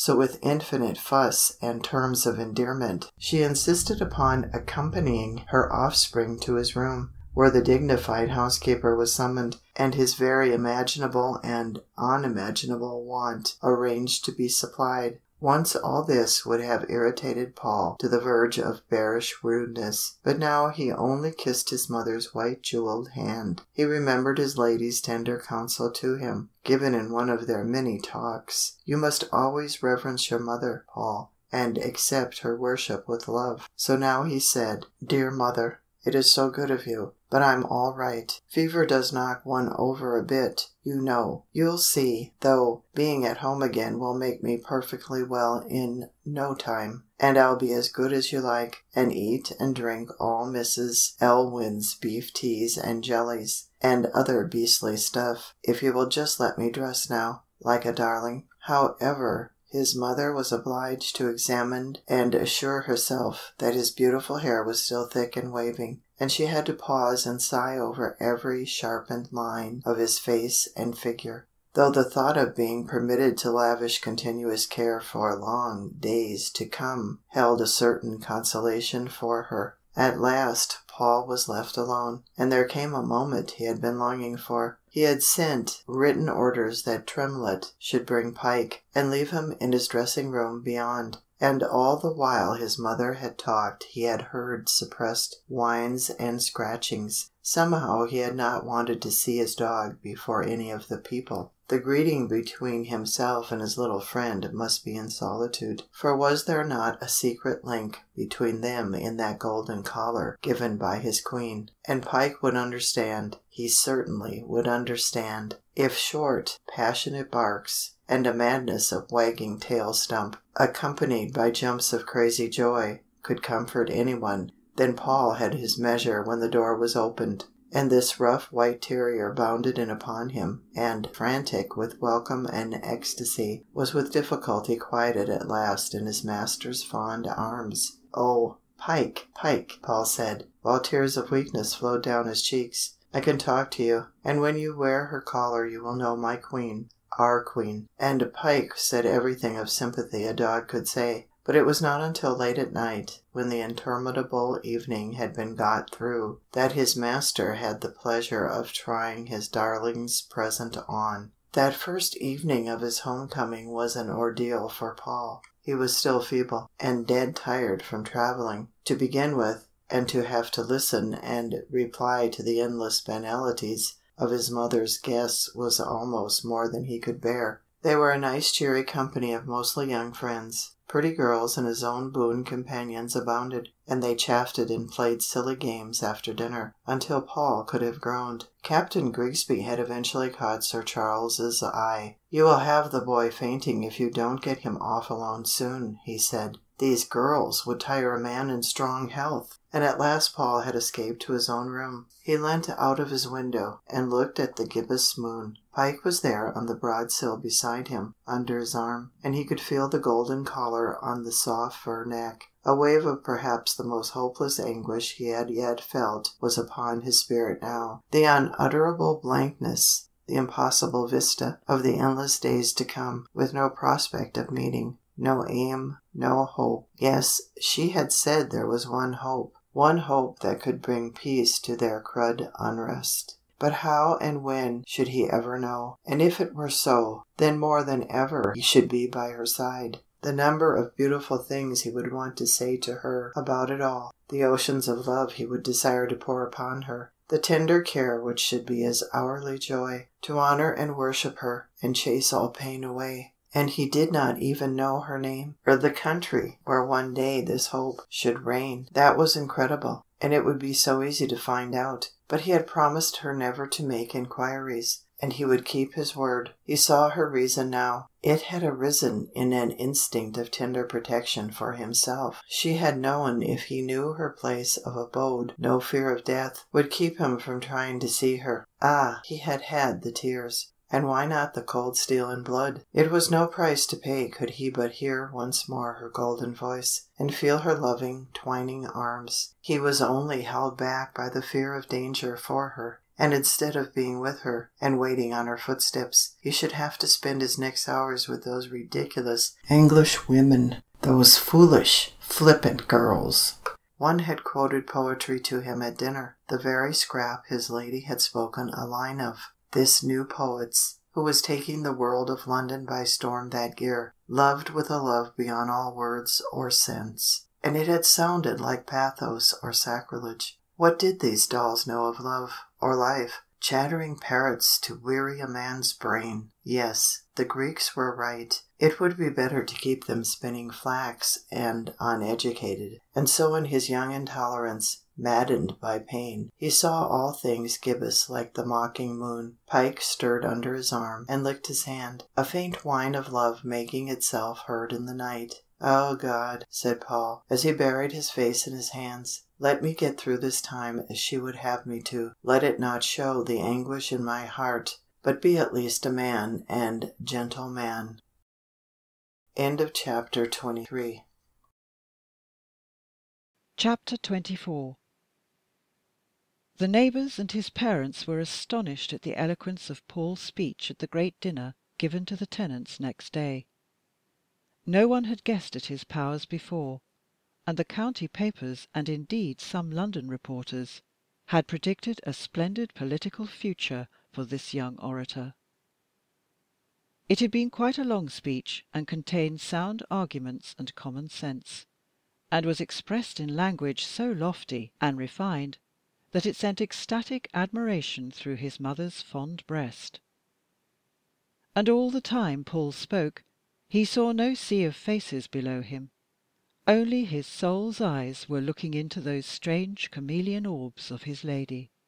He said every word as if she had been there, and at the end it almost seemed she must have heard him, so soft a peace fell on his spirit. Yes, she would have been pleased with her lover, he knew, and that held large grains of consolation. And so these days passed in well accomplished duty, and at last all the festivities were over, and he could rest. Captain Grigsby and his father had helped him whenever they could, and an eternal bond of friendship was cemented between the three. "By Jove, Charles, you ought to be thundering proud of that boy," Captain Grigsby said the morning of his departure for Scotland on August the tenth. "He's come up to the scratch like a hero, and whatever the damage, the lady must have been well worth while to turn him out polished like that. Gad, Charles, I'd take a month's journey to see her myself." And Paul's father grunted with satisfaction as he said, "I told you so."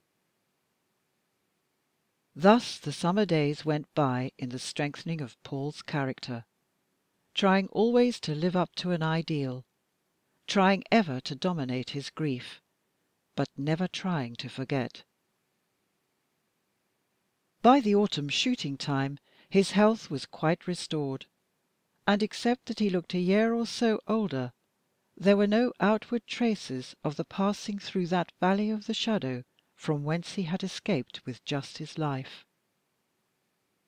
But the three weeks of his lady's influence had changed the inner man beyond all recognition. His spirit was stamped with her nameless distinction, and all the vistas she had opened for him to the tree of knowledge he now followed up. No smallest incident of his day seemed unconnected with some thought or wish of hers, so that in truth she still guided and moulded him by the power of her great soul. But in spite of all these things, the weeks and months held hours of aching longing and increasing anxiety to know how she fared.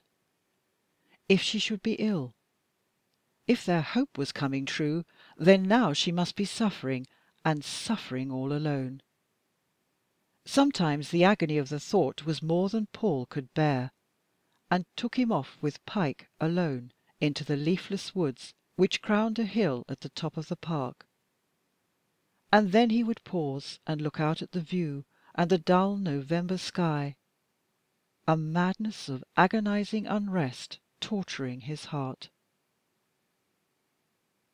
The one thing he felt glad of was the absence of his Uncle Hubert, who had been made Minister in a South American Republic, and would not return to England for more than a year. So there would be no temptation to question him, or perchance to hear one of his clever, evil jests which might contain some allusion to his lady. Lord Hubert Aldringham was fond of boasting of his royal acquaintances and was of a mind that found not even Lancelot brave, nor Galahad clean. Now all Paul could do was to wait and hope. At least his Queen had his address; she could write to him, even though he could not write to her, and surely, surely some news of her must come. Thus the winter arrived and the hunting hunting that he had been sure was what he liked best in all the world. And now it just served to pass the time and distract some hours from the anguishing ache by its physical pleasure. But in that, as in everything he did at this time, Paul tried to outshine his fellows and gain one more laurel to lay at the feet of his Queen. Socially he was having an immense success. He began to be known as someone worth listening to by men, and women hung on his words. It was peculiarly delightful to find so young and beautiful a creature with all the knowledge and fascinating cachet of a man of the world. And then his complete indifference to them piqued and allured them still more. Always polite and chivalrous, but as aloof as a mountain top. Paul had no small vanity to be soothed by their worship into forgetting for one moment his Queen. So his shooting visits passed, and his experience of life grew. Isabella had returned at Christmas engaged to a High Church curate, and beaming with satisfaction and health, and it gave Paul, and indeed them both, pleasure to meet and talk for an hour. She was a good sort always, and if he marvelled to himself how he had even been even mildly attracted by her, he did not let it appear in his manner. But one thing jarred. "My goodness, Paul, how smart Pike's collar is!" Isabella had said. "Did you ever? You extravagant boy! It is good enough for a lady's bracelet. You had better give it to me. It will make the finest wedding gift I'll have." But Paul had snatched Pike up, the blood burning in his cheeks, and had laughed awkwardly, and turned the conversation. No one's fingers but his own were ever allowed to touch the sacred gold. About this time his mother began to have the idea he ought really to marry. His father had been thirty at the time of his wedding with herself, and she had always thought that was starting too late. Twenty three was a good age, and a sweet, gentle wife of Paul's would be the joy of her declining years, to say nothing of several grandchildren. But when this matter was broached to him first, Paul laughed, and when it became a daily subject of conversation he almost lost that quick temper of his, which was not quite yet under control. "I tell you what it is, mother," he said, "if you tease me like this, I shall go away on a voyage round the world." So the Lady Henrietta subsided into pained silence, and sulked with her adored son for more than a day. "Paul is so unaccountably changed since his visit abroad," she said to her husband plaintively. "I sometimes wonder, Charles, if we really know all the people he met."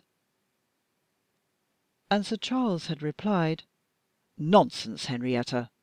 The lad is a man now, and immensely improved. Do leave him in peace." But when he was alone the father had smiled to himself rather sadly, for he saw a good deal with his shrewd eyes, though he said no words of sympathy to his son. He knew that Paul was suffering still, perhaps as keenly as ever, and he honoured his determination to keep it all from view. So the old year died, and the new one came, and soon February would be here. Oh! With what passionate anxiety the end of that month was awaited by Paul, only his own heart knew. End of Chapter 24 Chapter 25 The days passed on. March had almost come, and Paul heard nothing. His father noticed the daily look of strain, and his mother anxiously inquired if he were dull, and if he would not like her to have some people to stay, and thus divert him in some fashion. And Paul had answered with what grace he could. An intense temptation came over him to read all the court news. He longed to pick up the ladies' papers he saw in his mother's sitting room. Such journals, he knew, delighted to publish the doings of royal lives. But the stern self control which now he practised in all the ruling of his life prevented him. No, He had promised never to investigate, and neither in the letter nor the spirit would he break his word, whatever the suffering. The news, when it came, must be from his beloved one direct. But oh, the unrest of these hours! Had their hope come true? And how was she? The days passed in annoying anxiety. He was so restless he could hardly fix his attention on anything. It required the whole of his will to keep him taking in the sense of the Parliamentary books which were now his study. The constant query would raise its head between each page "What news of my Queen? What news of my Queen?" Each mail as it came in made his heart beat, and often his hand trembled as he lifted his pile of letters. But no sight of her writing gladdened his eyes, until he began to be like the sea with its tides, rising twice a day in a rushing hope with the posts, and sinking again in disappointment. He grew to look haggard, and his father's heart ached for him in silence. At length, one morning, when he had almost trained himself not to glance at his correspondence, which came as he was dawdling over an early breakfast, his eye caught a foreign looking letter lying on the top. It was no hand he knew, but something told him it contained a message from his Queen. He dominated himself. He would not even look at the postmark until he was away up in his own room. No eye but Pike's must see his joy, or sorrow and disappointment. And so the letter burnt in his pocket until his sanctum was reached, and then with agonized impatience he opened the envelope. Within was another, of the familiar paper he knew. And oh, thank God, addressed in pencil in his lady's own hand. Inside it contained an enclosure, but the sheet was blank.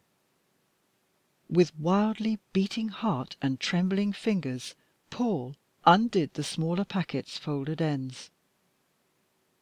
And there the morning sunbeams fell on a tiny curl of hair, of that peculiar nondescript shade of infant fairness which later would turn to gold. It was less than an inch long, and of the fineness of down, while in tender care it had been tied with a thread of blue silk. Written on the paper underneath were the words "Beloved, he is so strong and fair, thy son born the 19th of February." For a moment Paul closed his eyes, and as once before a choir of seraphims was singing in his ears. Then he looked at this minute lock again, and touched it with his forefinger. The strangest emotion he had ever known quivered through his being the concentrated sensation of what he used to feel when his lady had spoken of their hope a weird, tremulous physical thrill.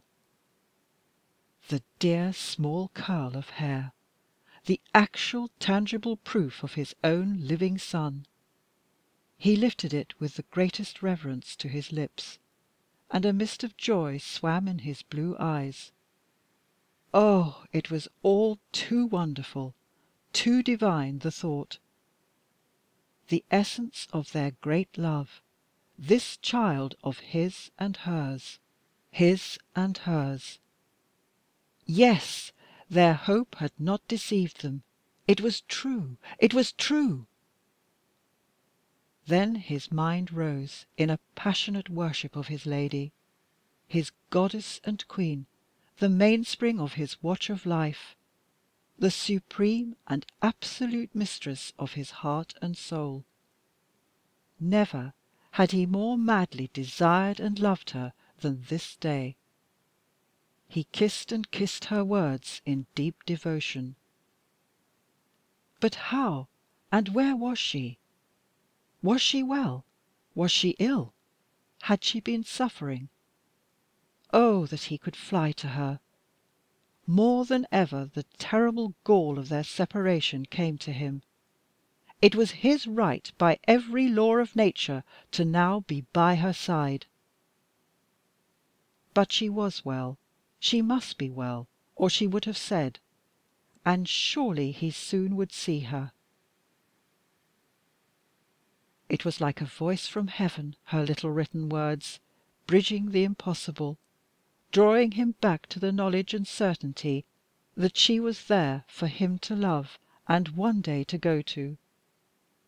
Fate could never be so unjust as to part him from the mother of his child.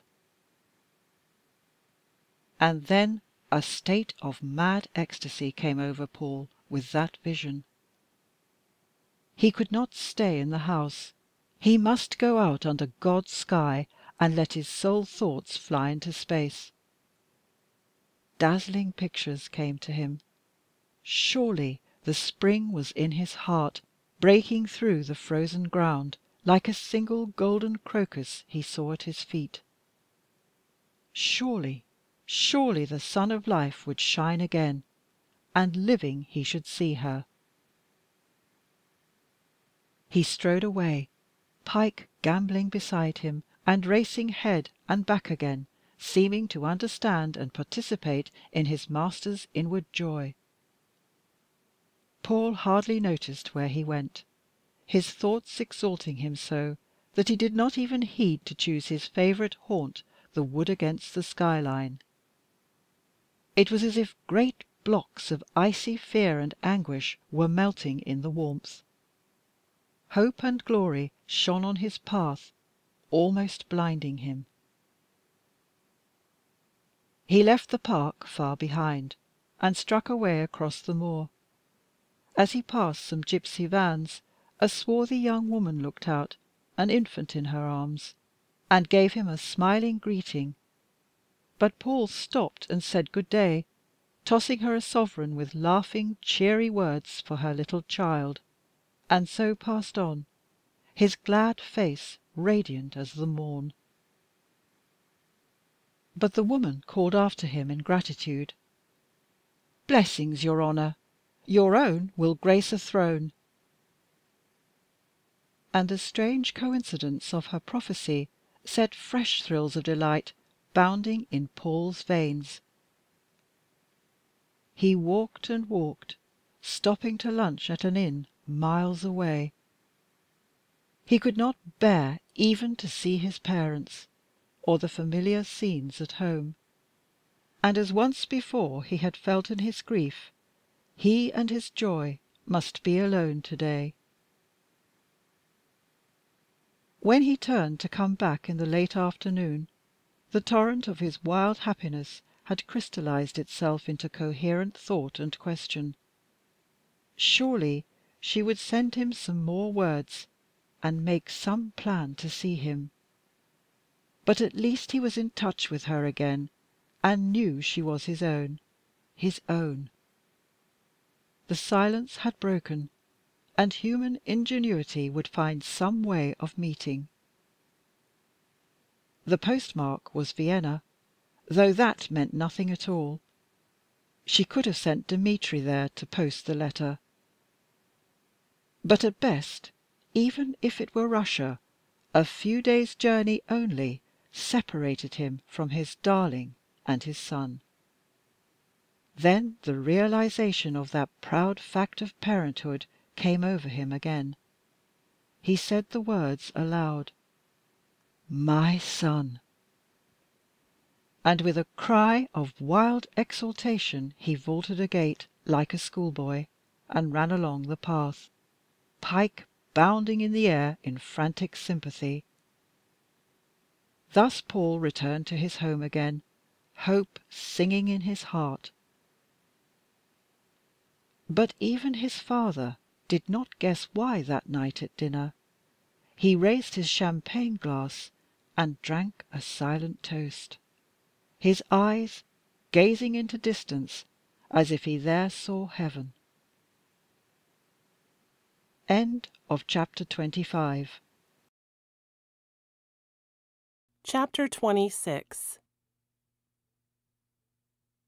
Chapter 26 Of course, as the days went by the sparkle of Paul's joy subsided. An infinite unrest took its place, a continual mad desire for further news. Supposing she were ill, his darling one? Many times a day he read her words. The pencil writing was certainly feeble and shaky. Supposing but he refused to face any terrible picture. The letter had come on the second of March. His son had been eleven days old then, two days and a half to Vienna. That brought it to eight when the letter was posted. And from whence had it come there? If he allowed two days more, say, she must have written it only five or six days after the baby's birth. Paul knew very little about such things, though he understood vaguely that a woman might possibly be very ill even after then. But surely, if so, Anna or Dmitry would have told him on their own initiative. This thought comforted him a little, but still anxiety, like a sleuth hound, pursued his every moment. He would not leave home. London saw him not even for a day. Some word might come in his absence, some message or summons to go to her, and he would not chance being out of its reach. More than ever, all their three weeks of happiness was lived over again. Every word she had said had sunk forever in his memory. And away in his solitary walks or his rides home from hunting in the dusk of the afternoon, he let them echo in his heart.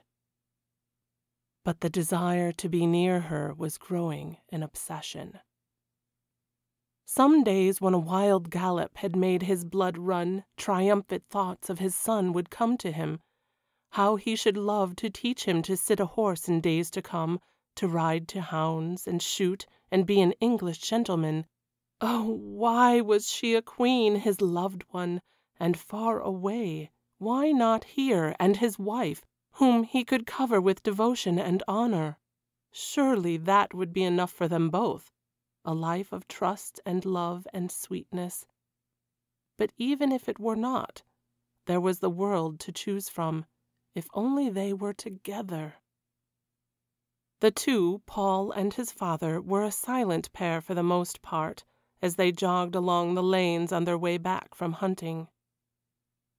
One afternoon, when this sense of parenthood was strong upon Paul, he went into tea in his mother's sitting room and as he leant upon the mantelpiece his tall, splendid figure in its scarlet coat outlined against the bright blaze, his eye took in, perhaps for the first time, the immense number of portraits of himself which decorated this apartment himself in every stage, from infantile days upward, through the toy rocking horse period to the real dog companion, in Eton collars and Fourth of June hats in cricketing flannels and Oxford Bullingdon groups, and then not so many until one taken last year. How young it looked and smiling! There was one particular miniature of him in the holy of holiest positions in the center of the writing table, a real work of art, well painted on ivory. It was mounted in a frame of fine pearls, and engraved with the name and date at the back Paul Verdayne, aged five years and three months. It was a full length picture of him standing next a great chair, in a blue velvet suit and a lace turn over collar, while curls of brightest gold fell rippling to his neck rather short, bunchy curls which evidently would not be repressed. Was I ever like that, mother? he said and the Lady Henrietta, only too enchanted to expand upon this enthralling subject, launched forth on a full description. Like it, of course, only much more beautiful. No child had ever had such golden curls, or such eyes or eyelashes. No child had ever, in fact, been able to compare with him in any way, or ever would. The Lady Henrietta's delicate shell tinted cheeks flushed rose with joy at the recollection. Darling mother, said Paul, as he kissed her, how you loved me, and how cold I have often been. Forgive me. Then he was silent while she fondled him in peace. his thoughts turning as ever to his lady. She, too, probably would be foolish and tender and sweet over her son. And how his mother would love her grandchild! Oh, how cruel, how cruel was fate! Then he asked, "Mother, does it take women a long time to get well when they have children? Ladies, I mean, who are finely nurtured? They generally get well, though, don't they? And it is quite simple and the Lady Henrietta blushed as she answered, "Oh, yes, quite simple, unless some complications occur. Of course, there is always a faint danger, and then it is so well worth it. What a strange thing to ask, though, dear boy! Were you thinking of Cousin Agatha?" "Cousin Agatha," said Paul vaguely, and then recollected himself. "Oh, yes, of course. How is she?" But when he went off to his room to change, his mother's words stayed with him, "unless some complications occur," and the thought opened a fresh field of anxious wonderment. At last it all seemed unbearable. A wild idea of rushing off to Vienna came to him to rush there on the clue of a postmark but common sense put this aside. It might be the means of just missing some message. No, he must bear things and wait.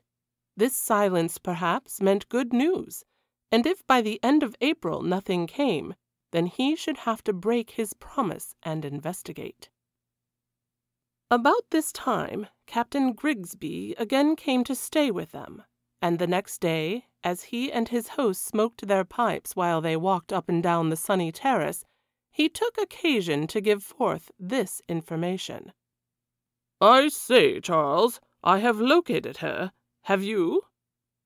"No, by Jove!" said Paul's father. "Hubert is away, you know, and I have just let the thing slide." "About the end of February did you notice the boy looking at all worried?" Sir Charles thought a moment. "Yes, I recollect damned worried and restless, and he is again now." "Ah, I thought so," said Mark Grigsby, as though he could say a good deal more.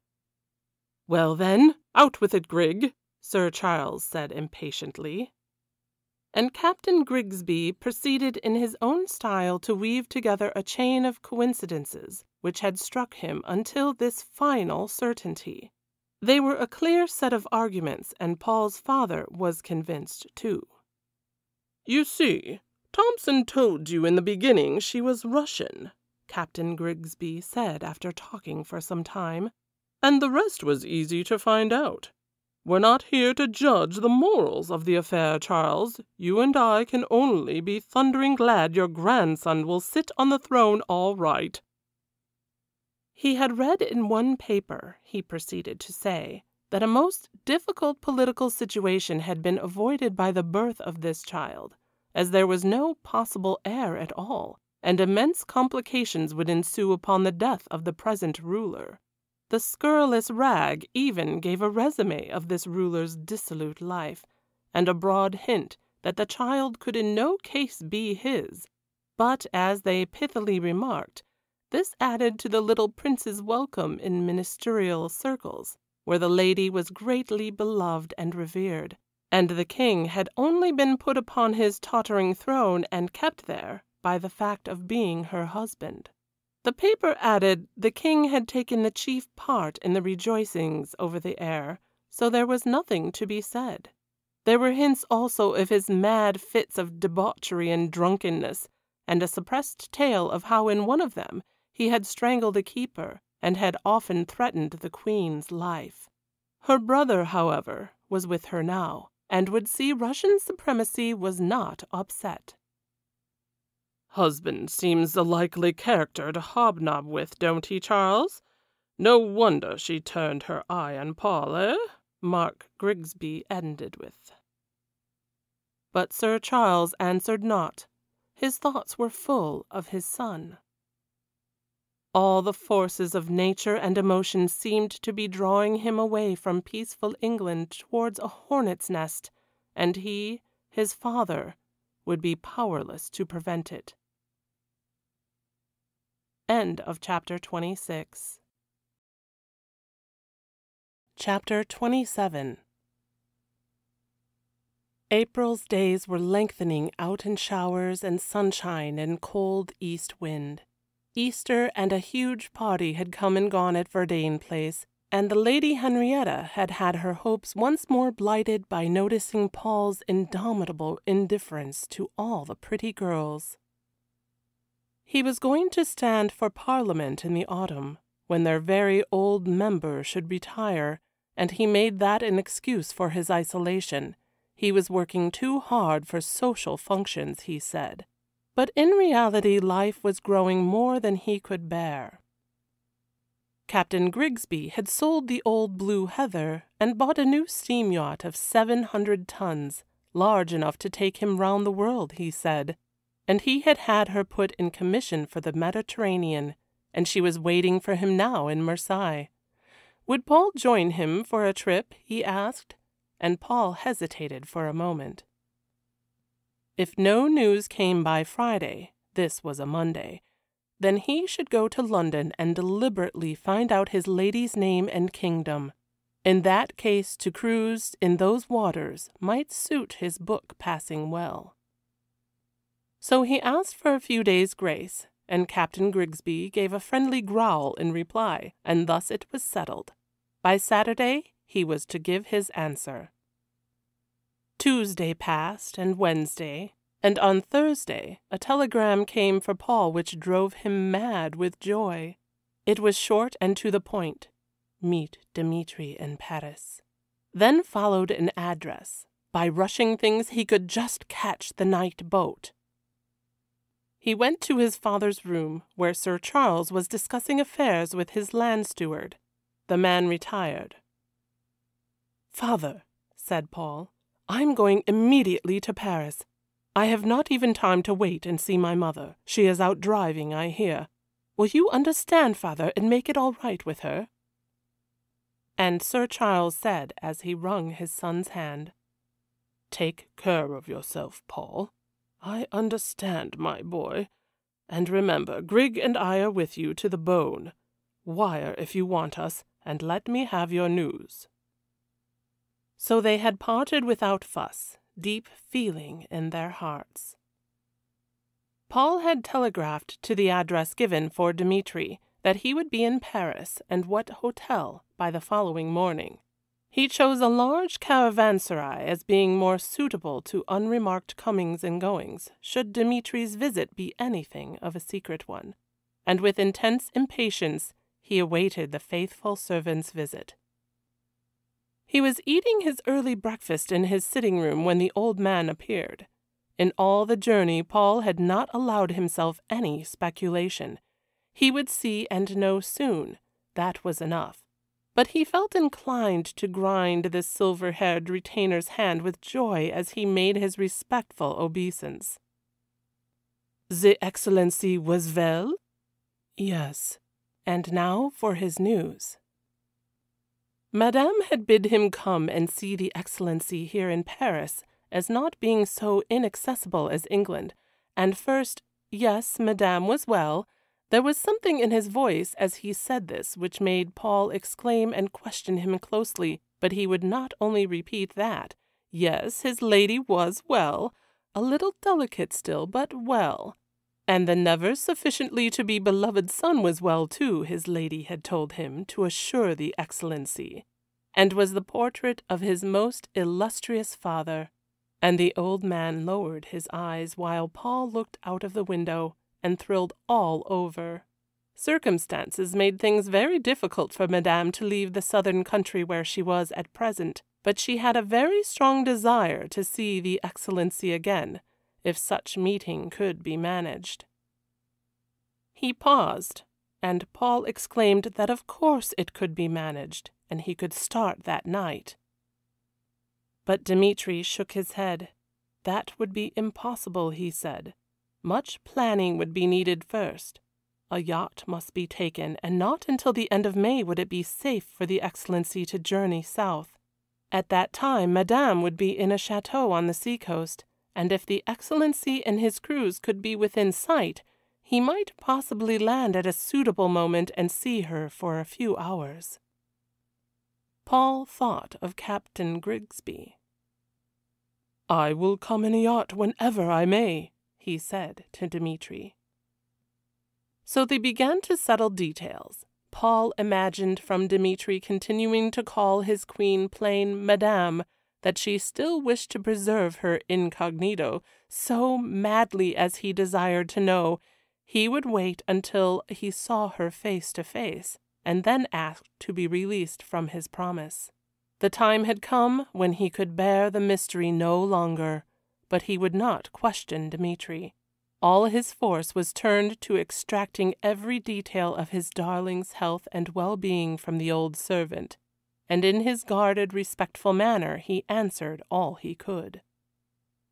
His lady had indeed been very ill, Paul gathered, at death's door. Ah, oh, this was terrible to hear, but lately she was mending rapidly, only she had been too ill to plan or make any arrangements to see him. How all this made his heart ache. Something had told him his passionate anxiety had not been without cause. Dmitry continued, Madame's life was not a happy one the Excellency must know, and the difficulties surrounding her had become formidable once or twice. However, the brother of Madame was with her now, and had been made guardian of her son, so things were peaceful, and the cause of all her trouble would not dare to menace further.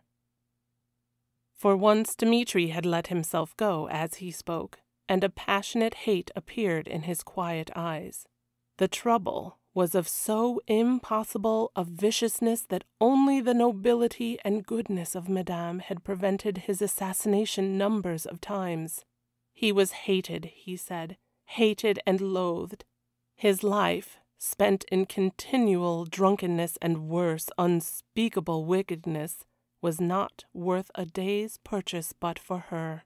The son of Madame would be loved forever for her sake, so the Excellency need not fear for that, and Madame's brother was there and would see all was well. Then Paul asked Dmitry if his lady had been aware that he had been ill in Venice, and he heard that, yes, indeed, she had kept herself informed of all his movements, and had even sent Vasili back on learning of his danger, and was on the point of throwing all prudence to the winds and returning herself. Oh, Madame had greatly suffered in the past year, the old man said, but she was more beautiful than ever, and of the gentleness of an angel, taking continuous pleasure in her little son. Indeed, Anna had said this was her only joy, to caress the illustrious infant and call him Paul. Such name he had been christened, after a great uncle. And again Dmitry lowered his eyes, and again Paul looked out of the window and thrilled. Paul! She had called him Paul, their son. It touched him to the heart.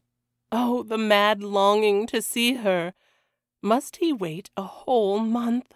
Yes, Dmitry said there was no use his coming before the 28th of May, for reasons which he could not explain connected with the to be hated troublesome one. Every detail was then arranged, and Dmitry was to send Paul maps and a chart and the exact description and name of the place where the yacht was to lie. The whole thing would take some time, even if they were to depart tomorrow. The yacht is at Marseilles now, Paul said, and we shall start on the cruise next week. Let me have every last instruction poste restante at Constantinople and for God's sake send me news to Naples on the way. Dmitry promised everything, and then, as he made his obeisance to go, he slipped a letter into Paul's hand. Madame had bidden him give the Excellency this when they had talked, and all was settled. He would leave again that night, and his present address would find him till six o'clock if the Excellency had aught to send in return. And then he backed out with deep bows, and Paul stood there clasping his letter, a sudden spring of wild joy in his heart. And what a letter it was! The very soul of his loved one expressed in her own quaint words. First she told him that now she expected he knew who she was, and as they were to meet again, which in the beginning she feared might never be, all reason for her incognito was over. Then she told him, to make sure he knew, her name and kingdom. But, sweetheart, she added, remember this. My proudest titles ever are to be thy loved one and the mother of thy son. Here Paul kissed the words, madly thrilling with pride and worship. She spoke of her still undying love and of her anguishing sorrow all the winter at their separation, and at length the joy of their little one's arrival. Thy image, my Paul, English and beautiful, as I said he would be, not black and white like me. And, oh, beloved, thou must always increase thy knowledge of statesmancraft to help me to train him well. Then she made a glorious picture of their child's future, and Paul lay back in his chair and closed his eyes the brightness of it all dazzled him, while his heart flew to her in passionate adoration. She went on to speak of their possible meeting. Her villa was but two hundred yards from the sea, only he must follow exactly all Dmitry's instructions, or there might be danger for them both. But at all costs she could not live much longer without seeing her lover. Thou art more than a lover now, my Paul, and I am more than ever thine. Thus it ended, and Paul spent most of the rest of his day reading and re-reading it, and writing his worshipping answer. By night, both he and Dmitry had started on their homeward journeys. End of chapter 27 Chapter 28 The Lady Henrietta was desolated when Paul and his father announced their intention of taking a month or six weeks' cruise with Captain Grigsby. So unnecessary, she said, at this time of the year, almost the beginning of May, when England was really getting most enjoyable, and they were obliged to pacify her as best they could. The Mediterranean, such miles off, and so eccentric, too, starting when other people would be leaving. Really, she had never ceased regretting ever having tolerated her son's travels the year before. Since then, there had been no certainty in any of his movements. Darling mother, said Paul, I must see the world and Sir Charles had snorted and chuckled, as was his habit. So they sailed away from Marseilles, this party of three, like a gunboat under sealed orders. A cruise to the Greek Isles and beyond was what they said attracted them. Especially the beyond, Captain Grigsby had added, with a grunt to Sir Charles. And if the ardor of love and impatience boiled in Paul's veins, the spirit of interested adventure animated his old friend and his parent. They had not spoken much on the subject to the young man.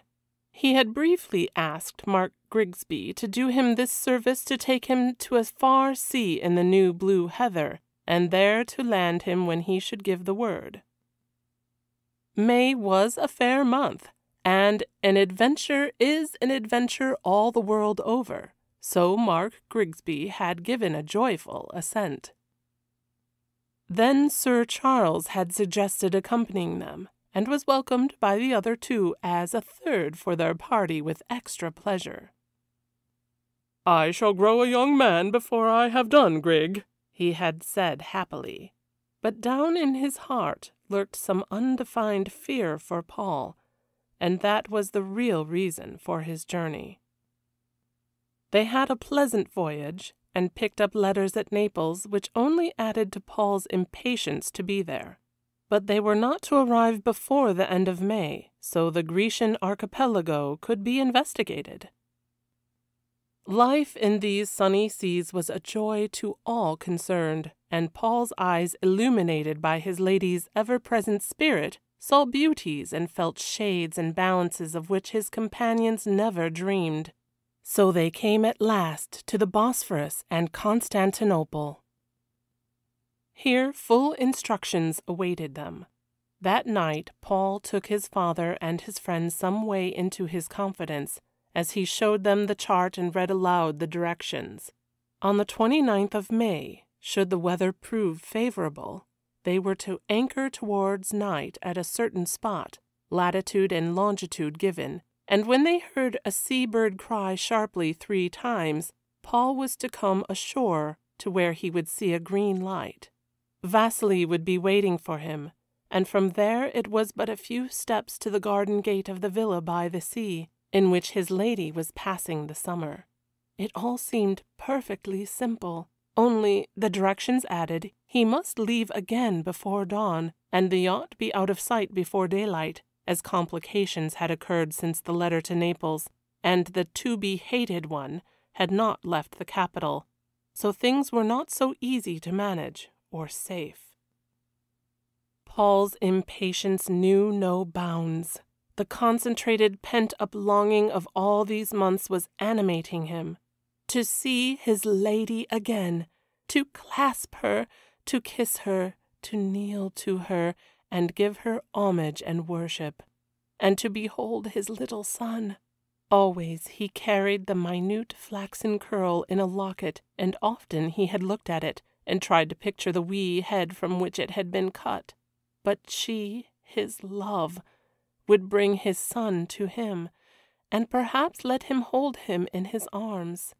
Ah, he shut his eyes and imagined the tender scene. Would she be changed? Should he see the traces of suffering? But he would caress all memory of pain away, and surely this meeting would only be the forerunner of others to come. Fate could never intend such deep, true love as theirs to be apart. An exultation uplifted him, and if his lady were a queen and wore a crown, he felt himself the greatest king on earth, for was not he the absolute ruler of her heart? And who could wish for a more glorious kingdom? The hours from Constantinople seemed longer than the whole voyage. He could hardly keep his attention to talk coherently about ordinary things at meals, and his father and Mark Grigsby left him practically alone. At last, at last, the 29th of May dawned, boiling hot and cloudlessly fair. For obvious reasons, they stayed beyond sight of the coast until darkness fell, and then came close inshore. It was a starlit night, with not a breath of air, and no moon would illuminate their whereabouts. Paul dressed with the greatest care. Never had he been more particular over his toilet. Thompson found him exigent. He had broadened and filled out in the past year, and his fair face was tanned and blooming with health and excitement the best looking young devil a woman's eye could light on, Mark Grigsby said, as he and Sir Charles watched him descend the gangway to the boat, when the impatiently awaited signal had been given. God keep him safe, Grig, was all Sir Charles could mutter, with a grunt in his throat. The maddest excitement was racing through Paul as he held the tiller ropes and made straight for the light and once he felt in his pocket to assure himself he had not forgotten Dmitry's pistol, which he had cleaned and loaded himself that afternoon. He knew this adventure might be a dangerous one, simple as it looked superficially, and now he was an expert revolver shot, thanks to constant practice. The light proved to be in a little sheltered cove with a small landing stage. And yes, the man who held it was the Kalmuk, Vasili. Welcome, welcome to the Syaztsevo, he whispered, as he kissed Paul's hand. And then, in perfect silence, they began to ascend a path. Presently it stopped abruptly.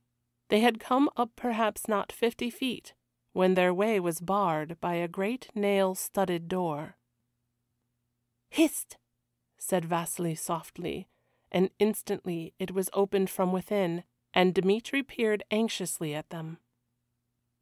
Ah, the saints be blessed! The Excellency is safe, he said. But they must not delay a minute, he added. The Excellency must return to the waiting boat. A slight but unexpected ill fortune had befallen them, connected with the to be execrated troublesome one, and it would not be safe for the Imperial Highness if the Excellency should land tonight. She had sent him to say that the Excellency was to keep out at sea for two days and return steaming past, and if he saw a white flag flying from the villa roof, then at night he was to anchor and come ashore at this same time. If not, for the moment he must go on back to Constantinople, where news and further instructions would be sent him. As he spoke, Dmitry indicated the return path and bid the Excellency follow him and hasten, hasten. This was a terrible blow to Paul, but the thought that he might bring danger to his beloved one made him not hesitate a moment. They descended the path in silence. As he stepped into the boat, the old servant whispered, The Imperial Highness had bid him assure the Excellency that all was well the meeting was only deferred when they should have several days together in safety. The saints protect the Excellency, the faithful creature added. Then, when Paul was safely in the boat, he stood back to make sharply three times the sea bird's cry. The weird minor notes floating out on the night seemed a wailing echo of the agonized disappointment in Paul's heart. More than once a mad impulse to go back convulsed his being before he reached the yacht, but it was not till afterwards that he remembered as a strange circumstance the fact that with Dmitry's first words at the nail studded door, Vasily had vanished into darkness. End of chapter 28. Chapter 29 the two days out at sea were a raging impatience to Paul, in which he learnt to understand all the torments of Tantalus, to know and feel her near, and yet not be allowed to get to her. It was an impossible cruelty. The two grey headed men's hearts ached for him, and Captain Grigsby delivered himself of this aphorism Say what you will, Charles, but youth pays the devil of a long price for its pleasures. Here you and I snored like a couple of porpoises all last night, while the boy paced the deck and cursed everything. And Sir Charles had only grunted, for he was feeling very deeply for his son.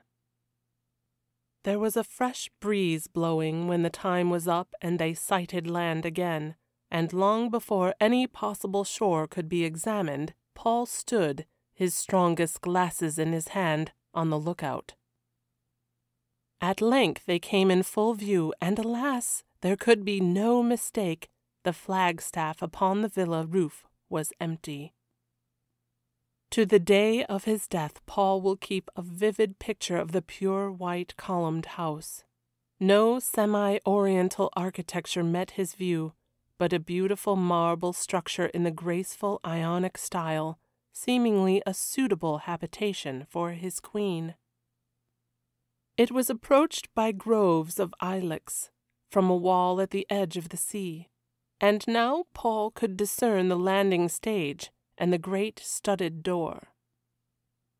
A sensation of foreboding, a wild, mad anxiety filled his being. What had happened? Why might he not land? Then for the first time that fact of Vasily's vanishment came into his mind. Was there something sinister in it? Had he scented any danger to his queen and gone to sea? A whirlwind of questions and frenzied speculation shook Paul's brain. but there was nothing to be done now but to cram on all steam and make for Constantinople. He looked again. The green jalousies were lowered over the windows, all seemed peaceful, silent, and deserted. No living being wandered in the gardens. It might have been a mausoleum for the dead. And as this thought came to him, Paul almost cried aloud. Then he dominated himself. How weak and intolerably foolish to imagine evil where perhaps none was! Why should his thoughts fly to terrible reasons for the postponement of his joy, when in truth they could as well be of the simplest? A sudden call to the city, a descent of some undesirable spying eye, a hundred and one possible things all much more likely than any ones of fear. He would not permit another moment of wonder. He would regain his calm and wait like a man for certainty. Thus his face wore an iron mask, and his thoughts an iron band. And presently they came to Constantinople. But of what followed afterwards it is difficult to write, for fate struck Paul on that warm June morning and blasted his life so that for many days he only saw red and lived in hell. Everyone knows the story which at the time convulsed Europe how a certain evil living king, after a wild orgy of mad drunkenness, rode out with two boon companions to the villa of his queen, and there, forcing an entrance, ran a dagger through her heart before her faithful servants could protect her. And most people were glad, too, that this brute paid the penalty of his crime by his own death, his worthless life choked out of him by the Queen's devoted Kalmuck groom. But only Paul and his father and Mark Grigsby know the details, which were told in Dmitry's heartbroken letter. How that night, the 29th of May, at the hour the Excellency was expected, he, Dmitry, was waiting in the garden to meet him and conduct him through the gloom, when while he stood there under the stars, the Imperial Highness had called him softly, telling him to take the message down to the Excellency, which he did. How he had never dreamed that immediate danger threatened her, or that the king was there, or he would not have left her for any peril to the Excellency, who was after all a man and could fight. And how Vasili, being younger and more quick of wit, had suspected, hearing his message as he gave it to the Excellency, that all was not well, and had hastened to the house, too late to save his queen. And then the faithful servant took up Anna's tale. How this good girl had been watching on the side of the villa towards the town, and had heard the king come battering at the gate. How she had flown to warn her mistress, but that the Imperatorskaya had sent her back to watch, saying she herself would call Dmitry to protect them. Of course, as they now guessed, on purpose that Anna should not hear her message to him, as the queen knew full well if he, Dmitry, heard from Anna the king was there, and she, the queen, in danger, he would not leave her even to do her bidding. Then of how the king had thrust the frightened servants aside and strode with threats and oaths into the hall, accompanied by his two vile men. And how Anna had implored the queen to hide while there was yet time. But how that shining one had stood only listening intently for the sea bird's cry, and then when she heard it, had turned in triumph to the entering king, saying to Anna that nothing mattered now the Excellency was safe. On her face, as she looked at this monster, was no dread of death, or aught but scorn and fearless pride. How Anna, seeing the dagger, had screamed and tried to get between, but had been seized by one of the execrated men, and there been forced to watch the murder of her worshipped queen. Ah, that had been a moment the saints could never efface. The splendid lady had stood quite still, her head thrown back, while this hound of hell had lurched towards her, hissing through his evil teeth this dreadful sentence Since thou hast last obeyed me and found me an heir, making the people love me, I have no more use for thee. It will be a joy to kill thee.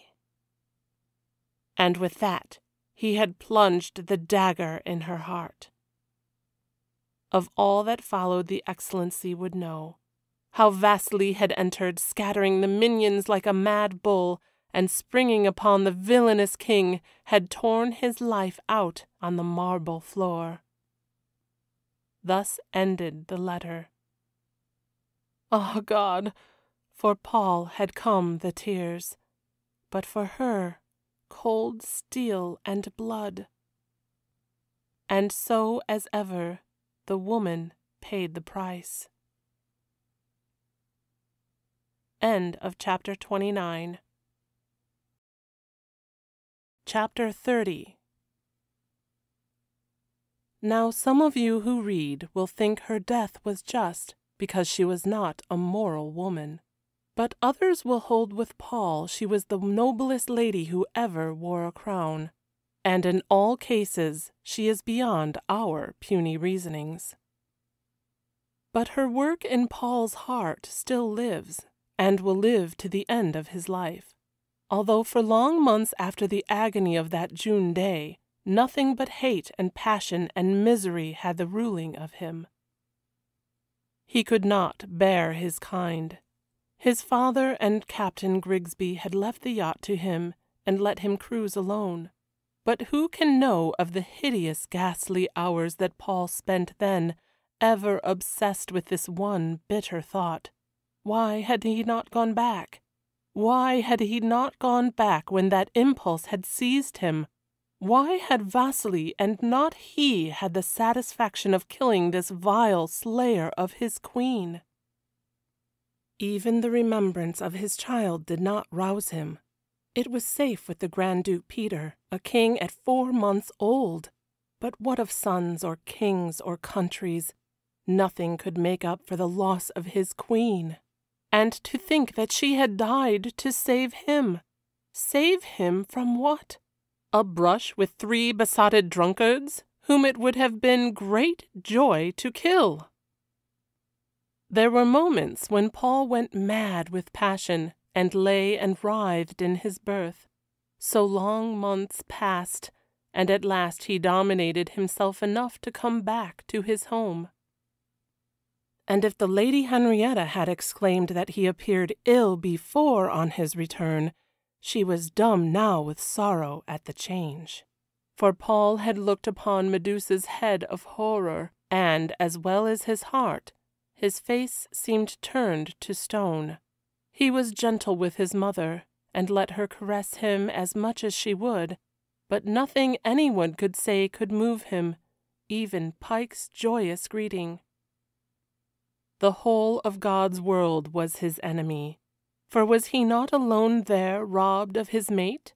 Presently the reaction from this violence came as an intense apathy set in a saltless, tasteless existence.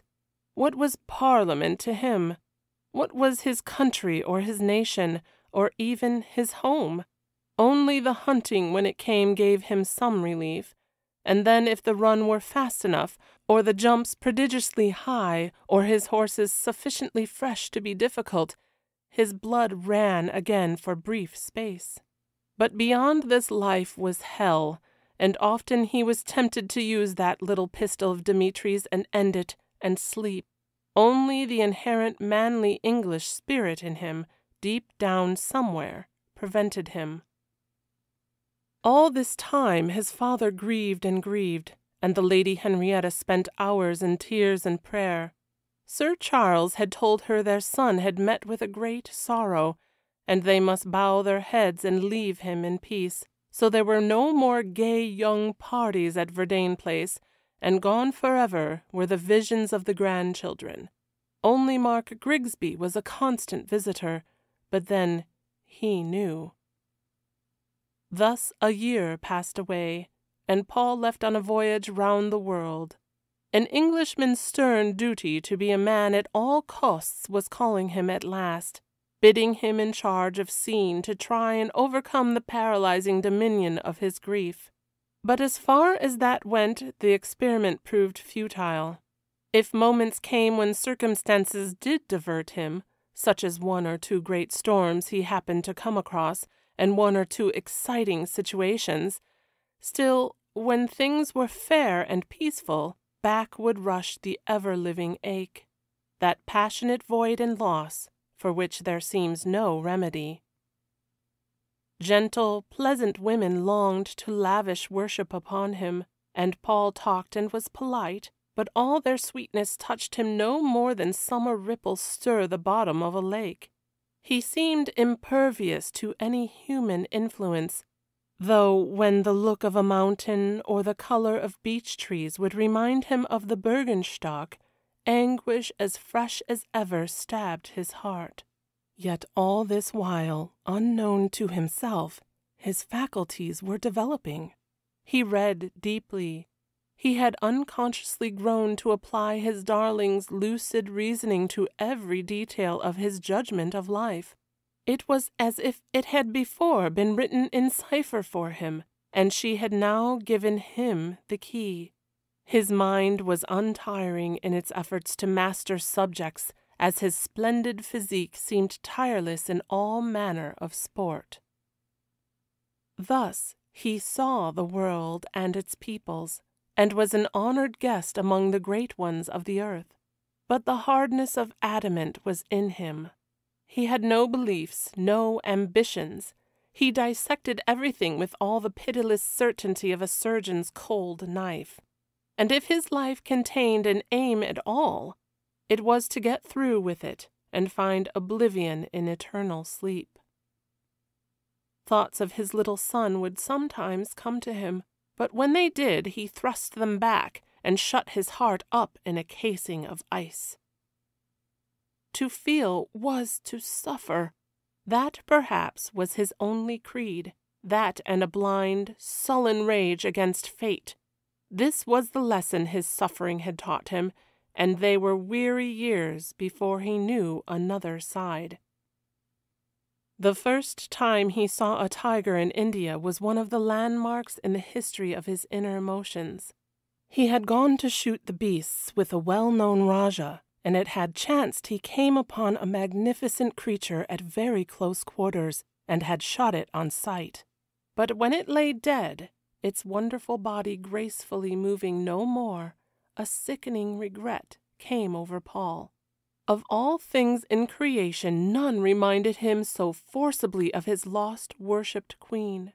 In a flash came back to him the first day she had lain on the skin which had been his gift.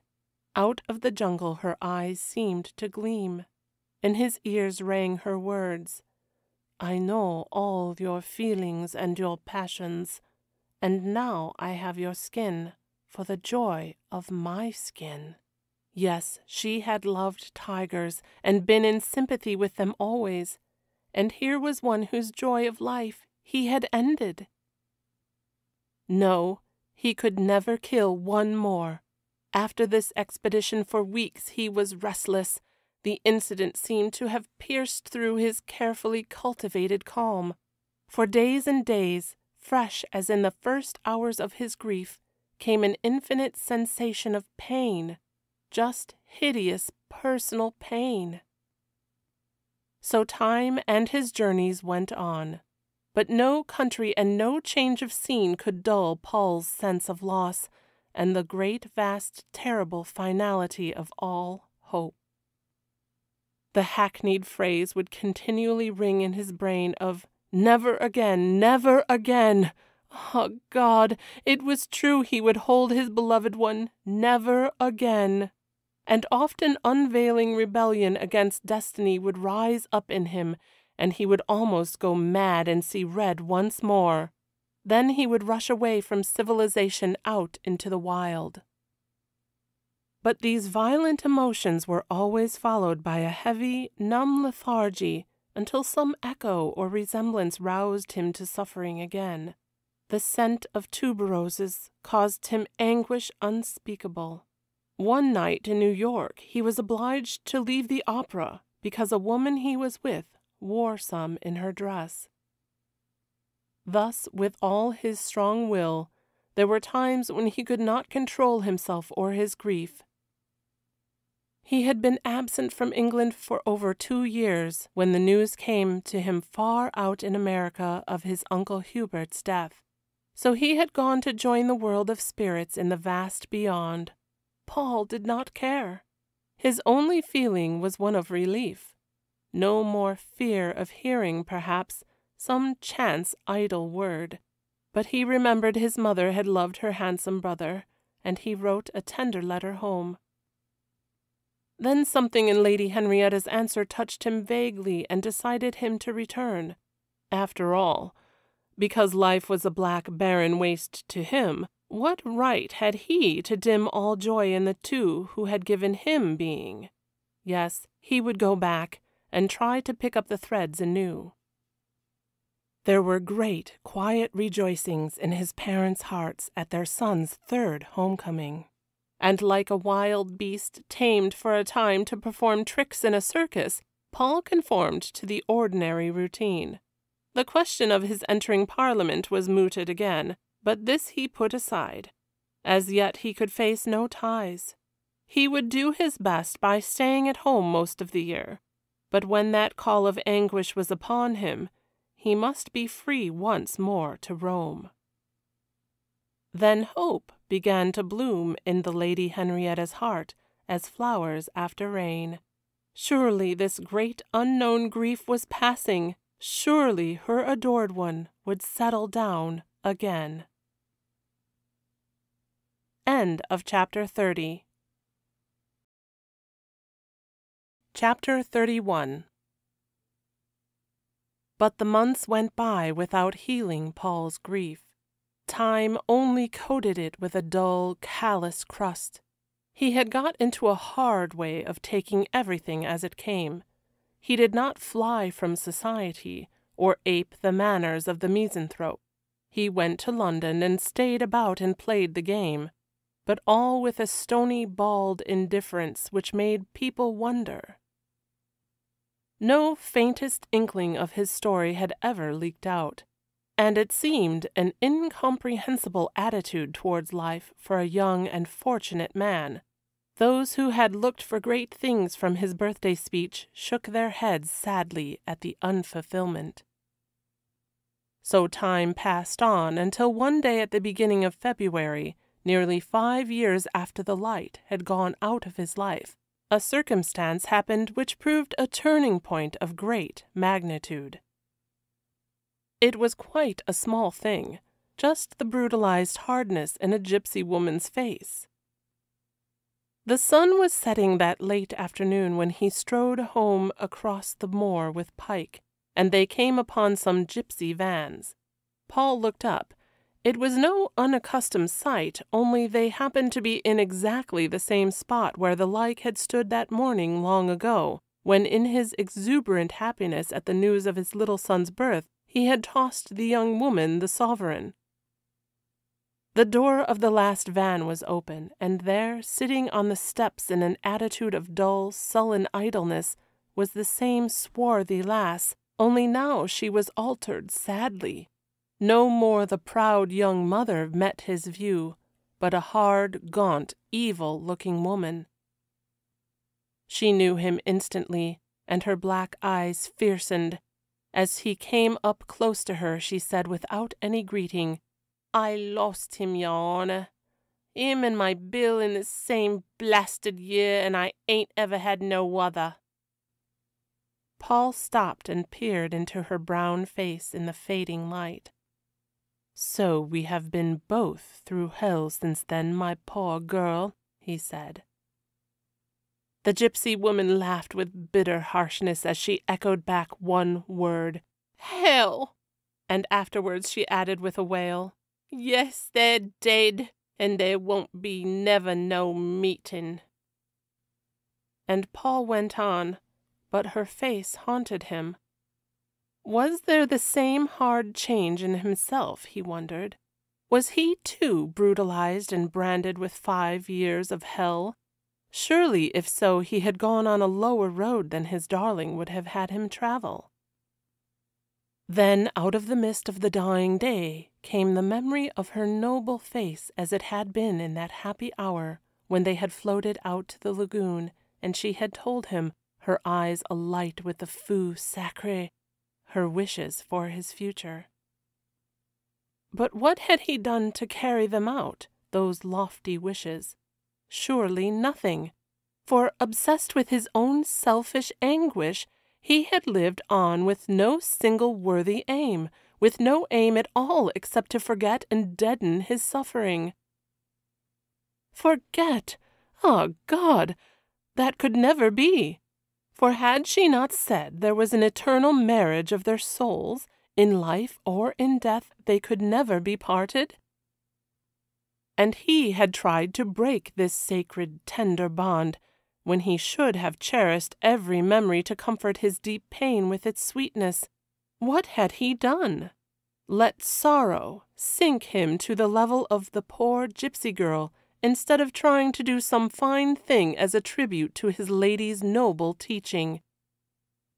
He strode on in the dusk towards his home, his thoughts lashing him with shame and remorse. And that night, when he and Pike were alone in his own panelled room, he broke the seal of those beautiful letters which, with directions for them to be buried with his body at his death, had lain in a packet hidden away from sight all these years, frighted with agonized memory. He read them over carefully, from the first brief note to the last long cry of love which Dmitry had brought him to Paris. Then he lay back in his chair while his strong frame shook with sobs, and his eyes were blinded by scorching bitter tears. But suddenly it seemed as if his lady's spirit stood beside him in the firelight flickering gleam, whispering words of hope pleading to come back from the cold grave to his heart, there to abide and comfort him. He heard her golden voice once more, and it fell like soft, healing rain, so that he stretched out his arms and cried aloud, My darling, beloved one, forgive me for these five wasted years. Sweetheart, come back to me never to part again.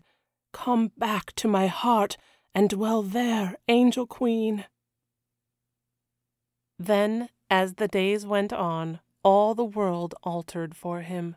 Instead of the terrible bitterness against fate which had ruled his heart, a new tenderness grew there. It seemed now as though he were never alone, but lived in her ever present memory. And with this golden change came thoughts of his child, that little life neglected for so long. What had he done? What cruel, terrible thing had he done in his selfish pain? Each year Dmitry had sent him a letter of news, and each year that day had held ghastly hours for him in the reopening of old anguish. The missive to be read and quickly thrust out of sight, the thought of it to be strangled and forgotten. And now the little one would soon be five years old, and his father's living eyes had never seen him. But this should no more be so, and he wrote at once to Dmitry. By return of post came the answer. The Excellency indeed would be welcome. The Regent, the Grand Duke Peter, had bidden him say that if the Excellency should be travelling for pleasure, as the nobility of his country often did, he would gladly be received by the Regent, who was himself a great chasseur and voyageur. The Excellency would then see the never to be sufficiently beloved baby king. Of this glorious child he, Dmitry, found it difficult to write. It was as if the Imperatorskoye breathed again in his spirit, while he was the portrait of his illustrious father, proving how deeply and well the Imperatorskoye must have loved that father. If the Excellency could arrive in time for the Majesty's fifth birthday on the 19th of February, there was to be a special ceremony in the great church which the Regent thought might be of interest to the Excellency. Paul wired back he would travel night and day to be in time, and he instructed Dmitry to have the necessary arrangements made that he might go straight to the church, in case unforeseen delay should not permit him to arrive until that morning. It was in a shaft of sunlight from the great altar window that Paul first saw his son. The tiny, upright figure in its blue velvet suit, heavily trimmed with sable, standing there proudly. A fair, rosy cheeked, golden haired English child, the living reality of that miniature painted on ivory and framed in fine pearls, which made the holy of holies on Lady Henrietta's writing table. And as he gazed at his little son, while the organ pealed out a Te Deum, and the sweet choir sang, a great rush of tenderness filled Paul's heart, and melted forever the icebergs of grief and pain. And as he knelt there, watching their child, it seemed as if his darling stood beside him, telling him that he must look up and thank God too, for in her spirit's constant love, and this glory of their son, he would one day find rest and consolation. End of chapter 31. End of Three Weeks by Elinor Glyn.